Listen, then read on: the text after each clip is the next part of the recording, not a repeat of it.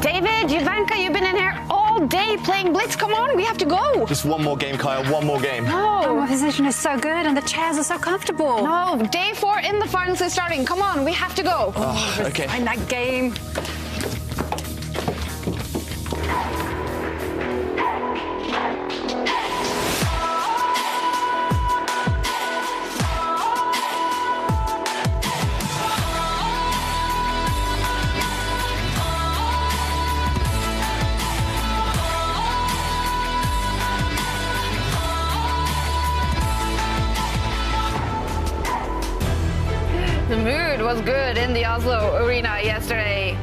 Jan Duda is arriving. He has won now two out of three matches so far, playing some fantastic chess. And today he's going to face Teimour Radjabov. And here comes also Anish Giri. He is up against Levon Aronian today, arriving with his second Aryan Tari for day four in the finals, also having a cup of tea that brought him so much success yesterday.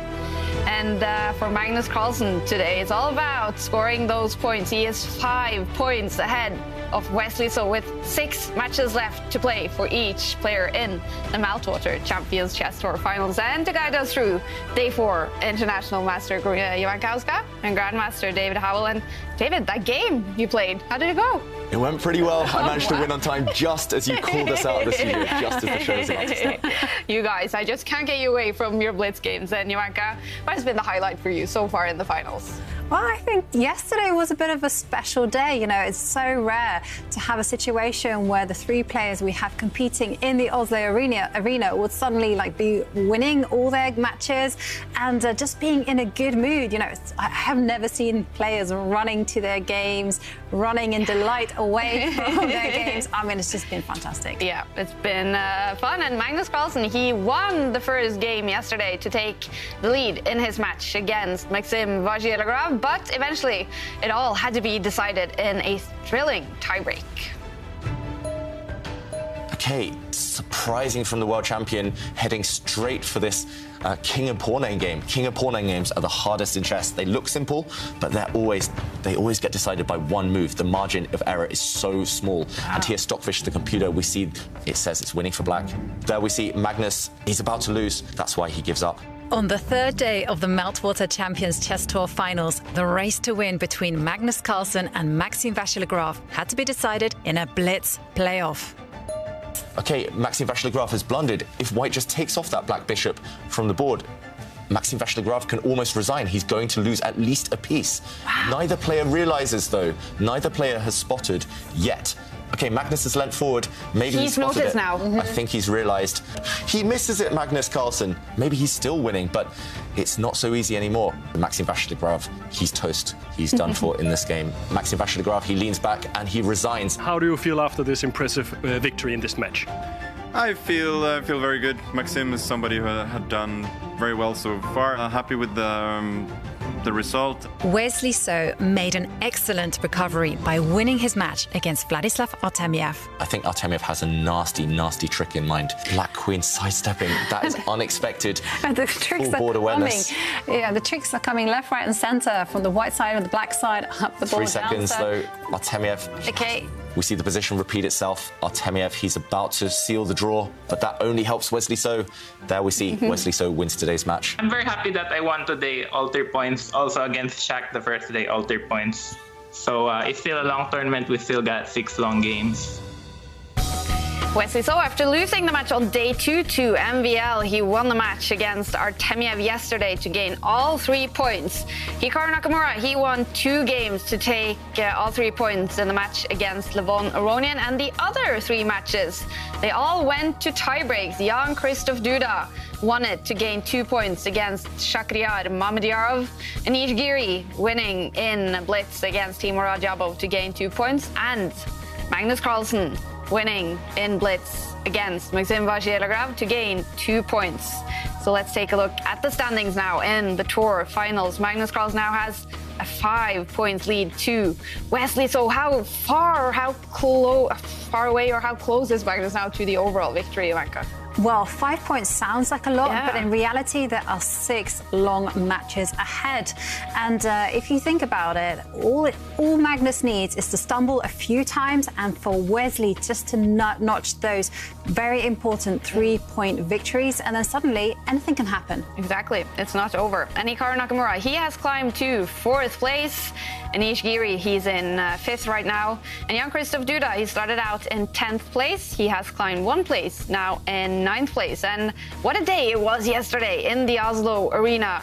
Magnus Carlsen was not the only player to win in the Blitz tiebreaks because uh, so did Anish Giri and Jan-Krzysztof Duda. What's up with the atmosphere there in the Oslo Arena, David? I think the players, they're vibing off each other. Yeah. And uh, yesterday, their results actually mirrored each other. All of them winning in the Blitz tiebreaks, all of them winning the first Blitz game and then drawing the second. And for sure, the confidence levels are high. We saw Anish there. He was joking afterwards about his acting skills. he rode his luck a bit, but he got the win, and uh, all of the players riding high. Yeah, and today it's a very tough match for Anish Giri. He's going to face Levon Aronian, but Anish has been in a very good mood uh, while he's been staying here in Oslo, and uh, he's standing out in the lounge now with uh, Rune. Are you ready for a big fight today? Yeah, yeah, always, uh, always ready. Okay. But do- can we can we help you? About, weather, weather's pretty good. Uh, weather's pretty good. Uh, yeah, so Will you play some interesting chess today? Duda promised us interesting chess yesterday and delivered. What about you? Uh, yeah, I think uh, interesting chess. Somehow today, not really. We're not really uh, going smoothly. Maybe the maybe the tension of the game is, uh, you know, putting the uh, sticks into the wheels of my interview. Little bit of nerves, maybe, A lot of nerves. Yeah. but we wish you the best of luck and have a nice day. I'll see you later. Yeah, I'll, I'll be around. Thank you. Rough day one against the world champion, but then great wins uh, against uh, Giri and Mamedyarov. Is everything a little bit easier when you start by playing the world champion?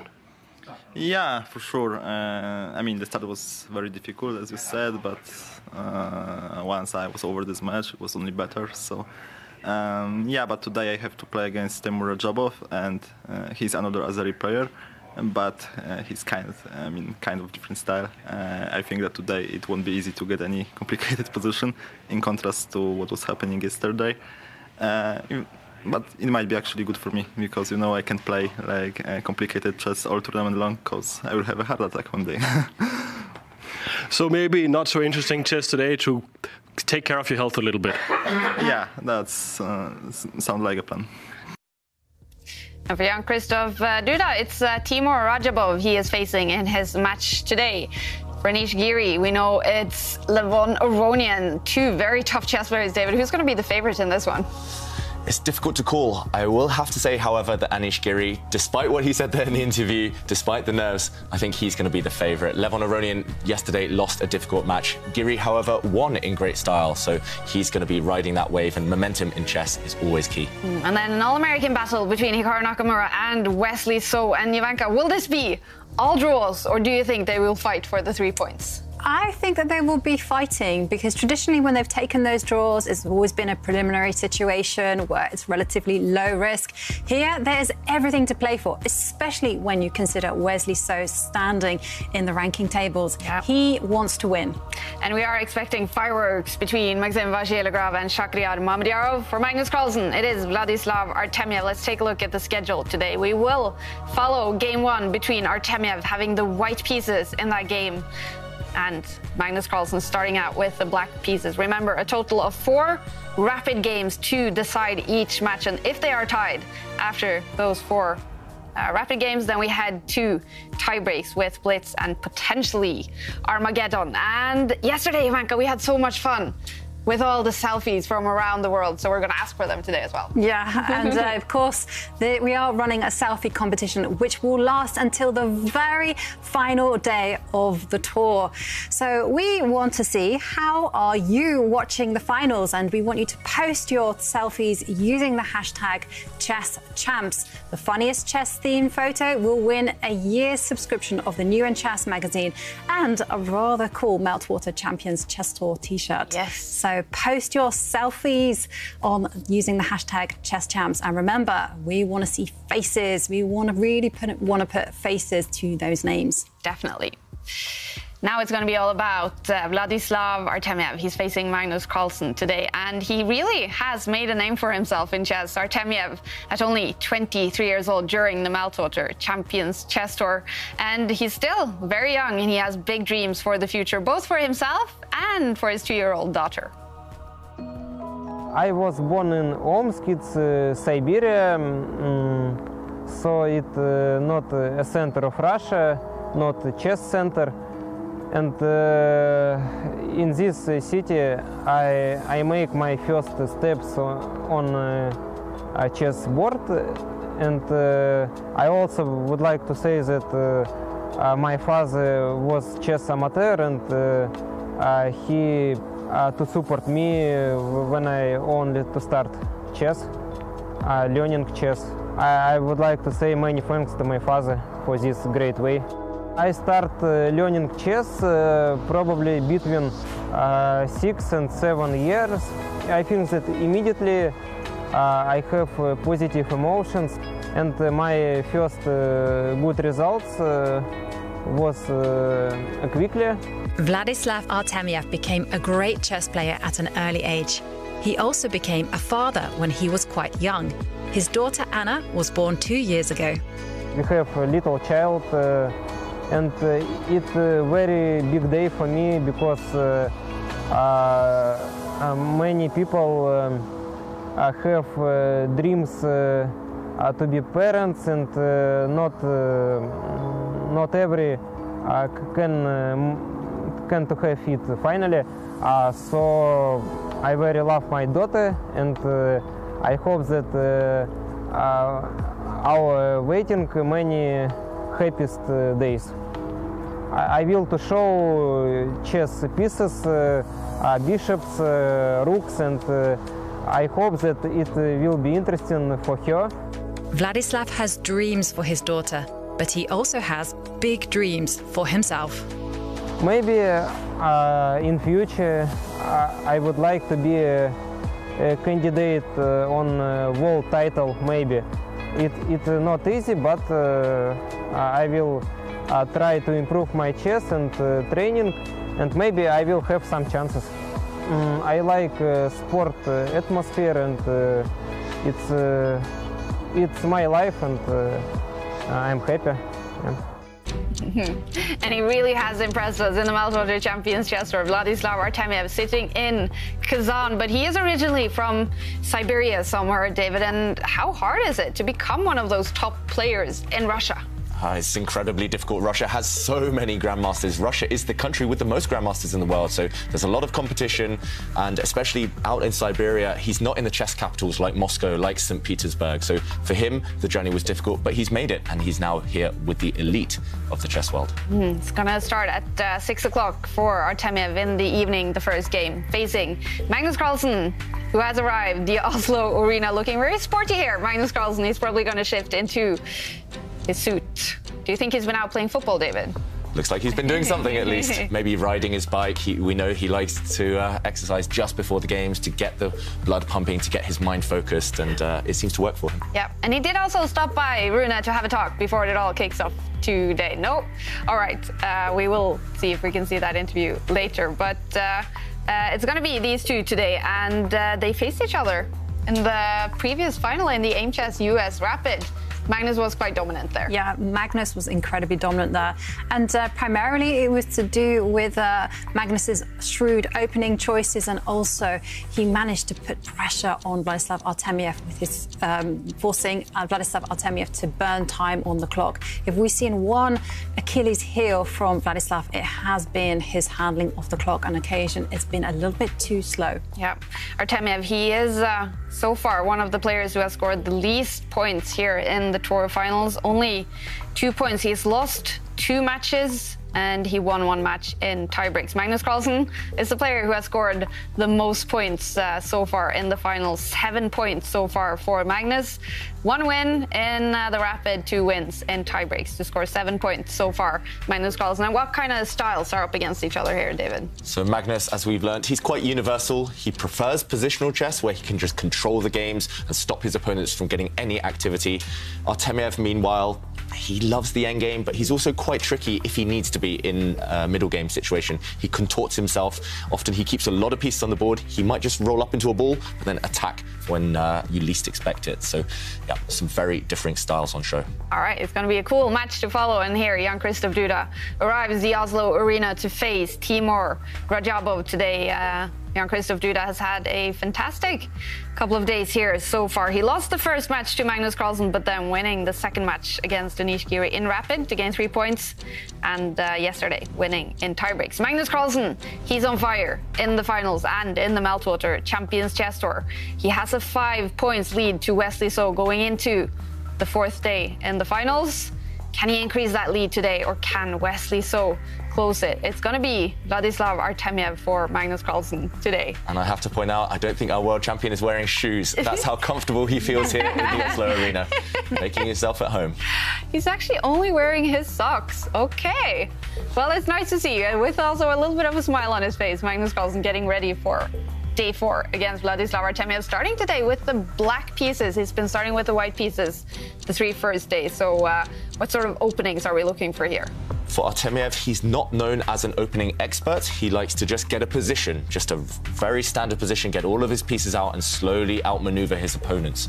That does, however, mean that Magnus will survive the opening. That's a guarantee. And from there, it's just going to be a battle of wits. Artemiev, he's not very direct. A lot of the other players in the tournament, they like to go for the throat. They like to go for the kill early on, but that is definitely not the case with Artemiev, especially with the white pieces. Just maximum tension, and I expect Magnus to embrace that. That actually plays into Magnus's strengths, I feel. Magnus also likes quite a tense battle. And here, we go. It's a King's Pawn opening. This is something that Artemiev actually very rarely does. And look at this, Magnus Carlsen already just looking up away from the computer screen he's slightly confused by this first move because ah. Artemiev normally does anything other than that. And Jovanka, I hear an intake of breath from you. Yeah, because it's my favourite opening on the board, the Caro-Kann. And uh, incidentally, that is a very curious choice from Magnus Carlsen because Magnus, okay, he is famous for kind of being very universal and playing almost every opening there is. But I have to say, between those two players, it is Artemiev who plays the Caro-Kann a lot more often. So, interesting choice. Um, yeah, I think uh, Artemiev is surprised because in their last account, encounter in the uh, AIM Chess uh, Rapid, there he opened with a Sicilian. Yes, and Magnus, I think, is playing mind games. He's using Artemiev's favourite opening against him. And maybe this is just with the rest of the games today in mind. Magnus is saying, OK, I'm going to play the Caro-Kann against you. I know you want to play the Caro-Kann defence against me as well. And what ideas do you have in mind from the white side? I might borrow some of those ideas later on in the day. And we do see white's knights developing out. So it's the two knights variation of the Caro-Kann defence. And here Magnus has a decision, decision to make. Does he bring out his bishop? Yes, instead of trading pawns in the centre, which is the other very common move. And, and now, uh, again, a critical decision to step back with a bishop or to take the knight, and uh, this is the more solid choice. And uh, here, Black has uh, two main moves, either to release the dark square bishop or to develop the knight on the right side of the board. Okay, he releases the dark square bishop, and uh, White, again, must make a decision with the centre. I mean, is the Queen's pawn going to step two squares forward? That's very ambitious. Is it going to step one square forward? Or is uh, the light square bishop just going to step just step forward one square and uh, leave the decision as to what to do with the centre later on? Yeah, Jovanka, I must admit, I learned a lot about this type of position from your book on the Caro-Kann defence uh, one of the Bibles for this opening, I think. I studied it a lot, and uh, yeah, these types of positions, whose style do you think it favours more, Vladislav Artemiev or Magnus Carlsen? I'd say both of them, actually. I mean, White has the choice of being very non-committal here, which is um, which favours Vladislav Artemiev. Because if there's one thing I've noticed is he avoids all kinds of tension in the opening. He won't make critical decisions. Okay, and he actually picks up a pawn to in order to put the light square bishop on the longest diagonal. Yeah, I was actually, while you were listing off White's uh, plans there, I was 100% sure uh, Vladislav Artemiev would play this just because it, it's his style. He loves to plant his light squared bishop on this diagonal. He doesn't want to necessarily be direct in the centre, gain too much space. He definitely shies away from the responsibility of pushing his pawns forward because that means you have more ground to cover, more squares to cover. Instead, he just wants to keep things simple. Artemiev, and there we mm. see Magnus Carlsen bringing out his knight putting some pressure on White's central pawn. Yeah. So will Artemiev deal with that pawn, or will he just bring his bishop to the side there? He chooses the latter option. Very sensible, getting ready to castle the White King away to safety. And the choice is back to Magnus. How is Black going to develop his pieces? Normally, we see Black's dark squared bishop develop itself here. We could well see a trade of pawns in the centre as well. Black's other knight, Black's knight on that left flank, also coming out. Choices for both sides. Yeah. And uh, both sides will start to slow down over the next five or six moves while they choose the best squares for their pieces. Yes, uh, definitely. And uh, well, actually, Magnus has gone for a different approach, which is to apply pressure on the white centre because if you look, there's a big challenge happening in between the two pawns in the middle of the board. And uh, what Magnus is doing is he is attacking one of the defenders of this pawn, this white pawn in the middle. Yeah, so there's actually a big threat on the board. Black is, with this last move, trying to capture White's remaining knight with his bishop, and once the White knight disappears, White's central pawn will also fall. Uh, so now is the moment for Artemiev to decide what to do about this pressure. Usually, in this type of situation, you have to commit your central pawn. Do you capture Black's pawn in the middle, or do you push it forward? It's definitely a stylistic thing. There's no right or wrong answer. But Artemiev, he doesn't like being asked these questions so early in the game. It's only move eight, but he already has to uh, commit his central pawn. He normally just wants to stay super flexible and decide much, much later, uh, normally in a middle game or even an endgame, how to commit his pawns, how to define his pawn structure. But already, Magnus is asking those questions. I definitely feel this opening. Magnus, he's got his opponent in mind. He's not just playing this opening because he likes the positions. He's trying to target his opponent's weaknesses. Mm-hmm. And uh, definitely yeah. posing Artemiev some yeah. unique problems. Yes, definitely. And uh, one of the things that White should be thinking about and considering if they want to be aggressive is to actually step forward with the pawn and attack the knight. Because one of the big ideas in this particular position is once the knight retreats itself, um, moves in front of the queen, then the white queen will take one diagonal step.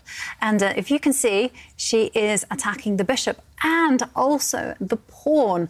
And uh, the main move here is actually to retreat all the way for the bishop to go back to its starting square.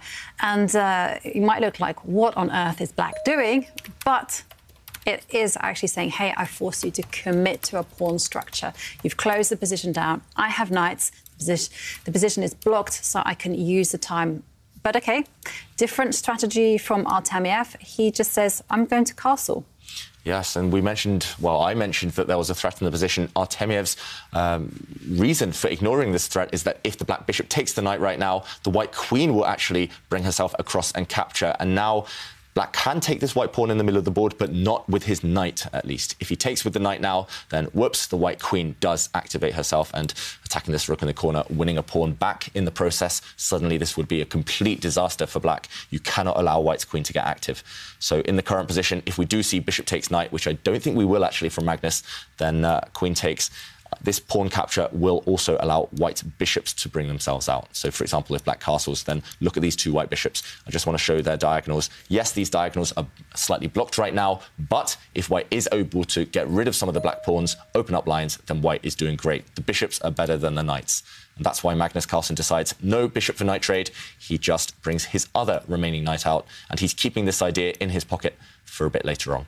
So very sensible play there. And this solid structure for black, this kind of pawn chain, this spear formation is going to cause Artemiev a lot of headaches to break down. He definitely still has to answer this question of how to commit his central pawn. Do you ever take here and uh, just give up influence in the center? He does this actually, but now after black recaptures, most likely, then black still has this strong pawn center and white has less influence now with his own pawns.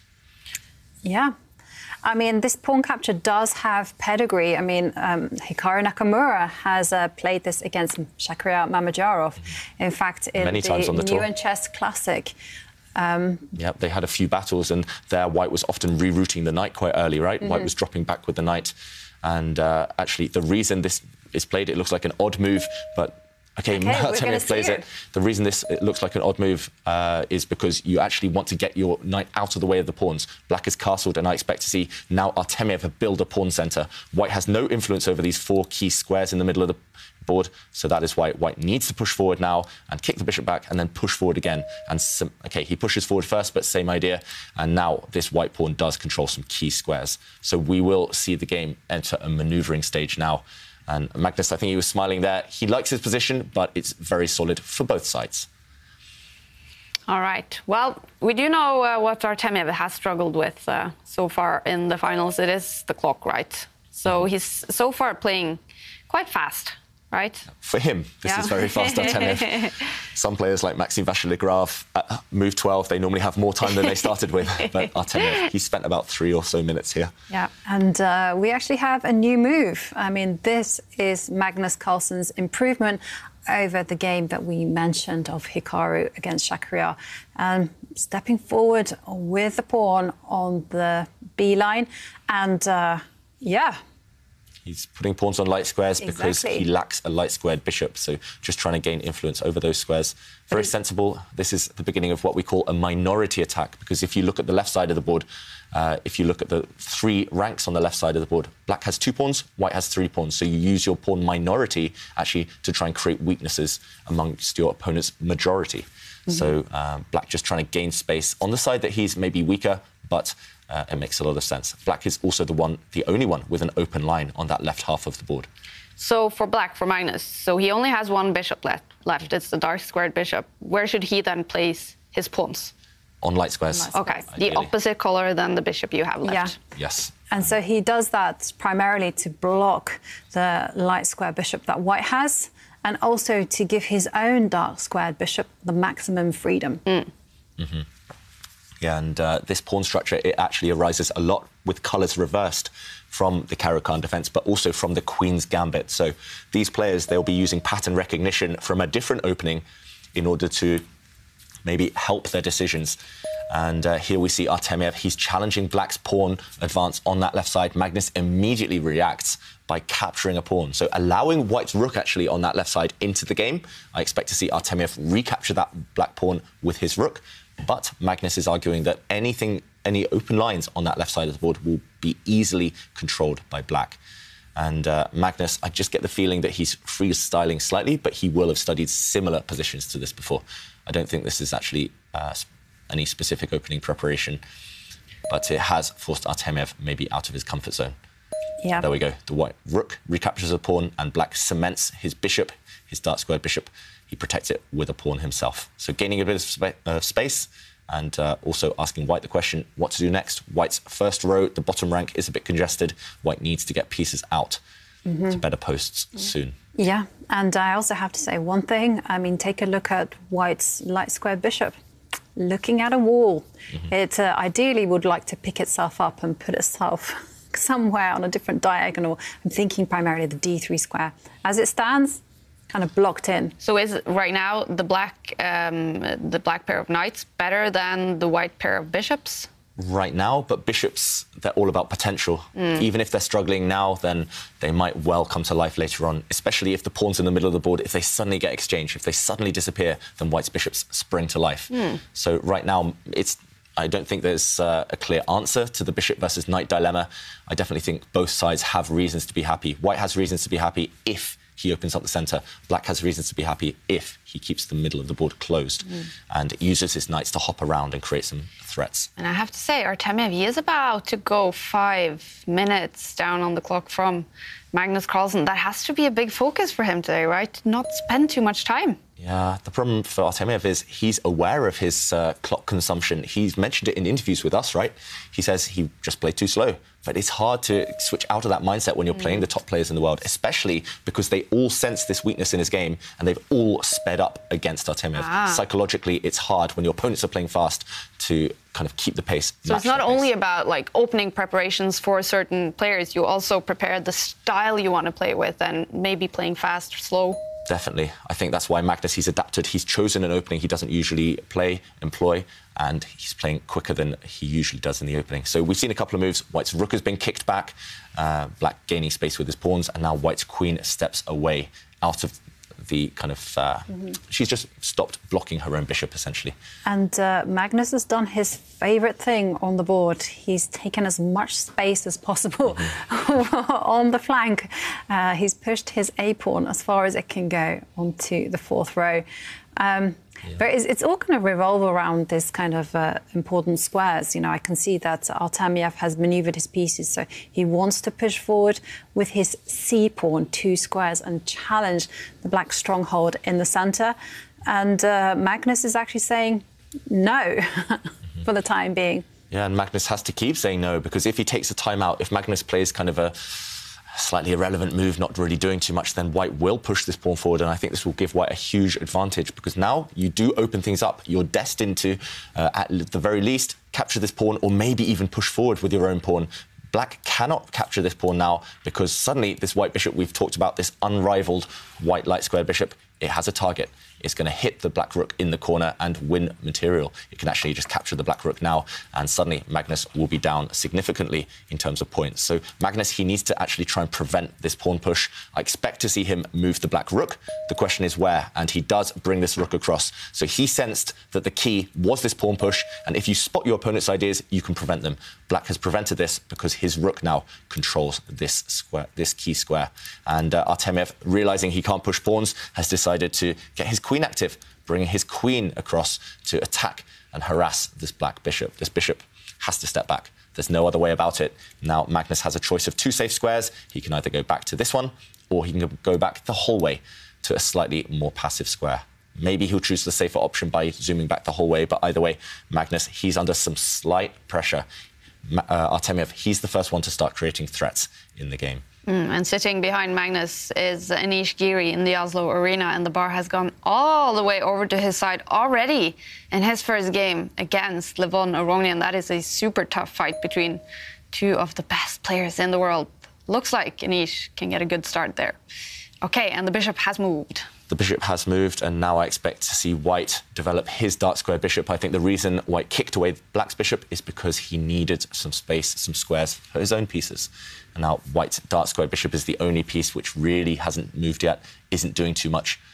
Um, so, quite a simple choice, I think, from Artemiev. For Artemiev, he can create a threat as well in the process if he does develop his dark square bishop. And uh, okay, Hikaru Nakamura and Wesley So they have finished game one with a draw. They played for maybe uh, 15 minutes, Hikaru Nakamura and Wesley So it is a draw. Hikaru with the white pieces, and I think Magnus is loving the music here now. I'll have to ask him about that playlist if we can. But meanwhile, he's in the move after Artemiev has developed his bishop as expected. Yeah. And I have some uh, inside information to what Magnus is listening to right now. Okay. Uh, Walk of Life by Dire Straits. Wow. Oh, that's a good tune. That's Yeah. a very happy one as well. there was uh, some signs of him digging the music a little bit there when it was turned on. He Yeah. does like his older music. I was listening to Dire Straits just this morning as well, so good choice. Yeah. And the black rook moves and uh, lines herself up against the white queen. And uh, whilst Artemiev is thinking about his response, uh, you know, I just wanted to show you a few more selfies that we've had from our selfie competition that we are running until the very last day of the tour final. And uh, here we can see Rudolf Amersfoort. And uh, he says, There we go again. And he's got the whole setup actually two screens with us and then the actual chess. So, uh, okay, we do have a move. The bishop has uh, moved to pin the knight. Yeah, and that's a very annoying move for Magnus Carlsen to face. Now the knight is under some serious pressure. The knight in front of the white queen. White's bishop now pinning it, as Jovanka mentioned. The knight is paralyzed. If it moves, then black's queen actually falls prey to this white bishop. So Magnus, he has to move his queen, I feel. He has to maybe offer a trade of queens or he has to move his queen to a square that it maintains protection of the black knight. You don't want to allow this tension to continue for too long because if your pieces are tied up, stuck, paralyzed, unable to move, then the rest of your position might start to crumble as well. Mm. White will simply have enough time to build up, improve his pieces while you're kind of tangled in knots.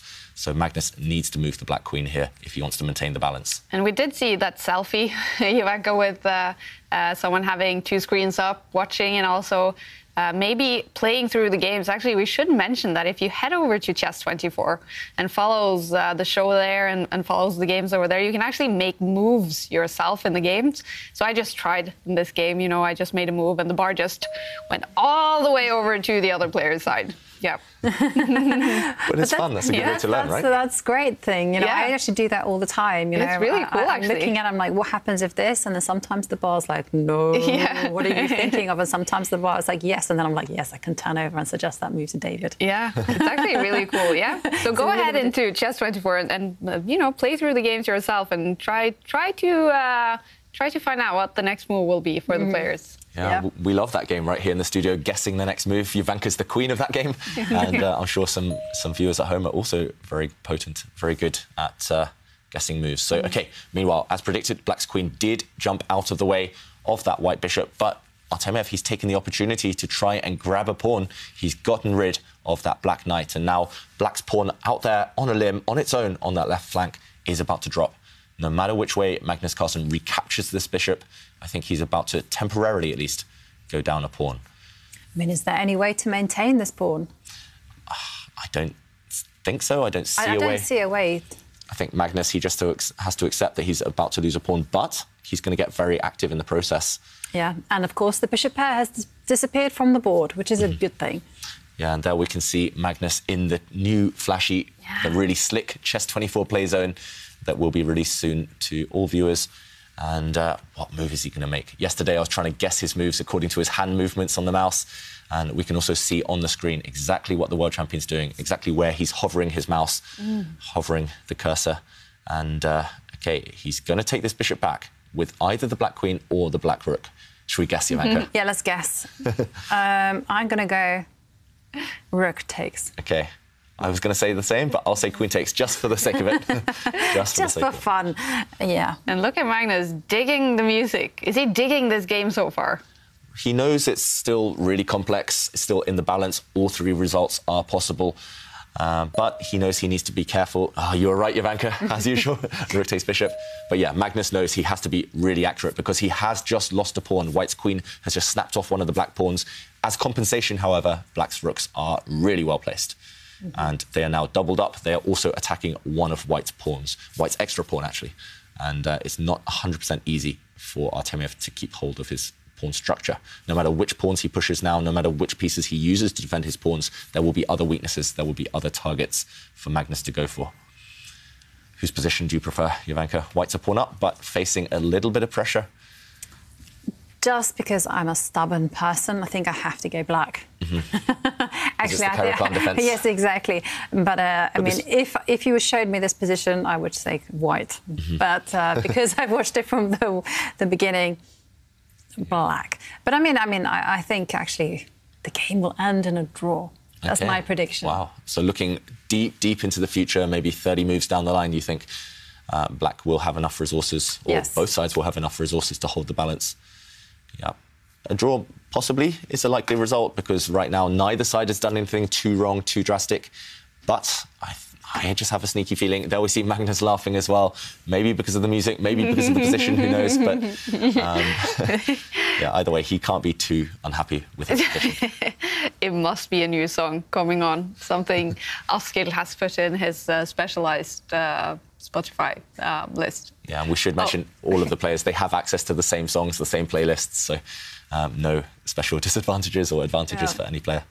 And uh, it's nice to see Magnus in a good mood, mm-hmm. and uh, he's enjoying his, his he's enjoying the position on the board, and he's also enjoying the music clearly. Yeah. And uh, one of the th- great things about the selfie competition that we are is Magnus really laughing? Um, one of the great things about this selfie competition that we are running until the very last day of the tour final is that we get to see you guys enjoying the tour as well. And uh, I have to show you this picture from Selim Tarek, who says he's watching from Egypt with their favorite drink and their favorite friends. And uh, there he is. Ah, Big hi, Selim. smile. Yeah. Hi. Hi, Salim. So, yeah, we love your selfies. So, if you want to enter our competition, then you can tweet us your selfies using the hashtag ChessChamps.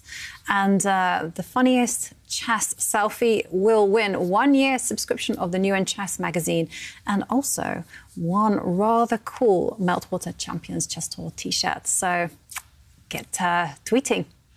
Yeah, and maybe Magnus is just enjoying the comfort of that chair. We sat in them earlier, right, Jovanka?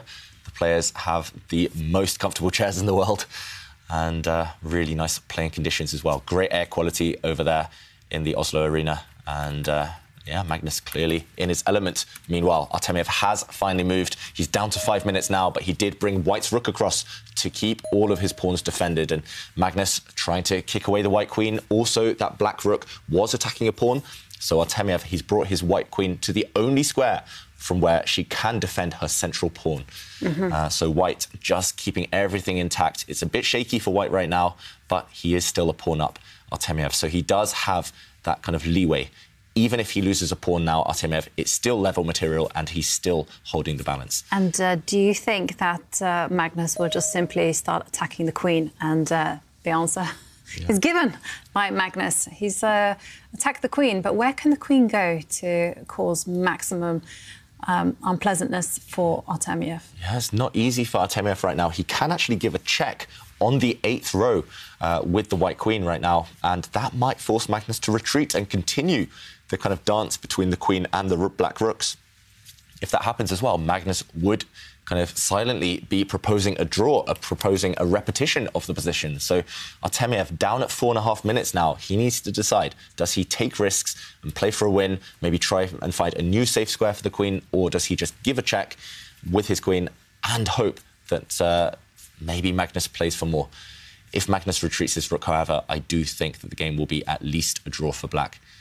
And uh, okay, hopefully the excitement will continue. Hopefully Artemiev will feel that ambition and go for a win. However, from practical, uh, from a practical point of view, with four minutes now, five minutes less than Magnus on the clock, maybe the best solution is to just be pragmatic, be sensible, and just lock down this draw by giving a check with the White Queen. What do you predict, David?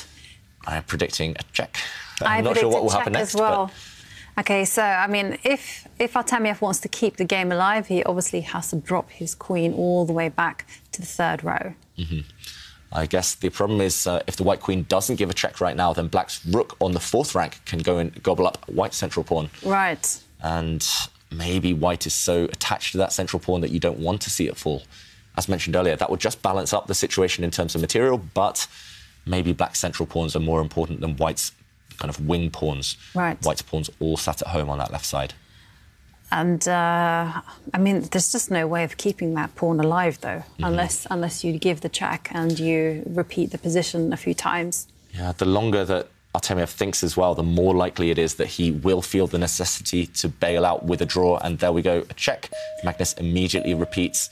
And this is the second time we've seen this position now. White's queen has stepped back. If Magnus continues attacking the queen, we're about to see a draw. This, this is it. There we go. Artemiev leans back and the position repeats itself. A draw. All right. Well, Magnus, with the black pieces in this game, do you think he's going to be happy with how the day has started? He won't be over the moon because he wants to win every game, but he won't be disappointed either. Magnus, we know from this tournament, he's in great form with the white pieces. So with black starting with a solid draw, it's a decent result. And in only his socks. That must be, you know, a comfortable start to the day. He's going to have the white pieces in the next game. That will start in uh, 30 minutes for Magnus Carlsen with a smile on his face. We definitely know he enjoyed the music in this game. We could see him digging the music. All right, and we're gonna jump over to another game going on here in the Oslo Arena. Anish Giri, first game against Levon Aronian with the white pieces, the bar all the way over to Anish's side. Wow, yes, it's looking very good for Anish Giri. If we do a quick uh, kind of recap of the position, a quick count of the pawns and pieces, white is a pawn up, but it's just not just any old pawn. It's actually that central pawn for white, that very far advanced pawn. I think that is going to signal the end of the game. Actually, that one white pawn is going to clinch it for Anish Giri. White's pawns are just too advanced. Also, White's pieces are beautiful. That knight in the middle of the board, perfectly centralized, all of its tentacles out there, controlling eight nice squares. Uh, the only thing White has to deal with is his bishop right now, which is under fire from Black's rook. So White's bishop in the corner there needs to move, or you need to defend it. Either way, Anish Giri, if he's accurate and he has the time with which to be accurate with nine minutes, he should guide this one to victory. Yeah. What do you think, Jovanka? Any chances for Aronian? Well, we've learned one thing on the Meltwater Champions tour, which is say never say never, because so Expect many times. I was like 100% someone is going to win, and they've ended up losing. You know, it's a rapid game, so that's that's to be expected. Um, here it looks really good for Anish, I have to say. Yeah. And uh, when you said that's not just any porn, I was I was expecting that's a Marks and Spencer's pawn. What's that mean? no, it's just that there's a there's a company in the UK, Yeah. you know, a very famous uh, food place, and their tagline is that's not just any food; it's Marks and Spencer's food. Ah. And I don't know why that just came up to me. Ah, yeah. I mean, high quality brand and Exactly. high quality porn here in Anish's position. And uh, okay. No, I mean I agree with you, David, 100%. The bishop just needs to move, okay, and it's moved to a great square. Uh, it's also locked in that black rook. Actually, Yeah. that white bishop is defended by its knight in the center, and if you can't kick away the white knight, then that means you can't kick away the white bishop. That also means that your rook is trapped in the corner of the board. So, Levon Aronian, we see him kind of a bit flustered right now, playing with his hair. He's not going to be feeling comfortable at all. Uh, There's something with the music in the Oslo Arena today. It seems that the players are very happy with the playlist today. And Anish Giri digging the music as well. They're feeling inspired. Yeah. Can the other players um, who are not playing in the arena listen to music? I bet they can. They can. They, um, because they do have an arbiter in uh, the room, and but the the thing is that it needs to be a headset that is wired to the computer. So of course they can't have one with Bluetooth and stuff like that. Yesterday, we actually saw Maxime Vachier-Lagrave playing a game with headphones on as well. So he must have had those, uh, had that approved and checked by our arbiter. Yeah. Um, yeah, of course, none of the players will ever try anything sneaky, but we do double check. Yes. We do ensure that the playing conditions are fair and equal. Absolutely. And uh, it would be quite nice to pre-approve the pay- playlist if they know you can't have that song. Okay, we- we do have a move, and uh, Levon has stepped forward with a pawn. Nice chain of pawns there on the right side. Yeah. So I think this, uh, okay, it's a nice, pretty pattern for Levon Aronian, but I think this move is designed to create a path for the Black King forward into the centre later in the game.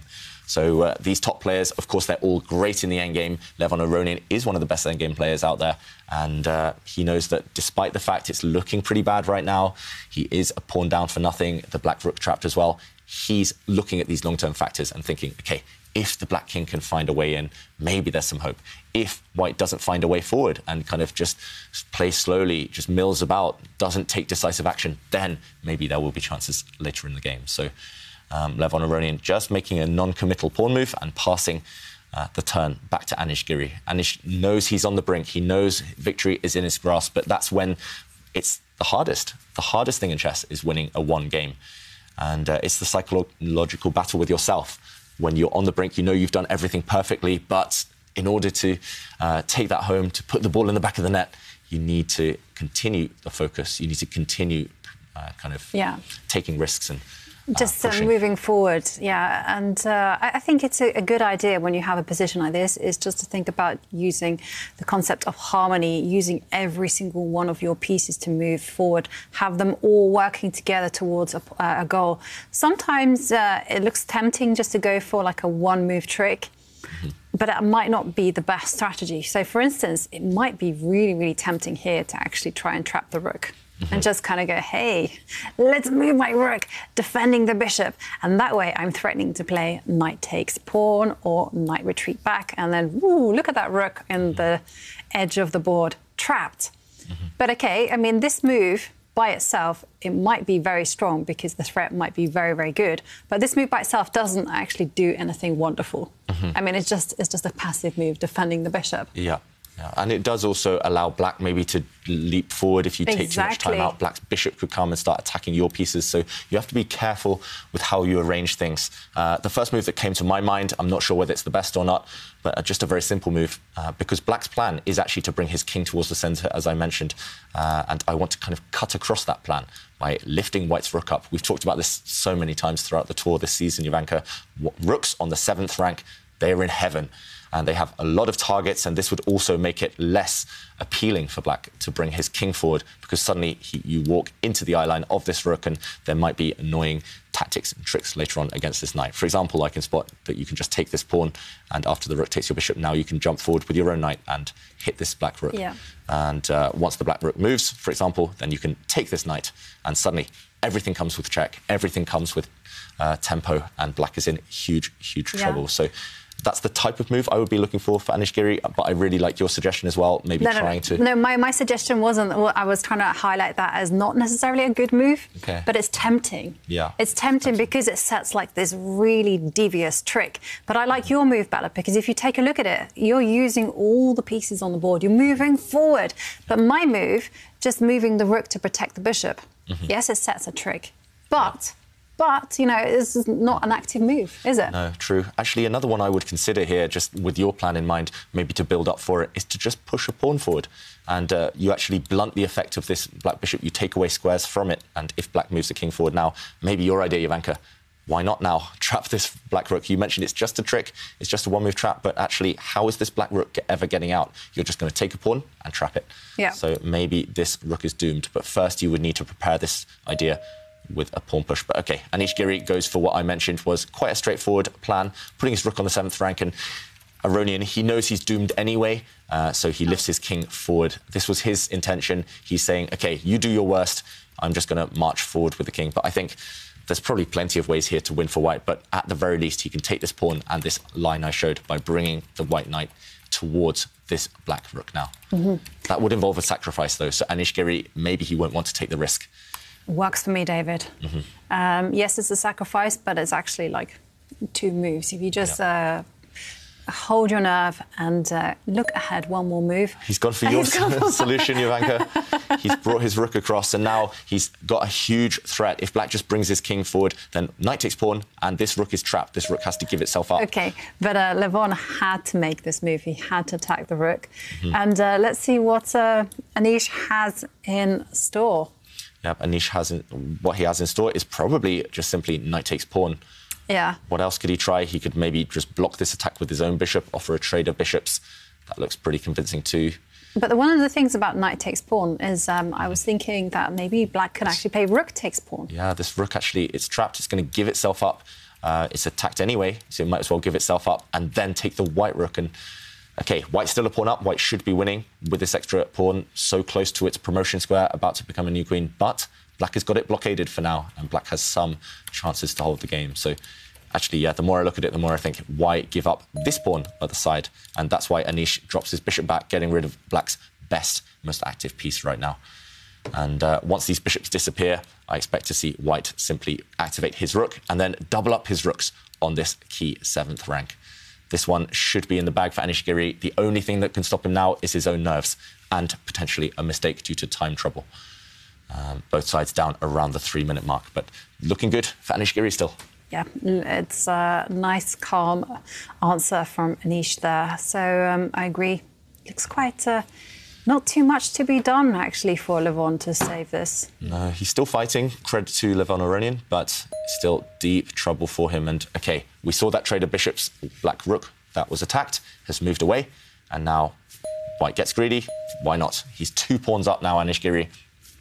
And also, those two white pawns, the two extra pawns, are pretty strong. They're both passed pawns. One of them is actually now targeted by the black king. I think you can just keep that pawn if you want to. But the most important pawn suddenly has become this A pawn, this pawn on the left side for white. It's going to be hard to stop long term. Yeah, and definitely, it's a very, very far advanced. You know, it's three squares away from queening, and it has the support of two rooks. Yeah. So, okay, Anish decides to hold on to his central pawn, which I think is a fairly very natural strategy. Yep. I mean, you have two extra pawns. Yeah. Why not maintain that that kind of scenario for as long as possible? And uh, all all Anish needs to do now is introduce the knight back into the game, Mm-hmm. and then it will be the a pawn advancing forward. Yeah, White's knight is actually. It looks like it's not coordinated with the rest of his pieces, the rest of his army, but it is stopping Black's rook from coming down to the bottom of the board and giving check to the White king. So that White knight controlling some important squares. But it is the pawns that are key. This just reminds me of that saying: "Pawns are the soul of chess," because uh, they can dethrone a king eventually. They might look innocent, they might look like foot, foot soldiers, but now these two extra pawns for White, one of them is likely to become a queen Yeah. especially with knights on the board. Knights are terrible at stopping pawns on the flank, and white's pawn on the left side. It's these corner pawns, especially because knights can only stop them from one side. Uh, Pawns, if you put them in the centre of the board, the knights can stop them from both sides. Uh, so white's pawn, especially over there on the left, if all the rooks disappear, that's just running through to its uh, destination. And uh, black actually tries a tricky move, a knight fork, attacking both of white's rooks at the same time. So one of the white rooks runs away with a check, saving one of them. And now I expect white's remaining rook that is attacked by the black knight to just move.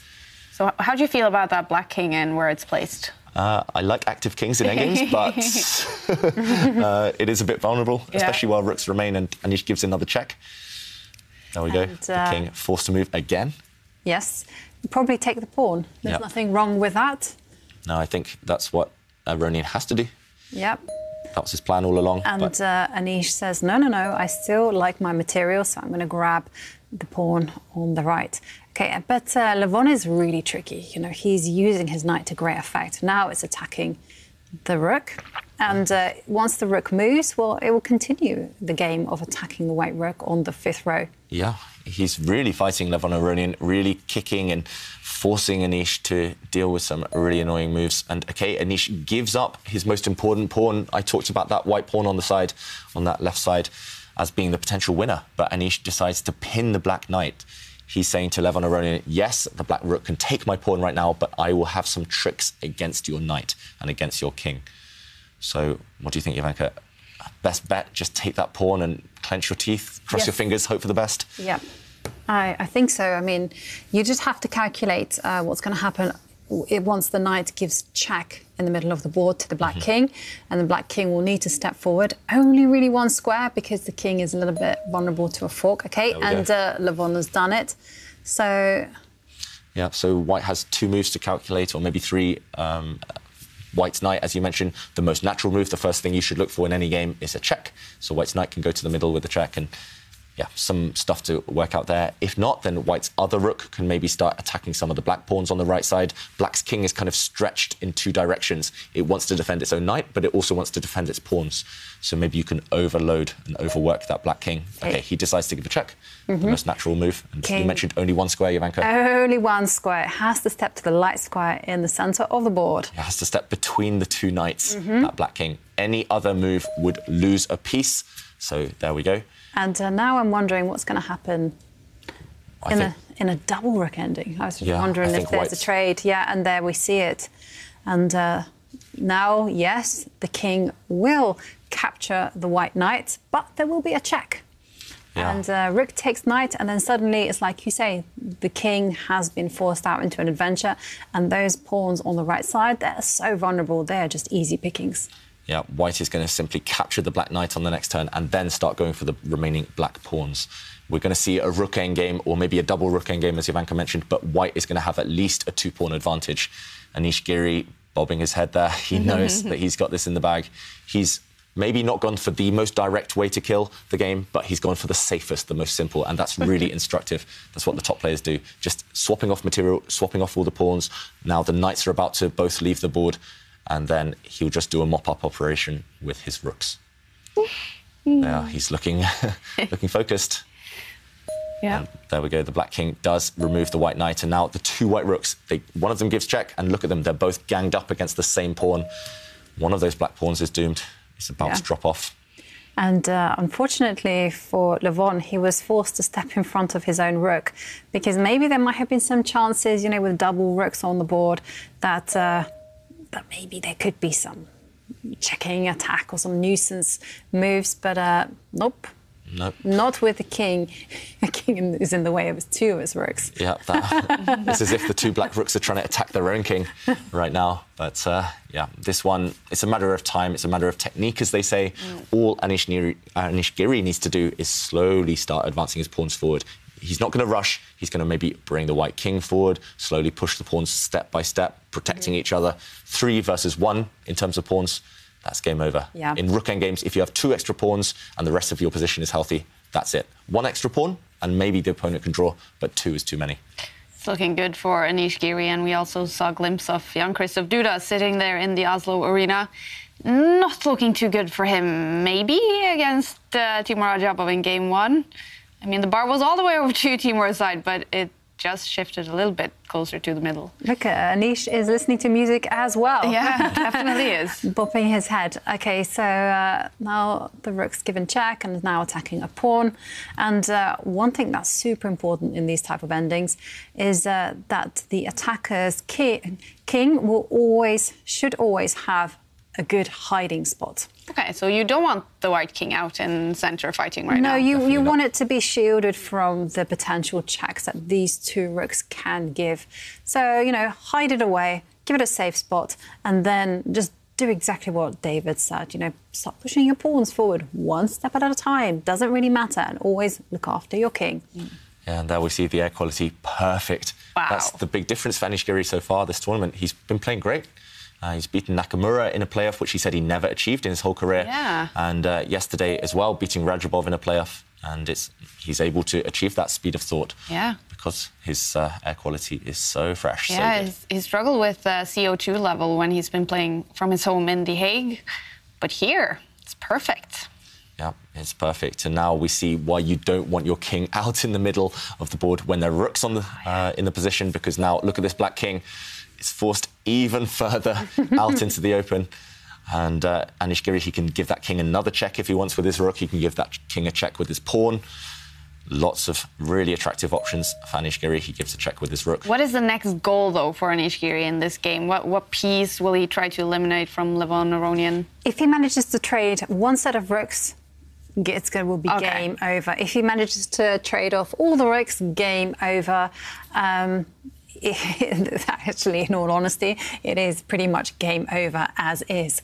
But uh, I mean, there you just kill the danger. Mm. Um, like this, you just have to make sure that the king is safe, that your pawns are safe, and that you, you're able just to harmoniously work those pawns to the promotion squares. Yeah, I think he's actually here, Anish Giri, trying to win Black's remaining pawn. He can actually do that instantly by pushing his pawn forward with a check, White's pawn on the F line, push it forward two squares, check the Black King. The Black King has to go towards the left side. There we go, he does give this check, and now he can attack Black's remaining pawn. There's no way to defend it. Yeah. It's going to fall. It's going to be a three versus zero advantage in terms of pawns. And two pawns was already too many. Three is going to be game over. And uh, Levon Aronian just setting one final threat, one final trap. He's attacking White's rook. Once that rook finds a safe square, I think we'll see Levon Aronian finally click that resign button. Um, his last remaining pawn is indefensible. It's a difficult thing to do at times, you know, yeah. accept defeat. Yeah, I've been there myself. But uh, here, the problem is you know you're going to lose, but it might take 20, 30 moves in a hopeless position. Why spend that time? especially Levon Aronian. He's the slightly older player. Maybe he wants to conserve some energy for the fighting in the next game, trying to win and strike back. Yeah. So Anish finds the safest square for his white rook away from all of the potential threats, and Black's remaining pawn is dropping. Yeah. No way to save it, and Aronian under 10 seconds as well. OK, so uh, Levon attacks the G pawn in front of the white king, but, you know, this is quite easily defended. There you go. Yep, so White's rook stopping any threats to the White King. Black's rooks were teaming up on the same pawn, so he's kicked one of those rooks away, bullying him with the threat of a rook exchange, which would simplify the task for Giri. And uh, maybe now it's time to advance the king. Because the king can just uh, advance itself. To, I know, I know. wins. Yeah, this move I think is the safest. White's rooks coordinating, protecting everything, and now maybe your move, Jovanka, mm -hmm. bring the white king into the game. You could push some pawns as well. You can pretty much. Yeah.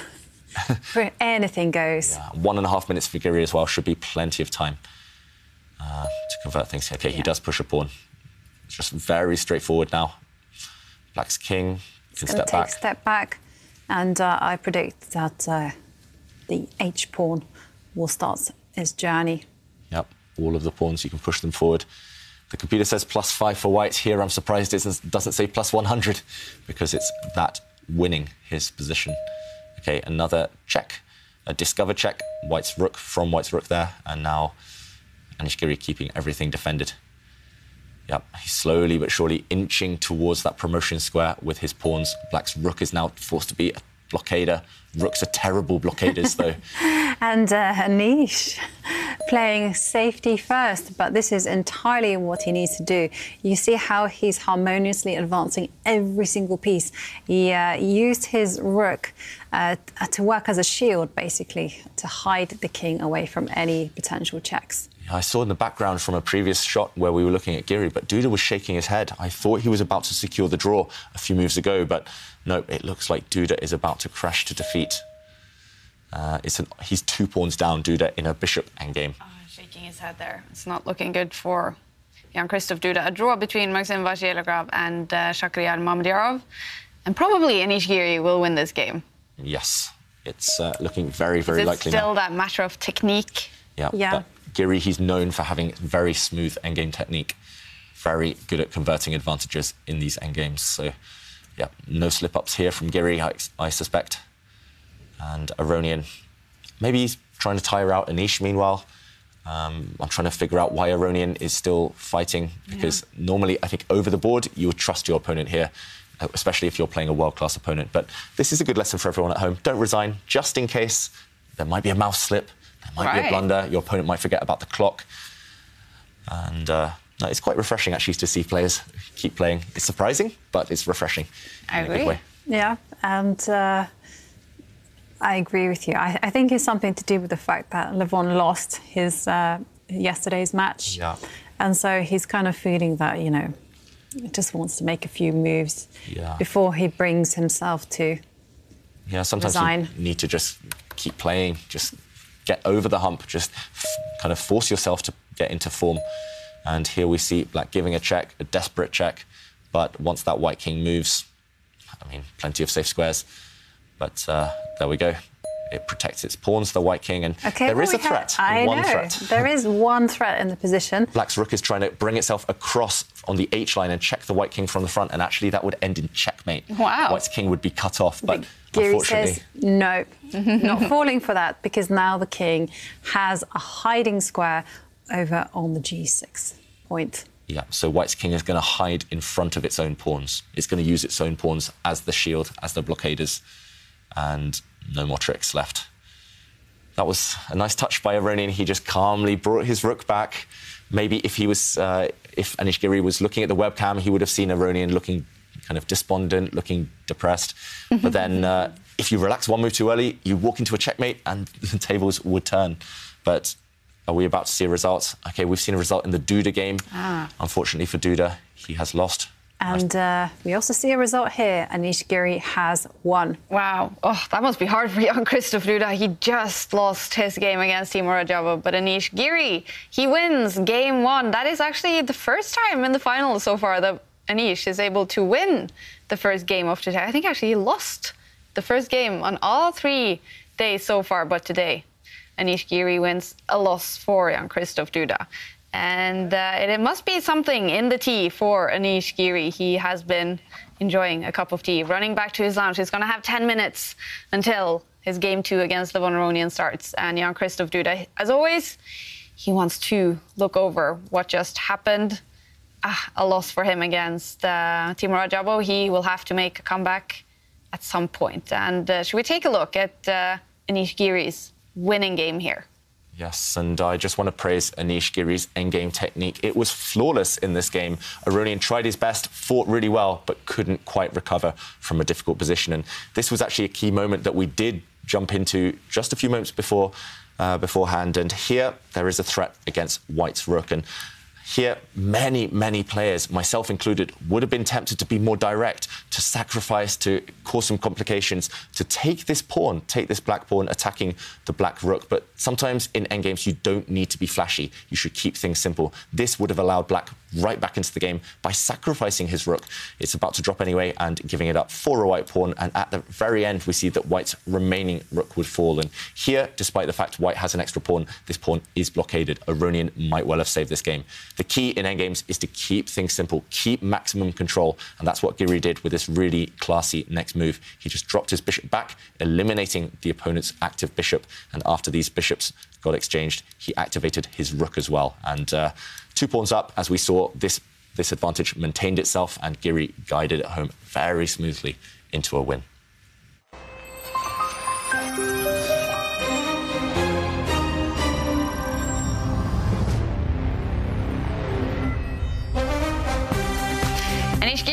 Is in the lead in this match. Levon Aronian with the white pieces in the next game coming up in about six minutes. He will have the white pieces and he has to make a comeback at some point, Levon Aronian.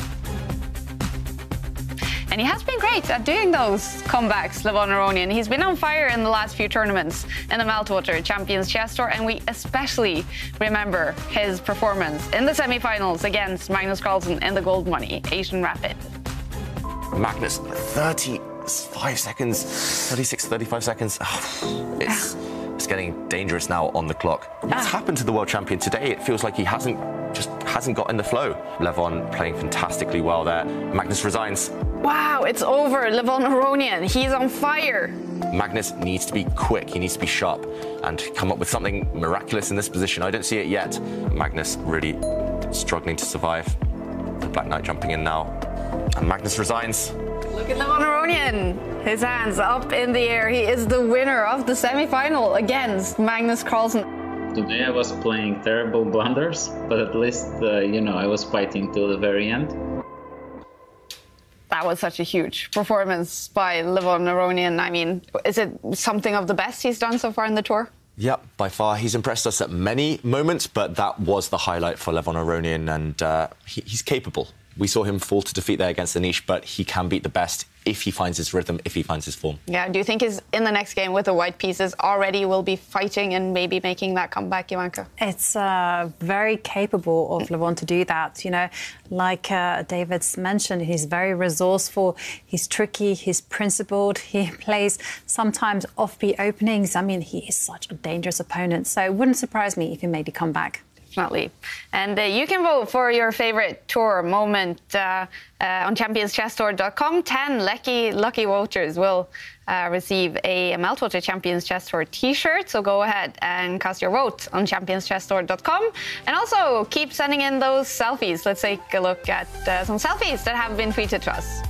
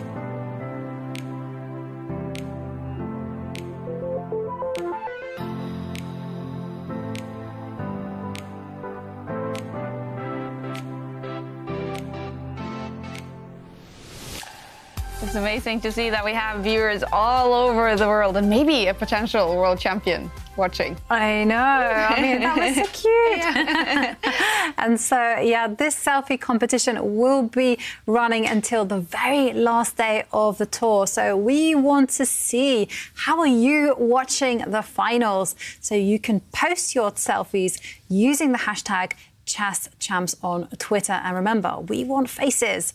And uh, the funniest chess team photo, photo will win a subscription to the New in Chess magazine for one year and also a rather cool Meltwater Champions Chess Tour t shirt. Definitely. So, uh, yeah, we love seeing your pictures and we will feature them on the show. Yes, we will. And it's nice to see that you're having a good uh, time out in the world following chess. And we're having a good time here in the Oslo arena as well. Magnus Carlsen has been out in his long break to have some food, talk a little bit maybe. Maybe there is some chess playing going on there. This must be a nice kind of break when you have 30 minutes to prepare for your next game. Yeah, it's a longer break than he's used to throughout the tour, and uh, lots of snacks, lots of treats out there. The key for the world champion, he's admitted himself, is being relaxed. So, uh, yeah, for Giri, Carlsen, and Duda, they're loving the atmosphere. Yeah, and that coffee really tastes great. Oh, and look at that some chess games going on. Can you see what's happening here, David? Um, it's looking in the balance. Early days in all those games, but some of our friends from Airthings there and from Chess 24. So, yeah, great atmosphere here in Oslo. And maybe that is Zylen from Chess 24 having a little bit of a chess class from our visitors from uh, Airthings the atmosphere is great here in the Oslo Arena, and maybe that is affecting the three players playing from here. We did have a win for Anish Giri in the first game, a draw for Magnus Carlsen and uh, for Jan-Krzysztof Duda. It was a loss in the first game second set of games is coming up in a few minutes. We're going to follow Levon Aronian with the white pieces. He has to make a comeback at some point against Anish Giri. A total of uh, four rapid games to decide each match. We have three rapid games to go. And if uh, some of them are tied after those rapid games, then we will head to tiebreaks with Blitz and potentially Armageddon if needed. And we did have three tiebreaks going on in the Oslo arena yesterday. And now it's all about Levon Aronian against Anish Giri. Levon, with the white pieces, what should we expect? All-out attack, I think, from Aronian. Actually, one of my favourite Aronian games ever, one of his most beautiful wins, was with White against Anish Giri a few years ago. So he's capable if he starts on the front foot and if he gets a great opening position. He is going to throw everything at this game. Mm-hmm. Uh, we should maybe take a look at the results from the first uh, set of games in uh, day four of the Meltwater Champions Chess Tour finals. It was a win for Teimour Radjabov against Jan-Krzysztof Duda. Anish Giri getting that win against Levon Aronian. Hikaru Nakamura and Wesley So, the two Americans, a draw in that one. In the next one, Wesley will have the white pieces. And Maxime Vachier-Lagrave and uh, Shakhriyar Mamedyarov, a draw between these two. Vladislav Artemiev and Magnus Carlsen also played a draw. The world champion will have the white pieces in game two that is starting in a few seconds. They are all ready in the Oslo arena. All right, we will follow Anish Giri sitting in the back against Levon Aronian. Can Anish Giri keep it? Oh, maybe he's not there yet.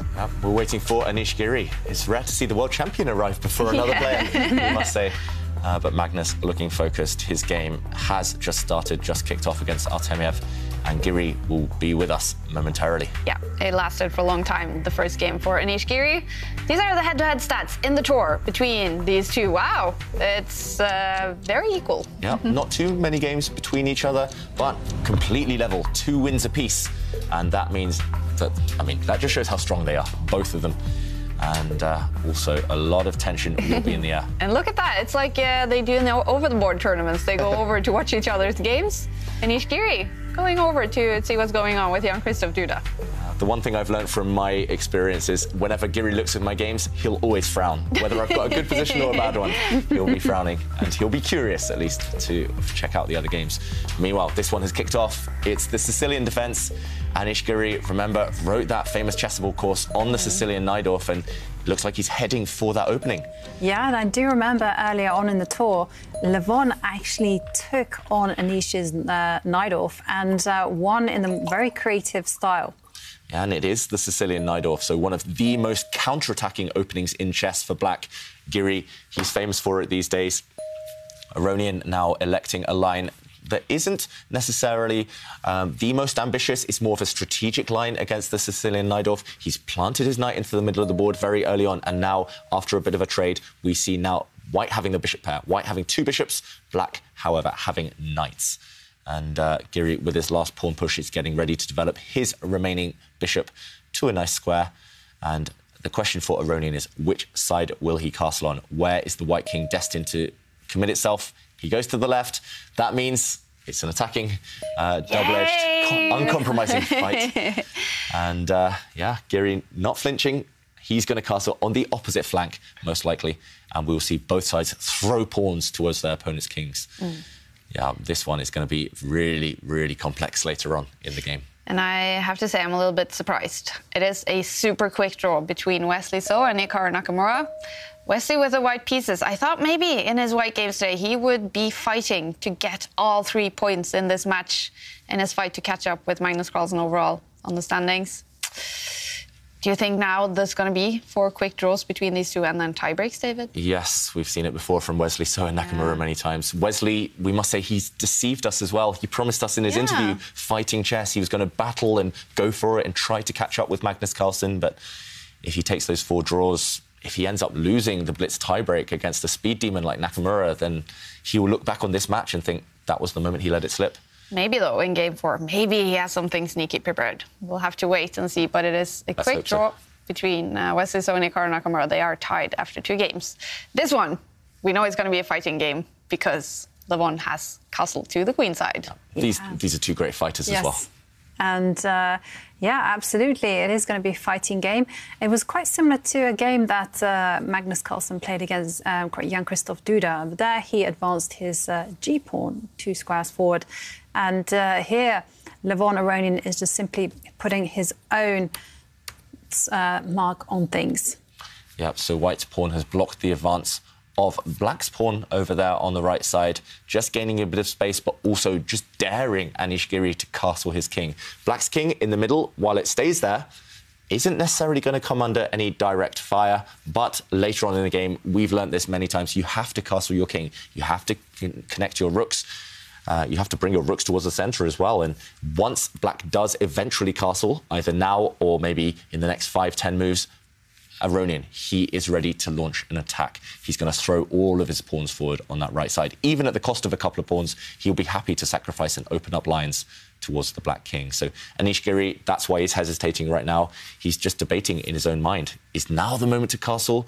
Or do I keep Levon guessing? Do I keep the tension and maybe play a different useful move? Before that. Uh, yeah, it's time to prioritize for Anish Giri to choose what he wants to do.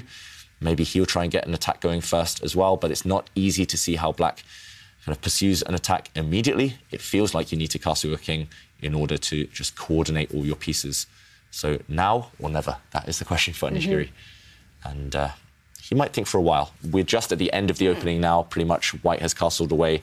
Normally we say the end of the opening is when both sides have castled, but Anish is pretty much fully developed apart from that one move. So we're at the end of the opening. Both players have studied something similar to this before, but maybe not this exact position. And it's down to planning, down to maneuvering. It certainly is. And it's also all about like how are you going to attack your opponent's king. For white, it's quite clear cut. You know, you're just going to develop your light squared bishop one square and then start uh, using your pawns as battering rams to open up lines. For niche, it's not that easy. You know, maybe it can be by pushing some pawns forward on the left side, or maybe even actually trying to attack with pieces using his knight to jump forward into the white side of the board and uh, start attacking so, the queen and the bishop. So you want to jump in with the black yeah, knight, maybe?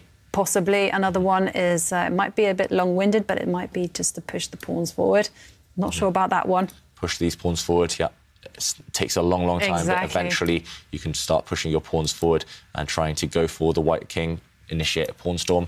Uh, another idea would just be to maybe bring the black queen forward and just keep white guessing.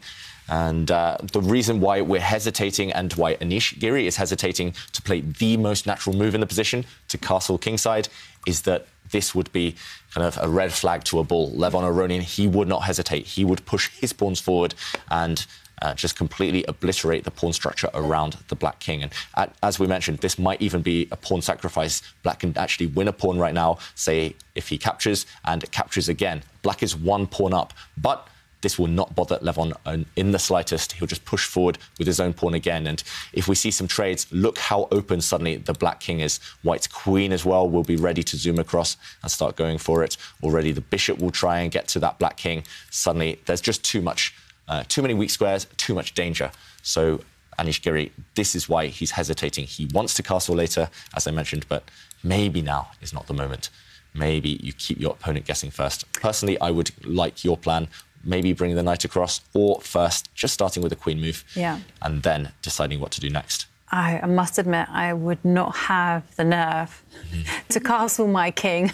I would just too scared for that kind of thing. I don't care if I win two pawns, even a piece. I just don't want those pieces coming at my king. Yeah, so just too scary. Yeah. White's gonna yeah. Start. Well, some some players are really they love material so much. They're like, yeah, yeah, I can defend that. Mm-hmm. But uh, I mean, I, would say about 80% of the population would say no. Why give your opponent a target, right? Exactly. So, yeah, that is uh, facing Anish Giri right now. Lots to think about for him. All right. It's uh, uh, Levon Aronian looking for a comeback against Anish Giri, digging some music in the Oslo Arena. Levon Aronian now playing from St. Louis. He has moved to America to join the American chess team. Still playing under the uh, Armenian flag, though, right? That's right. Yeah. For now, it takes a while for that to uh, for that situation to change. Uh, to kind of register to play for a new flag. For example, with Leinier Dominguez, who moved over yeah. to the US, he didn't play a classical tournament for two years while he waited for that uh, change to be made.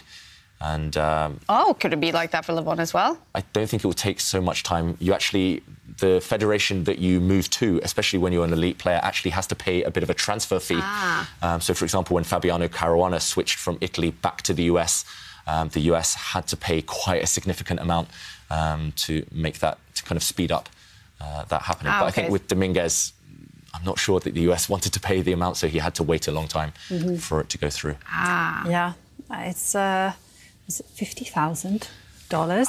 I think at least. Uh, yeah. wow. So, yes. Yeah. Okay, that's a lot. Yeah. The, the stronger you are, the more it costs. Yeah, of course. Well, for a player like me, they would probably England will pay another country to take me through, but not true. not true at all. But uh, no, for these top, really world-class grandmasters, it is. Uh, Maybe, it's not easy. Okay, so you do have uh, Norwegian citizenship now, right? Uh, residency. Residency. Well, first of all, congratulations. Big news.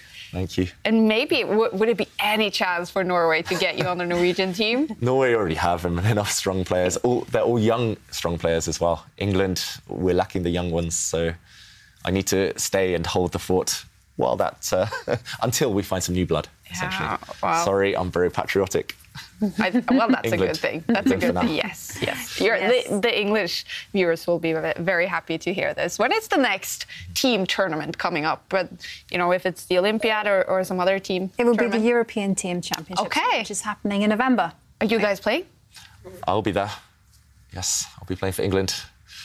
You were just smiling, Jovanka. She's smiling because her move has appeared on the board. As usual, she correctly guessed the move. um, yeah, I, I, had to make a choice between playing in the European Team Championships or playing in the Grand Swiss, ah. which is happening. And uh, I felt that it was I couldn't perhaps uh, didn't have the, quite the energy to do two tournaments in a row, so I chose and I was the Grand Swiss. Oh well, that's sensible. Yeah. Also, the World Championship match with Carlsen and actually starts immediately after the European Team yeah. Championship. So. And then you guys will be back here. We'll exactly. be back. We'll be back. And. Uh, yeah, it makes sense. Two tournaments back to back, and then this long tournament to, to work on. It's uh, a lot of chess these yeah. days. The calendar is packed. Yeah. And also, in terms of team tournaments, the women's team championship, the women's world team championship is ah, That's going on actually right happening now. Right now, yeah. Is it? Yes. Just, just outside of Barcelona. I think. Who's in the lead? I think it was Russia. Okay. Russia. Yeah. But it's early days. It's just started mm-hmm. the tournament. All right. Well, let's keep an eye on that as well. Yes. Cool. and uh, I'm very excited because the move that I suggested is on the board. And uh, it's not oh. just me excited about the chess. I mean, we are having a selfie competition, which is running until the very last day of the tour final. And I wanted to share with you some more selfies. And uh, Rafay Latif okay, the, the, Queen has come out actually, uh, has uh, posted a selfie which says, Work is temporary, chess is permanent. go, Carlsen, go. I like that. Uh, I like that life one. motto. And he's also got a friend in the background who's also watching some chess. Okay, some uh, queen moves happening. Wow, a really sneaky counterattack from Anish Giri. We have to show this on the board because it's actually a piece sacrifice, but it's a trap. So if and uh, Levon Aronian now gets greedy. He's attacking this knight twice with his queen and with his bishop. But if he captures this knight, no matter which way you capture it, then suddenly you see the battery of the queen and rook together in full effect. Black's queen would take a pawn with check, and this would be a double attack against the king and rook. Black's queen defended by her rook, so the white king would have to move, and now queen takes rook. This would end in checkmate very, very shortly. So Levon Aronian, of course, he spotted that. Anish with this queen move, um, this queen move lining up against this white pawn. Aronian said, "I don't want to defend this pawn. I'm going to step it forward to a safe square."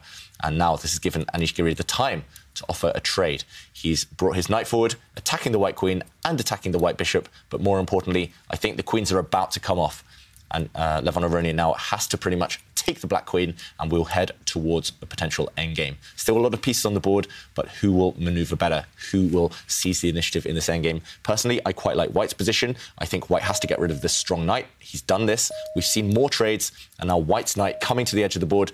Okay, loads of moves now. Wow. Uh, we've seen a lot of trades, and now look at this. Levon Aronian has gone on the attack on this side of the board with his pieces. And Anish Giri has a bit of a dilemma because this rook wants to stay active, but it has to also keep intact uh, this black pawn. It has to keep its protection. So I think he's going to have to go to a really bad square. He's going to have to move across and block his own pieces. Yeah, this has happened, and, and this rook is terrible now. How's it ever going to get back in the game, blocked behind its own pawns? And I have to say, I don't think it's just a terrible rook as well. I think also, the, if you take a look at the dark square bishop, that's also really bad. You know, it's looking at its uh, own pawn in the middle of the board. And White has a really clear cut plan. You know, at the right time, it needs to be supported. White's simply going to start advancing. Yeah, that's it, David. Uh, just advance those pawns forward, and uh, they are going to be killer pawns. Yeah, and look at these two pieces. They're both in black's half of the board, but how are you ever going to kick them out? It's really, really difficult. Uh, Anish now he's brought his rook across. Maybe his plan is a long-winded one. Maybe he's going to use this bad bishop that highlight uh, that highlighted. Maybe he's going to drop it back, then across, then back, and eventually trade itself off for White's bishop. But this takes three or four moves, three or four valuable moves. And in the meantime, Levon Aronian does have uh, the luxury of getting on with this plan. Maybe he's going to start pushing forward pawns now, gaining as much space as possible and getting ready for pieces to trade off. And once they do, then it's all about pawns. I think Levon Aronian has quite a decent advantage here. He's not winning, but he has a very, very pleasant position. Hmm. So pushing those pawns, though, will it make the king a little bit open? Yeah, I think you build up. So, for example, as white, you push this pawn forward. If black does nothing, then maybe you step your king forward to support, ah. and then maybe again you step your king forward and slowly you take baby steps just one step at a time maybe next you push this pawn forward you don't race to open up and kind of trade yet um, while the while the lines are all blocked, you just build up and build up. But it's only once, for example, black starts exchanging pieces. For example, if black does get the bishops off the board uh, like this, then once the pieces disappear, then you're ready for this endgame. Then to start motoring and racing forward with your pawns. So yeah. um, it's all about strategy here, but patient strategy. I think is one of the fortes of the top grandmasters. So um, yeah, I'm expecting this type of idea from Levon. Totally. I mean, just want to mention here that it's not a question of timing either, because take a look at Black's position. None of the pieces are active. They can't do anything. So that basically means that White has all the time in the world to leisurely push those pawns. And uh, it's like David said, it's happening on the board. The king has marched forward. And this is why Anish has probably just said, OK, right, I have to do something. Yeah. It's very difficult to sit still and wait for that axe to fall. Yeah. So, uh, okay, why go suffer? forward. Yeah, yeah, why suffer while White slowly improves his position? Why not at least ask a question immediately? And now I think White can just ignore this, to be honest. You don't really want to trade in the centre these sets of pawns because once Black's knight recaptures, suddenly this bishop is unleashed. It's suddenly become a uh, good piece. It was a bad piece just two moves ago.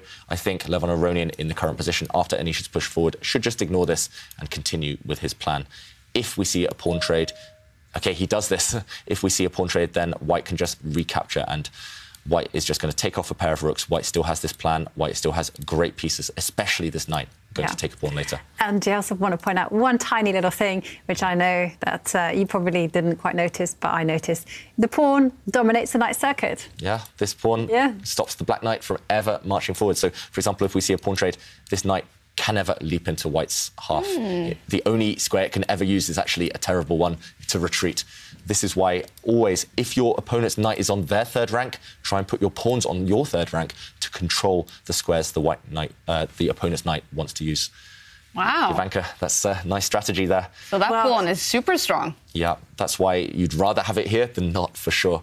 Um, that's why Levon Aronian in this previous position didn't trade because that invites the black knight in. You lose your pawn that does control the opponent's What steed. should we call that pawn? The F pawn that is now very Howell powerful. pawn, the Howell pawn, because this is this is David's trademark, and uh, I, I didn't even know about this existence. I perhaps was doing it subconsciously, but now I've been sat next to David for a long time. I've just been enjoying the fact that David loves to control the circuit of a knight with pawns, and. Uh, Okay, it's going to happen on the board right now. Pawn Yeah. takes pawn will happen, and the black knight can't move anywhere, and that's just. It's a grandmaster secret. Let's put it that way. And it also proves how how powerful and and flexible these pawns can be. They look, you know, tiny in the start of the game, and here it is, just controlling the knight, kind of. Yeah, exactly. And actually, that knight, uh, after a rook trade, has been forced to the back rank. So black's piece is definitely not happy. I'm slightly surprised that. Uh, that Aronian rushed with that rook trade. I didn't think there was any necessity because now he has allowed the black bishop out of its cage, but uh, still looking pretty good for the, uh, I was going to say Armenian, but the Armenian American player. Yeah. And now look at these white pawns continuing their march. They're looking mightily scary right now. Anish Giri decides, okay, there's no reason to suffer for nothing. He might as well grab a pawn in the process. So black's bishop has been deflected, distracted away, grabbing a pawn. So black's actually a pawn up right now. But look at white's pawns. They are already close to their promotion squares. I'm surprised the evaluation bar is all right there in the middle because it looks very, very scary for black. It certainly does. I mean, if I were white, I would almost be looking at the type of uh, sacrifices, you know, sacrifice my knight for a pawn just to get those uh, two pawns motoring to the destination. It Doesn't quite work yet, but it's certainly there in the air. Yeah, for sure. And black has to be super careful. Let's show some ideas of how white can break through the barricades and push his pawns forward. Um, and he's, okay, Anish Giri there, not looking too happy with his position. But for example, if the black knight moves, then this idea that Jovanka mentioned could well come into play. Actually, first here, I was going to say you can sacrifice your knight in order to get your other pawn racing through, but maybe the safest is, is just to block the black rook, cage it in, and next move, you simply get rid of black's pawn. That pawn is bound to drop, and then your own pawn pushes forward. So right now, Anish Giri, I think his only hope, his only bet, is to maybe bring the black king into the game. So, for example, to push his own pawn forward, start pushing these guys if possible later in the game, but mostly just to bring the black king across and pray that there's no final blow, that there's no breakthrough. Uh, I don't see any other hope for Giri. He's ba- he has to bank as well on the fact that, say, if White just makes a nothing move, that later on in the game he can push this pawn forward. This is going to act as a distraction for White. So some glimmer of hope, but Anish Giri not comfortable at all. I think he really, really should start trying to bring his king into the centre. Okay. Well, it's looking good for Jan-Krzysztof Duda sitting next to Anish Giri. Remember, he lost game one, and the bar is all the way over to his side in game two against Teimour Radjabov. Maybe we are seeing a comeback on uh, the board next to Anish Giri. Maybe we're also seeing a comeback in Anish Giri's match by Levon Aronian after Anish won the first game. But still a long way there. I mean, the bar is roughly in the center. Yeah, I'm surprised. Maybe if Black is accurate, he can defend, but it's the type of position where he's already walking a tightrope. Mm. If you, okay, he brings his king to the side of the board. King like the should be in the opposite of what you yeah, thought, right? I thought king should be in the centre. I thought that black king could help maybe defend against white's strong central pawns. But okay. And what- there we go. The bar goes up. Yeah, what's the idea there? I'm just a I- bit I bemused. I'm also a bit bemused. I mean, there's one one danger that uh, I, I was gonna, but even then, it's not a danger. I was gonna get very excited and say if the White King missteps, Mm-hmm. puts, us- puts himself in front of the rook, then there are some ideas, but there isn't. there isn't any idea of uh, sacrificing. Yeah, I think uh, Anish Giri, maybe he just wants to use the Black King to support his own pawns. That's the only explanation I can come up with for this strange move. Um, yeah, just going against conventional wisdom, what we always say, right? Kings in the center in an endgame. But uh, maybe he just wants to use the Black King to support the advance of those pawns I highlighted, especially yeah. Black's H pawn later in the game. But now we see Levon Aronian rerouting his knight. His knight had done its job, I guess, on the side of the board. And um, okay, Anish Giri, this must be his idea. He's getting ready to actually sacrifice potentially a piece for those two white central pawns. Okay, White's bishop dropping back, clearing a square for the white knight. White's next move is bound to be jumping forward with his knight to try and destabilize the black rook, kick it away from the blockade, and Anish Giri puffing out his cheeks. I, mean, I think that he believes his position is almost hopeless, but oh. I think there are chances. Um, just from his body language, earlier we saw him kind of shaking his head, puffing out his cheeks. Okay, he definitely doesn't look happy body language wise, but it's not the end of the world. It's not that bad. He still has some chances. What do you think, Jovanka? Is, is he going to save it? Does he believe he can save it? It, to be honest, it looks pretty miserable. I mean, it looks miserable visually, but yeah. I mean, I mean, where's the breakthrough? The, yes, okay. There's no breakthrough, so to speak, just yet. But I mean, just coming forward with the knight to attack the rook, forcing the rook back into the eye line of the bishop, looks pretty scary. Yeah. And then, and then, you know, he just has to calculate, I think, and yeah. just think objectively. It looks scary as hell. it looks scary as anything, but yeah, I but I don't see a breakthrough for white. So you just have to kind of calculate, ignore the, ignore the aesthetics, ignore the visual. Um, mm-hmm. I mean, the visual power of those white pawns, and once you get over that, maybe there's some hope. Yeah, you just have to fight that instinct to resign, right? Yeah. but uh, okay. Okay, so Anish Giri deep in thought, five minutes down on the clock as well. I expect to see him push a pawn because what else? Black's rook cannot move right now. Black's knight doesn't want to move. Black's bishop is pretty much on its ideal square anyway. It can't be improved. So just run with the pawn. Yeah. Run with the pawn. It's uh, it's it's a good decoy. yeah. yeah. Run with one of the black pawns. That's where black has his majority. The three versus one on the king side, on the right side of the board. So you might as well play with those pawns. You grabbed some pawns for a reason on that flank, and there we go. We see Anish Giri just by process of elimination stumble across this pawn move. And now the rook has been kicked back. White's knight and bishop, they look great again, but what next? If white pushes his central pawn back, uh, the pawn in front of the black rook, then the black knight will move, and no way forward for white. Mm -hmm. It looks like, okay, it's hanging by a thread for black, but it looks like Aronian still has some work to do. We do have um, snazzy moves on the board. Ooh, that's a cool, that's a snazzy word. it is. and then I was just thinking the knight can jump to the c8 square and give itself away. Okay, so, so I, have, I, think it works. You if to... you capture. Yeah. If you capture, that's so the thing. You unleash a threat against the black rook, and if you capture, you want to push I forward. I want to push forward with the pawn. I'm going to give you the opportunity to take the pawn with check, because I'm going to say it does not matter, because ultimately my pawn will one way or another yeah. make its way to a promotion square. For example, if white just blocks the check, yeah. you're either going to make a new queen on this square or you will make a new queen by capturing the black yes. knight. And white is definitely going to win this game. Maybe the downside here, Jovanka, is um, that after the knight jump happens, after I take, you push forward. Maybe I just bring my rook to the side. Yes, and, and then promote was my idea. You want to make a new queen? Yep.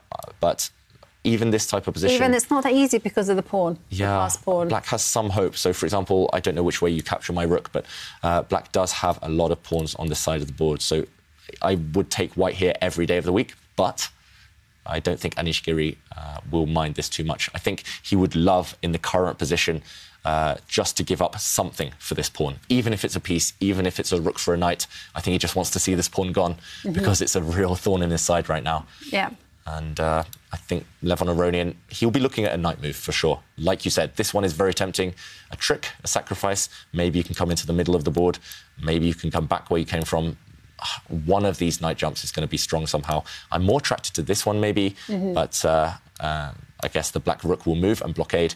The problem is, I want to go and destabilize your knight, but I can't right now because your bishop controls this square. Uh-huh. So, so can you use that opportunity to go and kind of go right? That bishop is guarding the square I want to go to. So let's drop the bishop back and attack it. Yeah, um, this was one of my ideas, definitely. And now black definitely doesn't want to capture um, the bishops because suddenly, whoops, your knight is attacked. And if you move it, then disaster, a knight check, and a knight fork. This is why I think Levon Aronian is going to be very attracted to putting his knight in the middle of the board. Knights simply mm-hmm. belong there in the centre.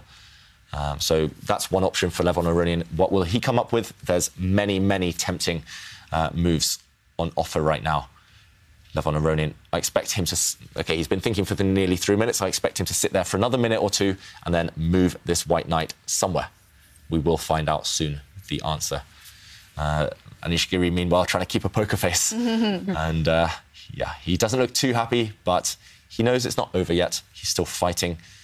And uh, yeah, the Sicilian Najdorf that this game originated from, it's just such a complex opening. It's one tiny, minuscule, almost imperceptible slip, and you might be in danger in a position like this. So, okay, he relocates his knight to the centre, and uh, the rook steps forward. So, so as expected, and now one move we mentioned was this bishop retreat for white. Um, what else could you try? You could move the white bishop to a different square. You could push a white pawn. You could move the white king. it's just yeah. too much choice. Maybe that's uh, that's a bit of a tricky situation for Aronian when you have thing, five or six good moves. Right, and, and, one of the bad things, well, about the white position is that if you wait too long, mm-hmm. then of course those pawns on the right side they're going to become more dangerous and uh, as they keep advancing up yeah. the board. Those black pawns, I think, will start yeah. pushing very shortly. Exactly. I mean, you can just imagine a scenario if, if black gets two free moves, then suddenly that pawns will find itself on the second row and one square away from queening. And I don't know. I don't think that this is so easy anymore. No. I think Anish Giri is starting to realise that it's not so easy for his opponent, and that's why Giri is slightly perked up. No more shaking of the head. Is that important to sometimes also put yourself in the shoes of your opponent and just, okay, wait, what is actually his winning plan here? Definitely actually what I do in every position as soon as my opponent makes a move is to think exactly what they want. Ah. Because if I realize what they want, then that that's half the battle. Um, you can either prevent their plans or you realize that, okay, this is their plan, but it takes three moves. My plan takes two moves. So you realize that you're quicker in any potential race. Um, so always, always be very aware of the opponent.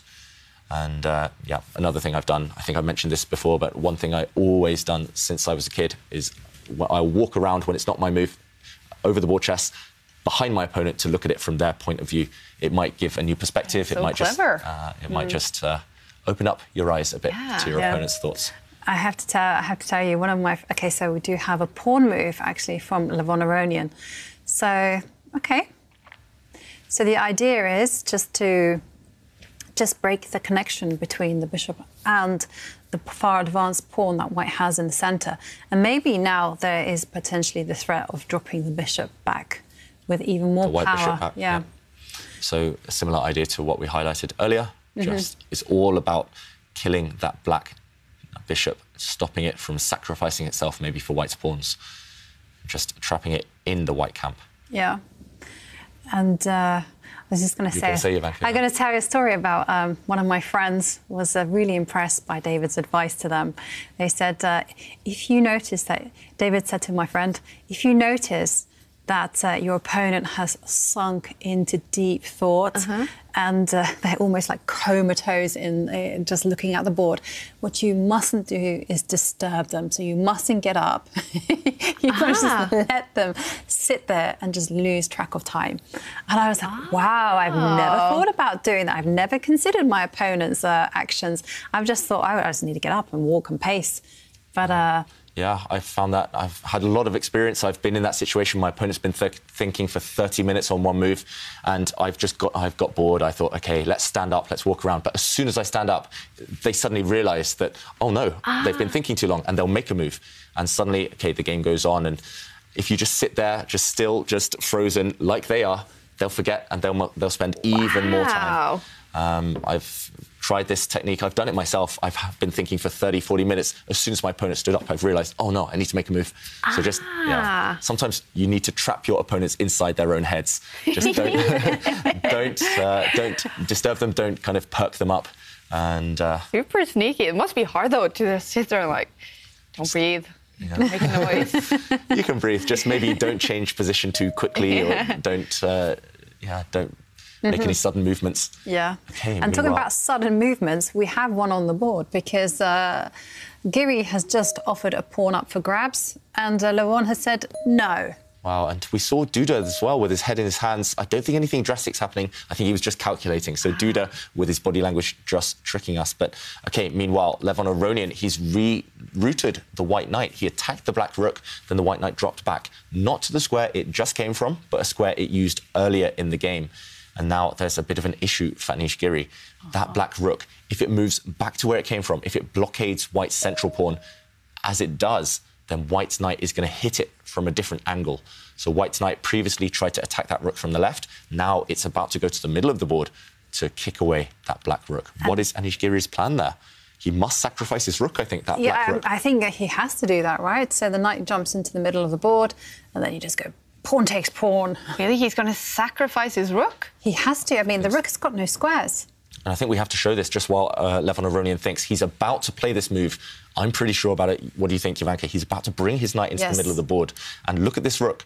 It's trapped. It has no squares. It's cut off by this bishop. Oh, sorry, my, me and my arrows again. Mm-hmm. It's cut off by this bishop, and it's trapped in front of the white pawns. It just has to give itself up. And I think Anish Giri, he's actually just going to defend this rook with his knight. Uh, this is the only way to give up the rook for any material in return. And once the knight captures the rook, the black knight will replace it as a defender. It's all about blockading this pawn, essentially. This pawn is the potential game winner for white, so you have to blockade it. And but a rook for a knight, how bad of a trade would that be? It's pretty bad trade. It's pretty and bad. It's um, not just that, but at the end of this, white can even take another pawn.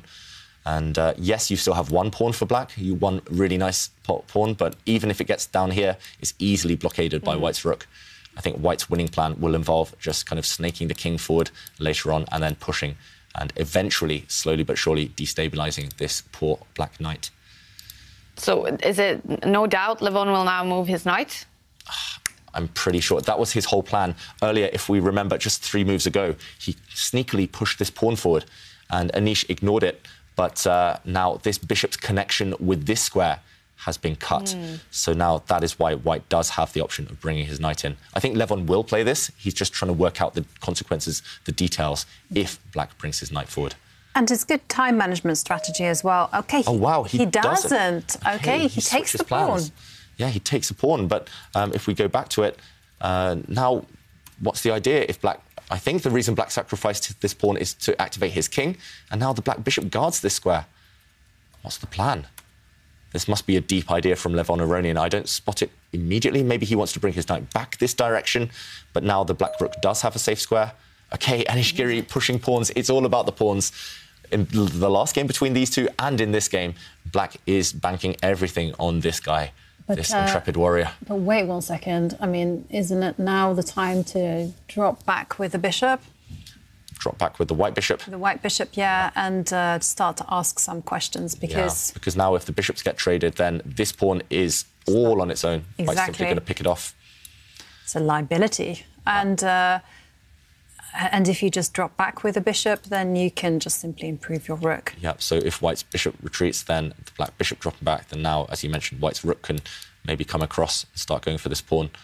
Um, what else could white try? Maybe white could again just offer this trade of bishops and mm-hmm. kind of bully black into eventually trading.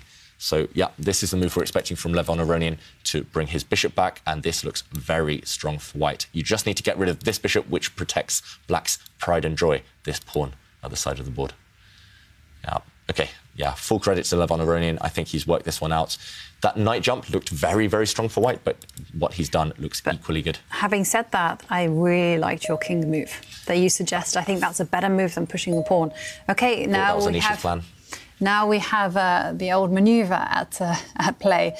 So uh, Levon is attacking the black rook. The black rook has to take a step forward. I mean, this is also really nice, actually, to first improve the placing of the knight before he initiates any any other action. Yeah. So Levon just playing with his food here, teasing Anish Giri with all these knight jumps. Uh, the black rook constantly attacked. Meanwhile, we do see a result in one of the games. Mamedyarov losing, going down to defeat with white against Maxime Vachier-Lagrave. So Vachier-Lagrave in strong form so far this tournament. But uh, yeah, back in this game, Aronian, the one thing that maybe will start to bug him at the back of his mind is the clock time, because he had a huge time advantage earlier, but that has ticked away. That has completely disappeared. Anish Giri upping the speed, upping the pace. And uh, Giri, he knows he's survived, and he had that difficult position already now for 10, 15 moves. But the longer you cling on, the more hopeful and positive you get. Yeah, and uh, okay, what do you think about this move? I, I didn't expect it. I, I was. Oh, wow. what's happening with Magnus? Magnus not looking happy. What is he thinking now? His body language from the world champion. Okay, I think the world champion is in big trouble, actually. Has he Wow. blundered or something? He's made a mistake. I think he's misevaluated a position. He thought he was doing okay, but no, the world champion with the white pieces as well, about to go down to defeat. Okay, so so many shocks already in this round. Could we see one here as well? Yeah. Maxime Vachier-Lagrave winning game two against Mamedyarov to take the lead in that match. Artemiev, the bar is all the way over to his side. The bar is slightly over to Duda's side, and it's definitely over to Levon Aronian's side.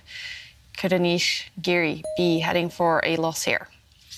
Okay, meanwhile, White's knight continues its dance with the black rook. The black rook under fire. It has to step back. No other options here.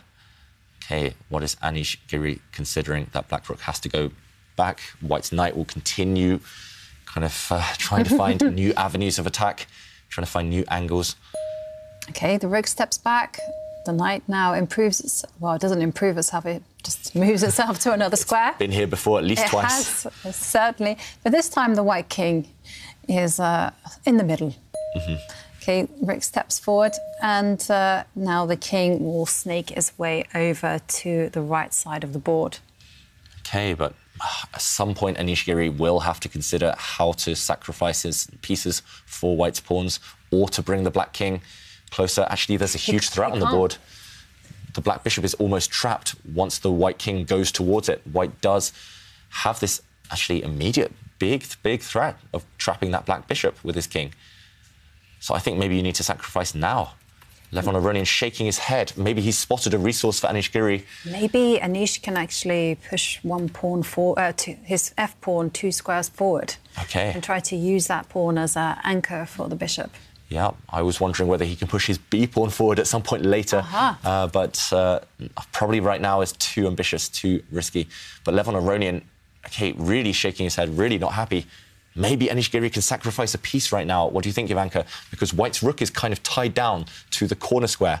Maybe Anish Giri can give up a piece for those really strong white pawns and argue that he's just getting rid of White's dangerous pawns, his winning. Uh, I mean, It's White- tempting actually because uh, that pawn is the complete uh, pain for for pain in the neck for um, Max. Sorry, Anish Giri, Mhm. and so why not get rid of it? Yeah, Clarify the position. feels like just by process of elimination, that might be the only way for black to keep fighting, to give up the black knight for white's front pawn there, for white's far advanced pawn. hmm And so the idea would be actually like take the pawn, Mhm. and then once the pawn takes, Okay, he okay, doesn't he, go he for it. goes for.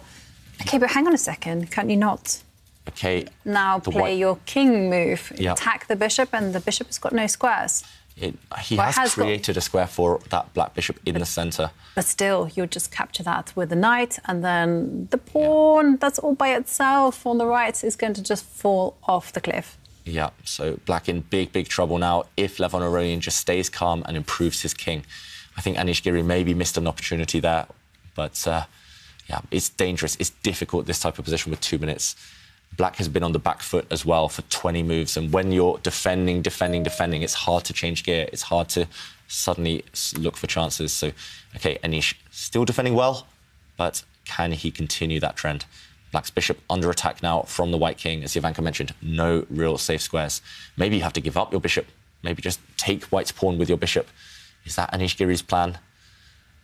Take what it, take it with a bishop, and then and then hope. yeah. but somehow you kind of wanted to take that pawn with the knight. Mhm. The bishops are such strong, long-range pieces. Yeah, but okay, needs much. must. Yeah. Maybe you should just do that. I think you have to, as Anish Giri, just a best practical try. Uh, otherwise, you're going to lose slowly and painfully.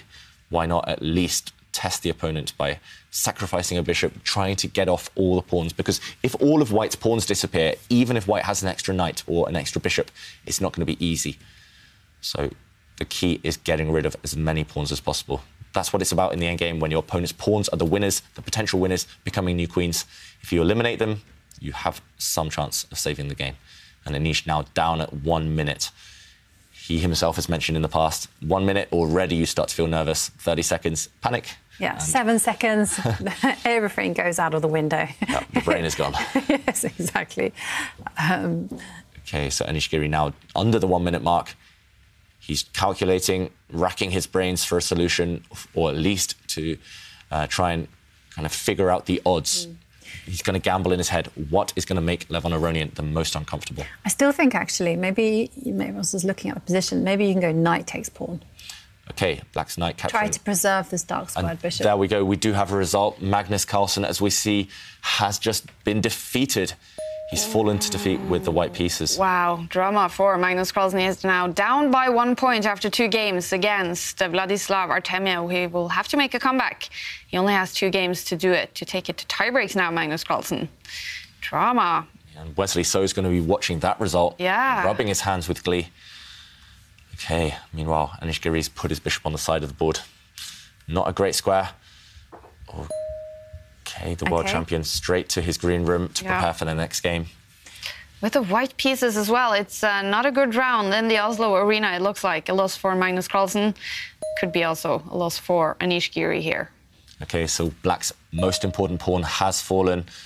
White's rook doing a great job there, getting rid of that pawn, and now it's very, very one-sided. White is the only one with a dangerous pawn remaining, and White's king can centralize itself now. Yeah, it looks Is- like an uphill struggle. Is there any hope by uh, trying to sacrifice some material? I'm just thinking, you know, push the pawn, challenge the knight. I think it was an idea that you mentioned before. Yeah. And um, then- you would love that, I guess. I would love, I would just love if that pawn just disappeared. I don't care Yeah. what it takes. even if White's two pawns in the centre there, even if it comes at the cost of the black knight or bishop, you Mhm. have to go for it. The problem is they're defended too many times, and um, yeah, that black pawn push, pushing black's b pawn over there, I Mhm. think that would run into some trouble immediately, unfortunately. So White's rook now trying to kick away the black knight. The black knight has been doing a defensive job. If it moves as well, I think it's disaster. Yeah, because the knight can attack the rook. Yeah. And uh, okay, Okay. we're going to see it. The knight is going to attack the rook, yes. And the rook has been forced onto the only square possible. But Look look at- at, that. The path has been cleared. The d pawn is marching to glory. And that's going to cost Anish a piece. At least, At yes. least, and yeah. Anish Giri pushing a pawn there. So he's opened up his bishop. Black's bishop now is controlling the square, the promotion square of that white pawn. But white can, if he wants, just make a new queen. Push that pawn forward. It will cost black his bishop. White's rook will also then recapture. And, uh, okay, Levon Aronian looking for better. What else could he be considering? He could think about maybe bringing the white bishop back, trying to challenge black's bishop. He can move the white rook, He but says, no. nope. Keep I- things simple. I want my material. So now white is a whole bishop up for just one pawn. And it should be sufficient, this extra bishop. Anish Giri just going through the motions, a bit like Levon Aronian did against him earlier. Mhm. No resignation. He knows it's lost, but he's looking for tricks. He's trying to survive, uh, trying to put the pressure on psychologically. So black's pawn pushing forward. All white needs to do is relocate his bishop, his knight to more central squares, and then those pieces together, they'll coordinate and move for the kill. Yeah, this one looks like it's in the bag for Levon Aronian, striking back with the white pieces. Can Anish find a way to make it difficult, though? Difficult. Uh, I mean, it just it depends on uh, Levon making those big mistakes, and it's not that easy actually Yeah. to see how Levon is going to do that. The only mistake that Levon Aronian can make really is somehow trading off his remaining pawns. pawns. Exactly, and uh, he, he just wouldn't do that. Yeah, he's too experienced. He knows that pawns are the key in endgame. So, okay, Anish Giri centralizing his knight. I Okay, expect so- to see a check from the white rook. Yeah, and uh, the pawn is defended, the king has been driven back, and now there is a threat in the air of the knight coming to give a deadly check in the middle of the board. Yep, so the white Forking, knight threatening to fork the black king and rook. That's And going to spell the end, I think. yes, I mean, what to do? Black's knight can give a check, but that will not bring any joy. No, White's king will happily move. Exactly, Black's step rook has to move now. But Where Um, to? Has to go backwards, though. but even then, if you go backwards, Mm-hmm. yeah, and uh, Levon's shaking his head, saying, "No, my friend, no chances for a draw here." He's definitely not shaking his head because he's unhappy, Levon Aronian. He's shaking his head because he knows he's almost there. It's been a long game, a difficult game, but he's on the brink of victory. Okay, a knight check. The black king has moved into uh, the sight of that white bishop. That's brave. Yeah. White's knight steps back and it's discover check. White's bishop now hitting the black king. The black's king has to move again, but then black's remaining pawn on this right side is likely to fall. Yes, uh, it will fall because it won't be the knight capturing the pawn, it will be the bishop. So now the bishop will step forward in a concerted attack on this pawn that black has on f4. Yeah, so White's bishop, we're expecting to move. Why not utilize all of your pieces together? There we go. Jovanka's move on the board. The black rook under fire. Will he offer a trade of rooks? Will he retreat? Either way, black's pawn is about to get gobbled up. And Or will he push the button and say, push the button. yeah, Sugababes. sugar babes. Yeah. That's right. Um, yeah, he looks uh, deep into thought or just deep into getting ready for resigning. Yeah, I think it's just psychologically overcoming that difficult barrier of admitting defeat and just forgetting, resetting, and moving on to the next game. And under 30 seconds now, Anish Giri, of course, he did win the first game, so they will be tied after this game if Levon now wins it. And okay, a check from White's bishop. The black king moved. I'm trying to look for traps, look for tricks in the position. I there's don't one see any. tiny, there's one tiny trick. I mean, if you White's- take the pawn, knight Yeah. takes pawn, then the black can go knight takes pawn as well. Yeah, unfortunately, that doesn't work. Jovanka, the black knight, if it took a pawn, black, white bishop, the white bishop would have stepped back with a check, and that would have cost black his knight.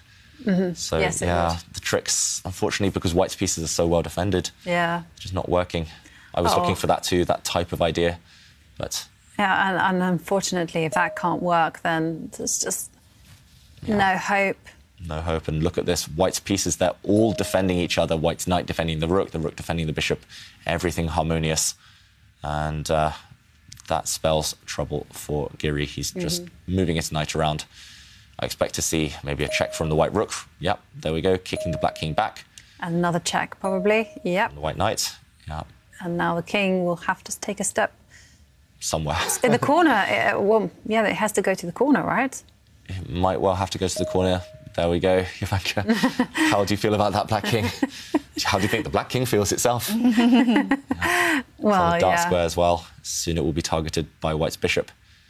You can just move that white bishop. You can defend it with your rook. And uh, well, Levon is just trying to go for the most simple way how to win this, making a trade, keeping the king in the corner. And Jan-Krzysztof Duda is talking to his pieces. it's still game two going on for him against Radjabov. Looks like a draw on the bar. Yeah, it's uh, maybe a missed opportunity Yeah. for Jan-Krzysztof Duda. Frustration for him. He wants to strike back, and uh, it's just not going to be in this game for him, unfortunately. Yeah, and uh, we might see an Arabian checkmate on the board. That sounds, sounds really fancy. It does sound fancy. So if Black makes some uh, random move with the rook, then the knight will put itself diagonally opposite the king, and the king is trapped. Can't move, and uh, it's called the Arabian checkmate because it's the oldest checkmate. This was like around in 700. So by a diagonally, you mean the f6 square, Yes. and yeah, with that in sight, with checkmate incoming, Anish Giri resigns. It's a comeback from Levon Aronian. They are tied now. A loss here for Anish Giri in game two. And it's it was looking like a loss the entire game, basically. You said it very early. This is not good for Anish. Yeah, it was a difficult game. I think the opening just didn't quite pan out, and Levon Aronian strategically seized control and never let it slip. Yeah, difficult game, but Anish, he'll console himself with the fact that his opponent played well. He didn't do that much wrong, Anish. He fought quite well as well. He was tenacious, but in the end, it didn't pay off. So, okay, it's now down to a two game match. He still has chances. Mm. And Jan-Krzysztof Duda, uh, game still going on, I think. Probably a draw in that one. But Anish Giri will now have 10 minutes to prepare and get ready for game three against Levon Aronian. They are tied. Jan-Krzysztof Duda, if this is a draw, will still be down by one point in his match against Teimour Radjabov. He did lose the first game and he's not looking happy in this one. Even if it is a draw, he did have some chances in this game. So uh, maybe that is why he is uh, not too happy with himself right now. The body language yeah. says it all, doesn't it? Uh, he's really not a happy customer here. And uh, okay, the pawn moves forward, threatens to promote, but uh, with this very important check, the knight now can control his queening squares. And I can't see just looking at him. yeah. I'm just looking at the board here. yeah, a draw is about to be agreed. It, all of the material has been hoovered off. The game will end with either king versus king or not enough checkmating material for either side. So, yeah, Duda is about to draw. All right. Well, it was a loss for Anish Giri in uh, game two. Let's uh, take a look at that game.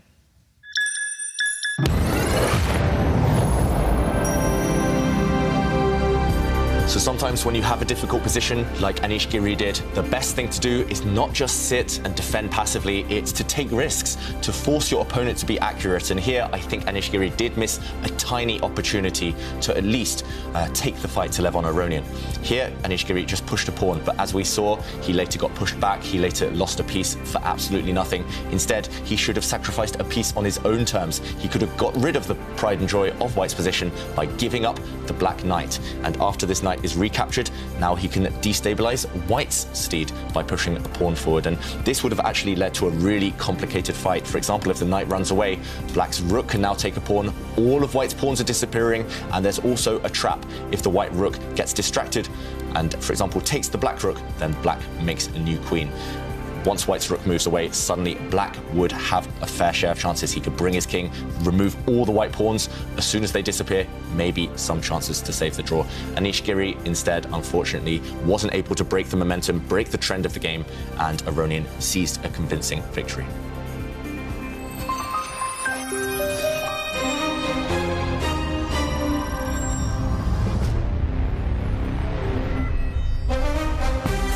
Magnus Carlsen is in big trouble losing. Game two, he is down by one point. And in game three, Vladislav Artemiev will have the white pieces.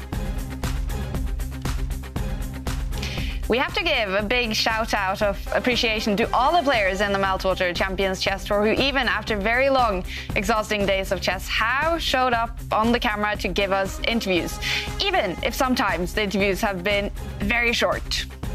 We are now joined uh, by Magnus Carlsen. How frustrating is that final game? Uh, yeah, I blundered and he played well. Yeah. Thank you. See you tomorrow. well, we.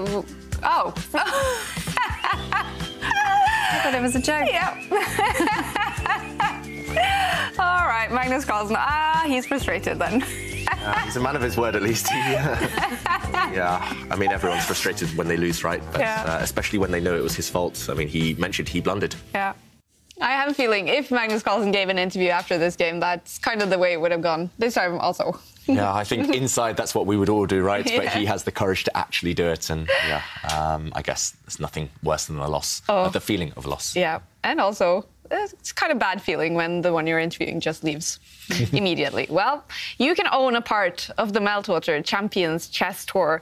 Uh, it's kind of like collecting baseball cards or, or stamps or anything else you would collect. So if you head over to chesschamps.io, you can start collecting these digital moments from the Meltwater Champions Chess Tour 2021. And we are collecting your selfies. Let's take a look.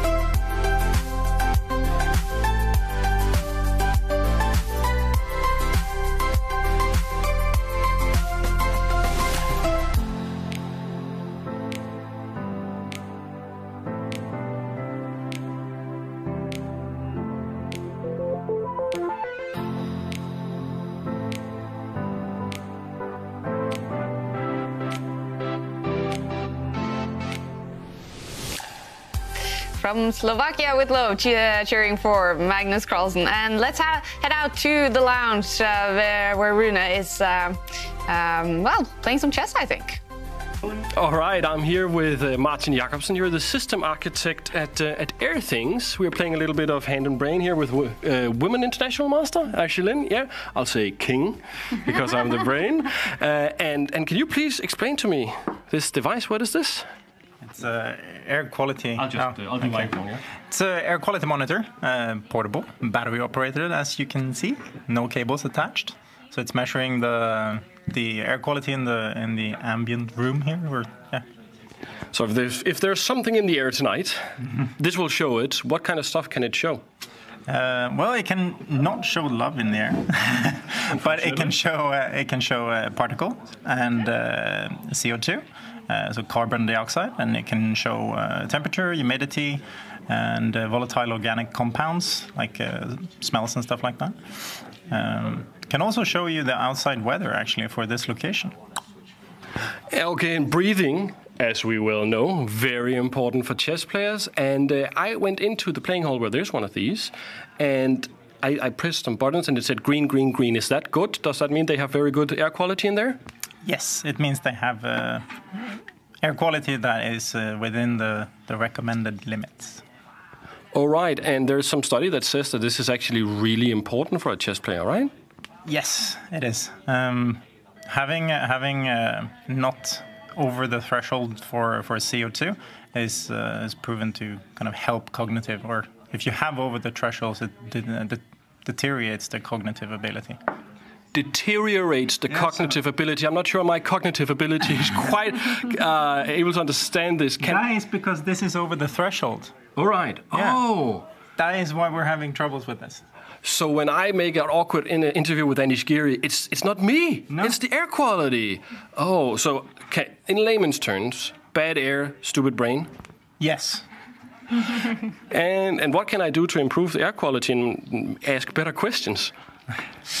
Open a window, uh, run ventilation, maybe. I will take this up with my boss. Thank you very much. It's it's your move, by the way. yeah, what happened? ah, so cool to see what's going on in the lounge. And uh, these are the results from round uh, three of uh, the games. Uh, round two, we see here, it's a draw between Teimour Radjabov and Jan-Krzysztof Duda. Anish Giri losing to Levon Aronian. They are tied after two games. And uh, Hikaru Nakamura and Wesley So, two quick draws so far. What will happen in game three? Maxime Vachier-Lagrave winning game two against Shakhriyar Mamedyarov. He is in the lead and uh, so is Vladislav Artemiev. Magnus Carlsen making a blunder in game two. He is down by one point, and uh, we will follow game three between these two. Magnus Carlsen is ready. He's actually going to have the black pieces in this game. Ooh, what do you expect, David? I'm expecting him to throw everything uh, at Artemiev if he gets the chance. But if Artemiev is solid, it's not going to be easy. Remember, with Black, uh, in the first game today, Artemiev just played a nice, solid style.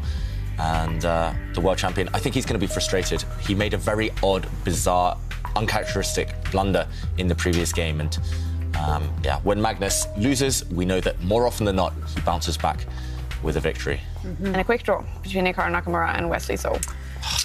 I didn't think, I actually didn't think that they would do that. I mean, especially because Wesley promised us, and also because I thought, you know, Wesley is in a must win situation. He needs to start chasing down Magnus's lead. But okay, we have a, a, a line that uh, was very popular in the early 2000s amongst uh, the British juniors.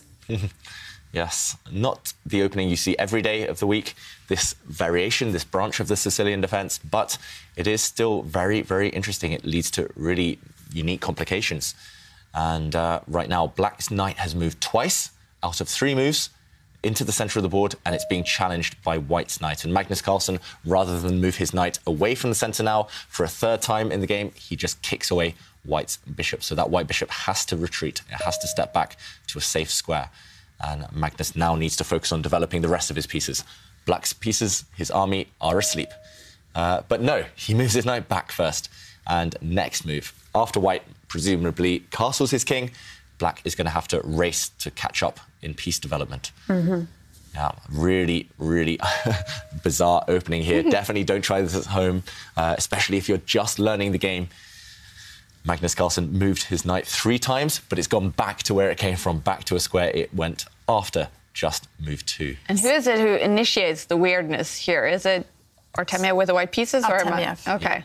Artemiev with the white pieces because what he's chosen there to develop his knight and then that bishop maneuver is not the most normal. And I was just going to ask you, David, what strategy would you advocate now with for the black pieces? And uh, Magnus, he wishes to keep his options open because he hasn't committed to the direction of where the dark squared bishop is going. hmm Yep. First, he's just hinting that he's going to develop his light squared bishop, and uh, Artemiev has to maybe also figure out how to develop his pieces, especially the white dark squared bishop. So there's a few angles with which you can uh, bring it out. Uh, first, he moves this bishop again. Wow. So Black's knight made three moves. This bishop has just made its third move as well. So they're kind of balancing each other out in terms of loss of time. But they can get away with this because there are no open lines yet. There have been no pawn trades. And uh, while all the pawns remain on the board, you do have a bit of license to uh, kind of be creative. And we did see Jan-Krzysztof Duda also arrive the Oslo Arena for game three against Teimour Radjabov. Duda, like Magnus Carlsen, is down by one point in his match and needs to make a comeback. And uh, this bishop move has the seal of approval from uh, English Grandmaster and also tour participant Gawain Jones. Now, Gawain, of course, is the most, uh, well, he's the most specialised in this type of openings. Yeah. He even wrote a book on, on a little bit of this. Yeah, um, on very similar positions, Mhm. I think, a very similar line.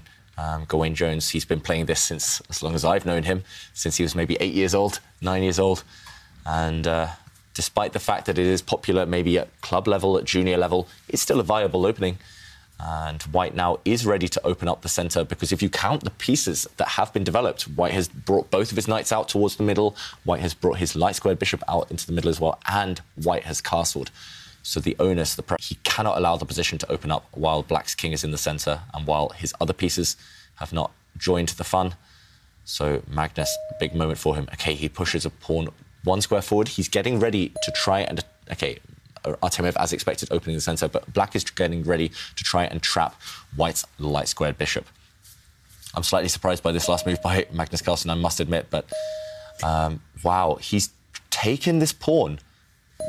He's just two, what is it, one or two moves down now on a normal position on a very well known branch of the Sicilian. So maybe just one move down. I'm trying to do a quick count because both sides have lost so much time. Uh, but White must be very, very happy here. He's opened up the middle of the board and he still leads in terms of piece development. So now White's dark squared bishop will come out, White's queen will come out. He's going to try and start attacking, creating threats before Black is fully ready. And we should, of course, mention that if Artemiev wins this game, it's going to be over. He will be the winner of the match. Magnus Carlsen cannot lose this game. And it seems Artemiev will be attacking with everything he can. Yeah. Um, the one thing I will say in Magnus's favour right now is that Artemiev doesn't have much experience from the white side of these types of positions in terms of the opening. Um, Artemiev has played this type of position from the black side plenty of times, but from the white side less so. Hmm. Uh, so maybe Magnus taking a few risks, not maybe playing the best moves or the most objectively correct moves, but he's brought Artemiev maybe out of his comfort zone uh, into territory that Magnus will be more familiar with. So, okay, very interesting kind of. Uh, yeah, really interesting, combative, challenging opening strategy from the world champion. Is he grimacing now or is he hiding a laugh? That's we never I know with the world champion. He's, he's laughing. He's What got is a he thinking? smile. Okay, I think he's thinking, Jovanka. Is he? Yeah, I don't see any smile yet from the world champion. It was. It was. I thought I saw a brief one there. We're used to that from Magnus, I guess, the smile. But Because it does look like he's he's listening to some tunes. But is this a situation where he would be calculating as well to find the continu- continuation? quite possibly. There's no immediate attacks for Artemiev. There's no immediate way he can create threats, but uh, Magnus, he's definitely trying to count to see whether he's in time to get the Black King away to safety before anything Mhm. uh, catastrophic happens. Right, and uh, White does have a whole load of options uh, available at their disposal. I mean, he can step backwards with the light square bishop. That's the most popular move. Knight takes knight. I was going to mention that one. That was the choice of the expert, Gawain Jones. Uh, he chose to do this and then uh, move the queen, actually, not the rook. Mm-hmm. So white's rook lining itself up with the black king. There's still a couple of pawns in the way of that rook, but maybe later white will try and push a pawn forward in the centre to open up more lines. Okay, very stable last move from Artemiev. I expect Magnus to just bring a bishop out. Uh, what else? Magnus yeah, exactly. just has to get his king away to safety, castle it on the same side as white. And, okay, Magnus, he loves this type of pawn structure with both colours, I've noticed. He pushes a pawn forward to stop the advance of white's central pawn. This, however, does open up white's light squared bishop. And this has eerie kind of similarities with the game between Magnus Carlsen and Va Maxime Vachier-Lagrave yesterday. Except in that version, white was several moves down. So white has an accelerated version of something that Magnus himself used yesterday. Okay, really, that I mean, that just shows the dexterity, the versatility these players have. Magnus looking off to the side there, away from the screen, maybe calculating, maybe just trying to remember something. Um, either way, doing a bit of a Beth Harmon, looking away from the board, uh, because the board is in his mind. But I mean, this type of move, it is quite provocative, but at the same time, I do think it is perhaps good opening strategy against Vladislav Artemiev because one thing I've noticed from Artemiev's play, especially in the opening, he doesn't like to initiate action early on. He prefers to get his, his pieces developed and then initiate the chaos at a later stage of the game or perhaps uh, transfer to an endgame where he's so fast and so quick. Um, here, I mean, the moves that White can play are potentially to develop the dark squared bishop somewhere. Mm-hmm. And yeah, it does remind me, it does remind me of the uh, Maxime Vachier-Lagrave game from yesterday. It's pretty much identical, mm-hmm. except white's pawns are on slightly different squares, and black's pawn, black's A pawn was back one square. There's a few uh, different things. So black had already uh, castled and. Mm-hmm. And the black had managed to get some maneuver into play. Mm-hmm like yeah. the knight coming to the relocating itself. And here, yeah, here, to how many pieces are on the start squares? Nearly every single one of them. Apart from Black's knight, knights, they're yeah. all at home. exactly. So Black's bishops need to activate. And okay, first Artemiev brings his bishop out. Magnus slightly frowning about that move, uh, maybe surprised that the white bishop has tried to create a pin because white's bishop can easily be blocked its pressure on this diagonal, as Magnus does with his developing move. Now, black is only one move away from castling, so Magnus will be much happier. He was the one, right, Jovanka, who talked about uh, if you're one move away from castling, you're almost always fine. And uh, yeah, previously it looked very, very scary for black. Now, if he does get this one extra move and gets that black king to safety, I think he's, uh, he's going to be relatively content. It's just a regular position. He can just play chess, as he tweeted yesterday. That's his only goal to survive the opening and just play chess. Yeah. And uh, what kind of plans would uh, both sides have mm-hmm. in the eventuality that life continues as normal? Yeah, I mean, White, I think, needs to activate his remaining piece. If we check out the position, some ideas for both sides. White's rook is not doing too much right now, and in order to activate this rook, you need to get the queen out of the way. The white rook wants to use that square, so that's why actually Artemiev lifts his queen up the board. Now, for example, if black were to play the desirable move to castle, maybe there's some pressure after the white rook does come to the side. Now, there's some serious threats against this black pawn, and uh, the only way actually to solve these problems is to bring the knight back to add extra uh, protection to it. For example, if you play a careless move, if you push your pawn forward, then Artemiev will happily capture this knight. And now you have to ruin your pawn structure and you have to wreck your king, uh, king's shelter by taking with your pawn now. Look at how ugly these are. Because if you take with your bishop, then suddenly this pawn would drop. So actually, Magnus, uh, he f- does go for this idea, but in a different move order. So rather than castle his king, he realizes he has to commit the white bishop first, force it to make a decision, because now if the white bishop captures, he can safely take with his bishop, and after the rook attacks this pawn, he can simply drop back. And still, black is one move away from safety, but everything else is very, very solid. All of his pawns are now safely protected. I think Magnus, yeah, he has to be very, very careful. He's playing with fire, but he's okay for now. Okay, well, he uh, definitely cannot lose this one, Magnus Carlsen. It will be over. He needs at least a draw, and he will have to win either this one or the next game to take it to tiebreaks.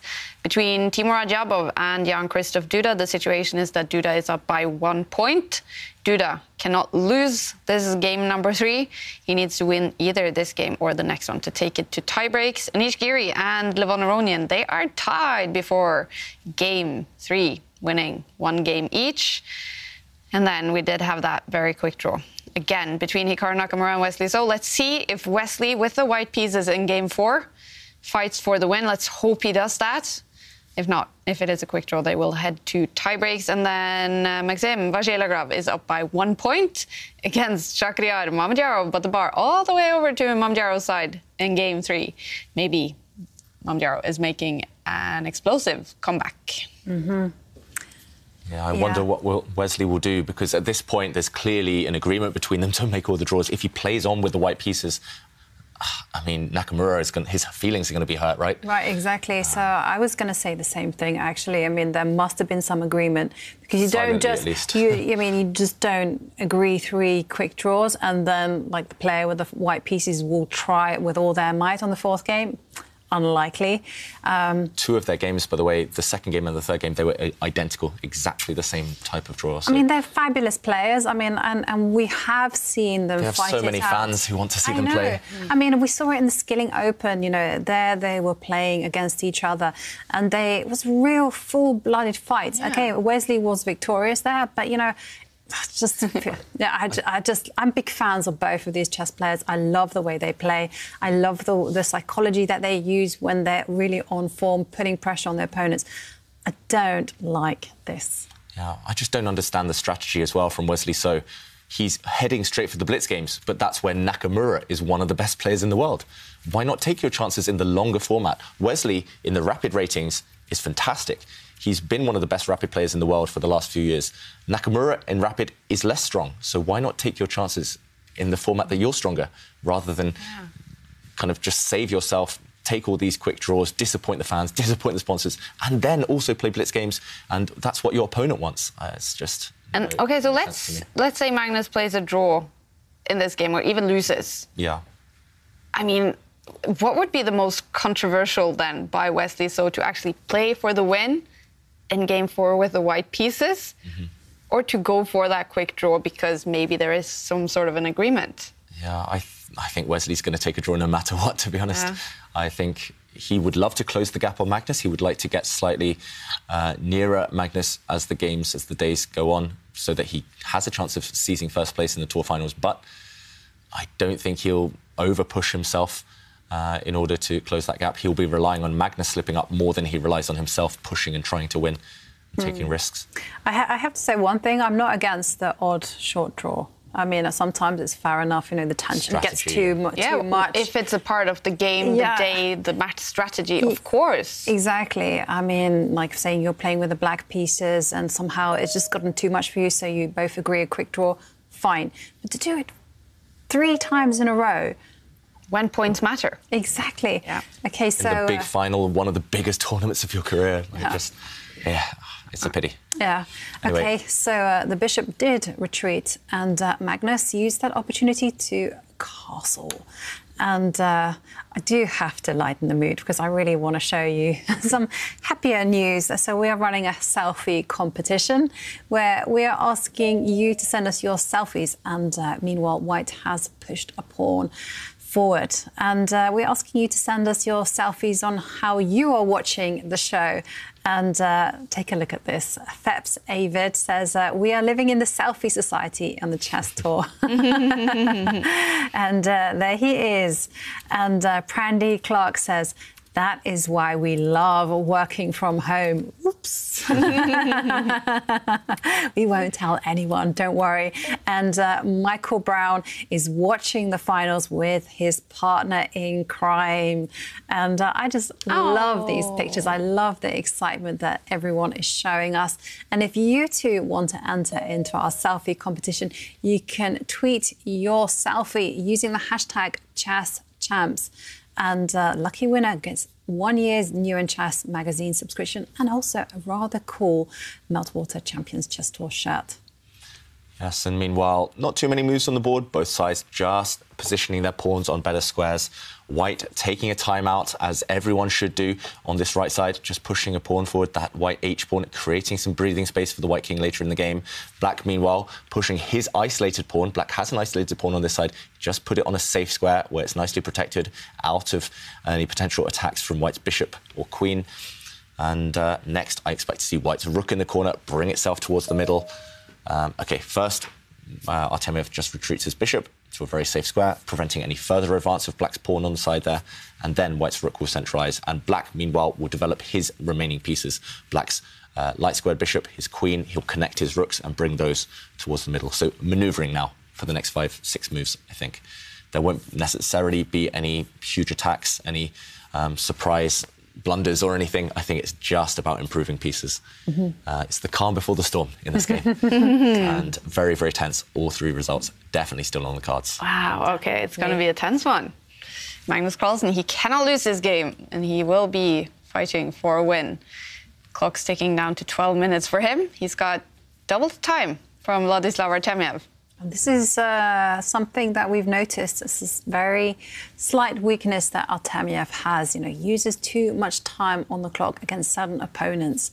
Um, but still, it is very much a full-blooded fight. Mm. Maybe I should bring up the Aimchess uh, head-to-head stats between these two to take a look at Vladislav Artemiev's uh, time management.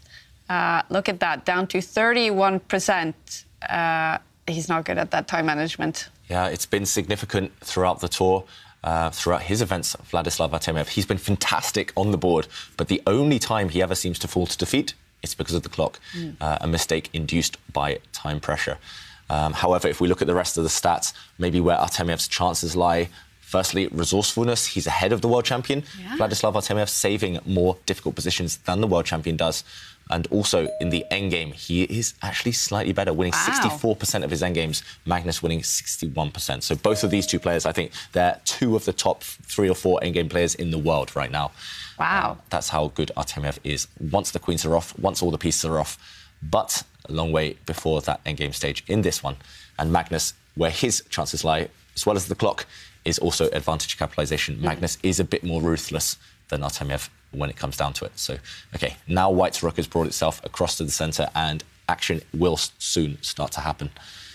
Uh, it's down to the world champion to ideally, for him, maintain his clock advantage, mm-hmm. but also get the black pieces mobilized because right now, whites are all nicely positioned and centralized. Mm. And there we go. He tries to trade a set of bishops. So actually very instructive. He's not afraid of doubling his own pawns. For example, if we do see white's light squared bishop capture that bishop that has just moved, then black will have to recapture with a pawn. Black will then have doubled pawns on the E line, but the central pawn mass will control every square in the middle of the park. It's interesting though, um, because uh, I've actually seen Magnus win a lot of games playing against the central pawn mass. And I remember uh, watching a game that he played against Anand in the World Championship, and I was thinking, there's absolutely nothing wrong with Anand's position, except that this pawn mass was somehow controlled and restrained, and Magnus just sprinkled some magic on the position and just completely overwhelmed him. As one of my favourite games, actually. Yeah, and the same, actually, the critical game in the Carlsen versus Karyakin World Championship match in 2016. Magnus had the same pawn structure with White, again one with White because of the weakness of those pawns long term. But I think that was a slightly different structure, slightly different circumstances. So here, I don't think we'll see that uh, exchange from Artemiev. Not yet, at least. And I don't think Artemiev wants to commit to any changes in the pawn structure. So, okay, Magnus, he knows that he needs to win either this game or the next one in order to balance up and uh, level the scores in today's match. So that's why he's offering this change of structure. In must win situations, you need imbalances, even if they're tiny little imbalances like a kind of strange, unorthodox pawn structure. If you have imbalances, it means that you have you have more control of squares that your opponents don't have, or um, maybe a, imbalance of pieces means that your pieces work in different ways, and that means you can outplay your opponent later in the game. Mm-hmm.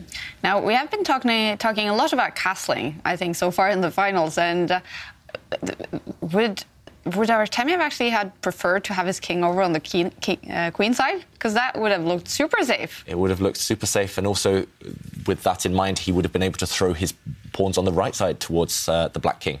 So yeah, king position is always double-edged.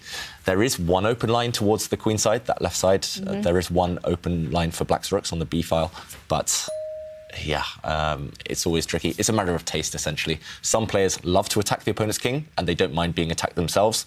Some players, like me, just too terrified. I'd rather not attack, but I'd also be happy not being attacked. So, so it's definitely a double-edged sword. And Magnus looked a little bit surprised by this knight move. Yeah, putting a knight on the side of the board. Yeah. You know what we say about that? yeah, they, and especially one that, that its circuit is pretty much controlled. Mm. But I mean, I, I, think he has ideas in mind of uh, targeting that potentially weak pawn on the A line that Magnus has. I was going to take issue with one thing you said, David, mm -hmm. that you don't attack. That's not true. I, I, now, the older I get, the less I attack, essentially. But D David does high pressure chess, you know, where it looks like he's not attacking, and then you realise that all along he was. yeah. it was just quite sophisticated. Yeah, I, yeah, these days I like to attack, but I don't want to burn too many bridges when I attack. No, no, no, no. But it, I mean, I played against you, and I was like, it was not a pleasant feeling. I can yeah. tell you. I guess, yeah, chess players have to adapt, right? Even if I don't like to attack too much, if you give me a position where attacking is the only thing to do, mm -hmm. yeah. And uh, I know, yeah, you yourself love attacking, right? If you get given the opportunity.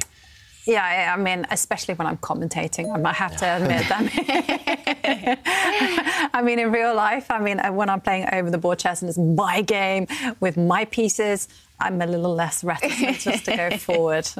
Okay, so Magnus Carlsen maybe just influenced uh, by the shock he felt at seeing White's knight on the edge of the board, he's decided now is the moment to strike. Now is the moment to step forward in the centre. He's also asking serious questions of Artemiev while Artemiev is down under four minutes. So I think Magnus, he thinks this is the. Uh, this is the moment, essentially. Yeah. He's banking on the fact Artemiev might panic. And, uh, okay, I have to just show something on the board here because Magnus, he's taking huge, huge risks. He's uh, opened up the centre, and yes, if white takes the pawn back, black looks like he'll be very happy here with two nice pawns in the middle. But, okay, this doesn't quite happen, but I was going to say the same idea. The white queen could zoom across, and look at this. There's pressure on this central pawn, and there's also pressure on the black king. If black guards his central pawn right now, then suddenly this would fall into a trap. White bishop could capture a pawn, and suddenly a pin and a direct attack against the Black King. Artemiev goes for the same idea, but in different circumstances. He brings his queen across first, so indirectly attacking this pawn, but also using this idea uh, of bishop takes pawn, capitalizing on the pin towards the Black King.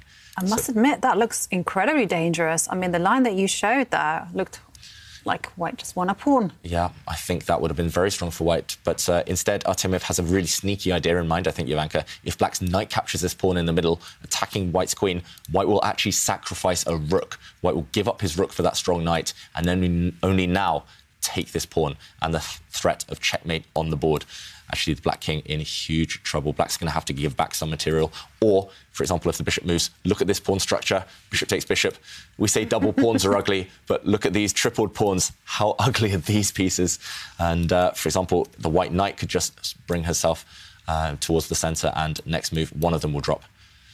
This looks pretty good for white. It's still a material imbalance. Black has an extra rook for this knight, but the knight is super strong. And also, black's king not entirely safe.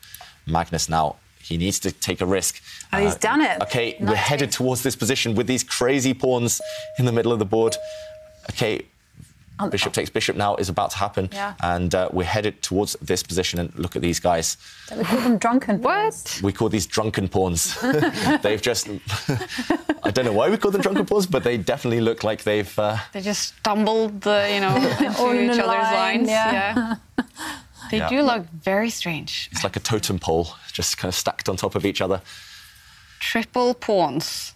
Yeah. Is that super bad news for Magnus Carlsen? It's not great news for him. so the pawns alone is disastrous for Magnus Carlsen, but he is relying on the fact that he has two rooks, White only has one. And uh, White's knight will be strong, as we mentioned, but long term, maybe the rooks will conquer the knight. And uh, we do have a party in the middle of the board. yes. there we go and uh, the players drinking tea here in the studio at the Oslo Arena. These pawns have been drinking something else. The White Knight now is attacking two of them at the same time. Actually, White's knight wants to capture the pawn deepest in the black camp, the And- e6 pawn. Yeah, and also there's a threat of actually uh, zooming down with the rook down to the seventh row, and that would be killer. So you have Yeah. to you have to deal with that one first. Two serious threats, Yeah. actually. White's knight capturing a pawn and White's rook finding the seventh rank. Wow, how would you deal with both of those, actually? Maybe not you just uh, well the the rook one, the the rook the rook coming down to the seventh row is the most pressing one to deal with because that's like your curtains for black if that happens. So you need to deal with that one, and then okay, so he does. Okay, he challenges Rook's Magnus Carlsen. Uh, but what is his intention if White's rook It just plays. trades? Maybe, maybe I White's guess you- rook can even move just to the side. I guess you have to capture that rook with a a queen Okay, so or the rook. Well, Really? no, maybe you can do with the rook, and Okay. you've got to check. so if White's rook captures the black rook, you think you can capture it back with the black rook, and Yeah. you're just about safe. Artemiev here, usually he would want to be looking for rook takes rook, especially when you don't have much time on the board. Then most natural human instinct is to capture. But in positions where you only have one rook remaining, where you've sacrificed a rook for a knight or rook for a bishop, you have to keep your remaining uh, tower, your rook, on the board.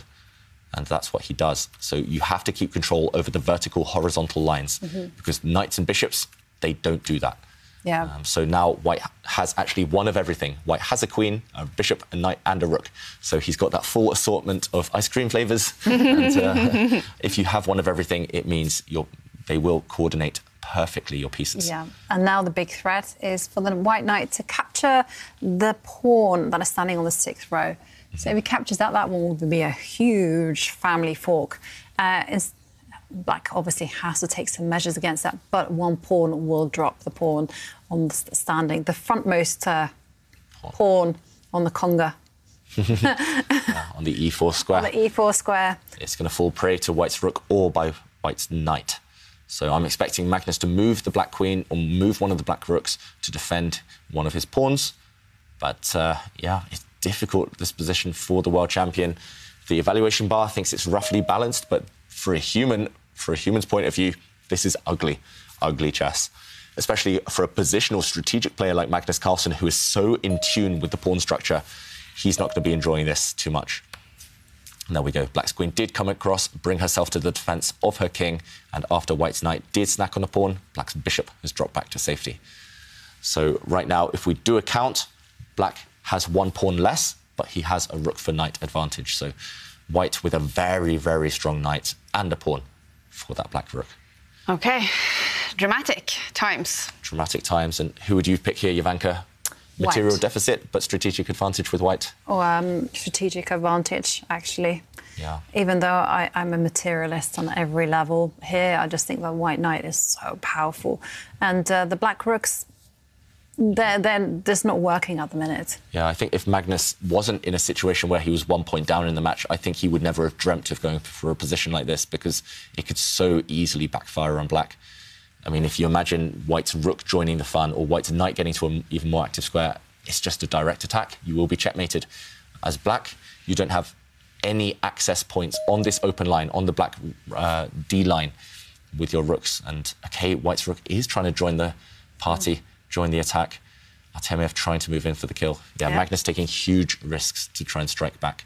There's a Um, huge threat in the position as There, well. absolutely, and that's just to line up the rook against the black queen, and then it's going to be very difficult to defend against the, the, the queen and the bishop, which are pointing towards the g7 square. Uh, how, how to deal with that, actually. It'll be like a pack of cards if uh, Yeah. black's position, if that white rook moves across and attacks the black queen, it will all just collapse instantly. So, okay, the world champion, I feel like he has to move his king. I was going to say that too. Just step What it else? forward to a light square. Yep, step that black king forward. Maybe you can step it to the corner as well. But this is desperate times for the world champion. His clock advantage remains, but apart from that, his position is extremely difficult right now. If anyone can handle it, he can. Magnus is a magician. He's majestic at these types of imbalances in general. Like one or two moves, and suddenly it turns the whole position and he wins. That's just how strong he is. But uh, yeah, right now, he is the one facing the threats. Yes. I mean, we have seen him be consistently resourceful over the tour, despite their stats. I mean, we have seen him save some terrible positions, like like his game against Duda on day one and second game two. I mean, that was just a disaster for Magnus, but he recovered And he won. and Yeah. he won. Yeah, so Magnus, we should mention his Aimchess stats. Those are in positions where he's l- completely lost. To save them, he hasn't saved them that many times. But this is a position where he's not completely lost.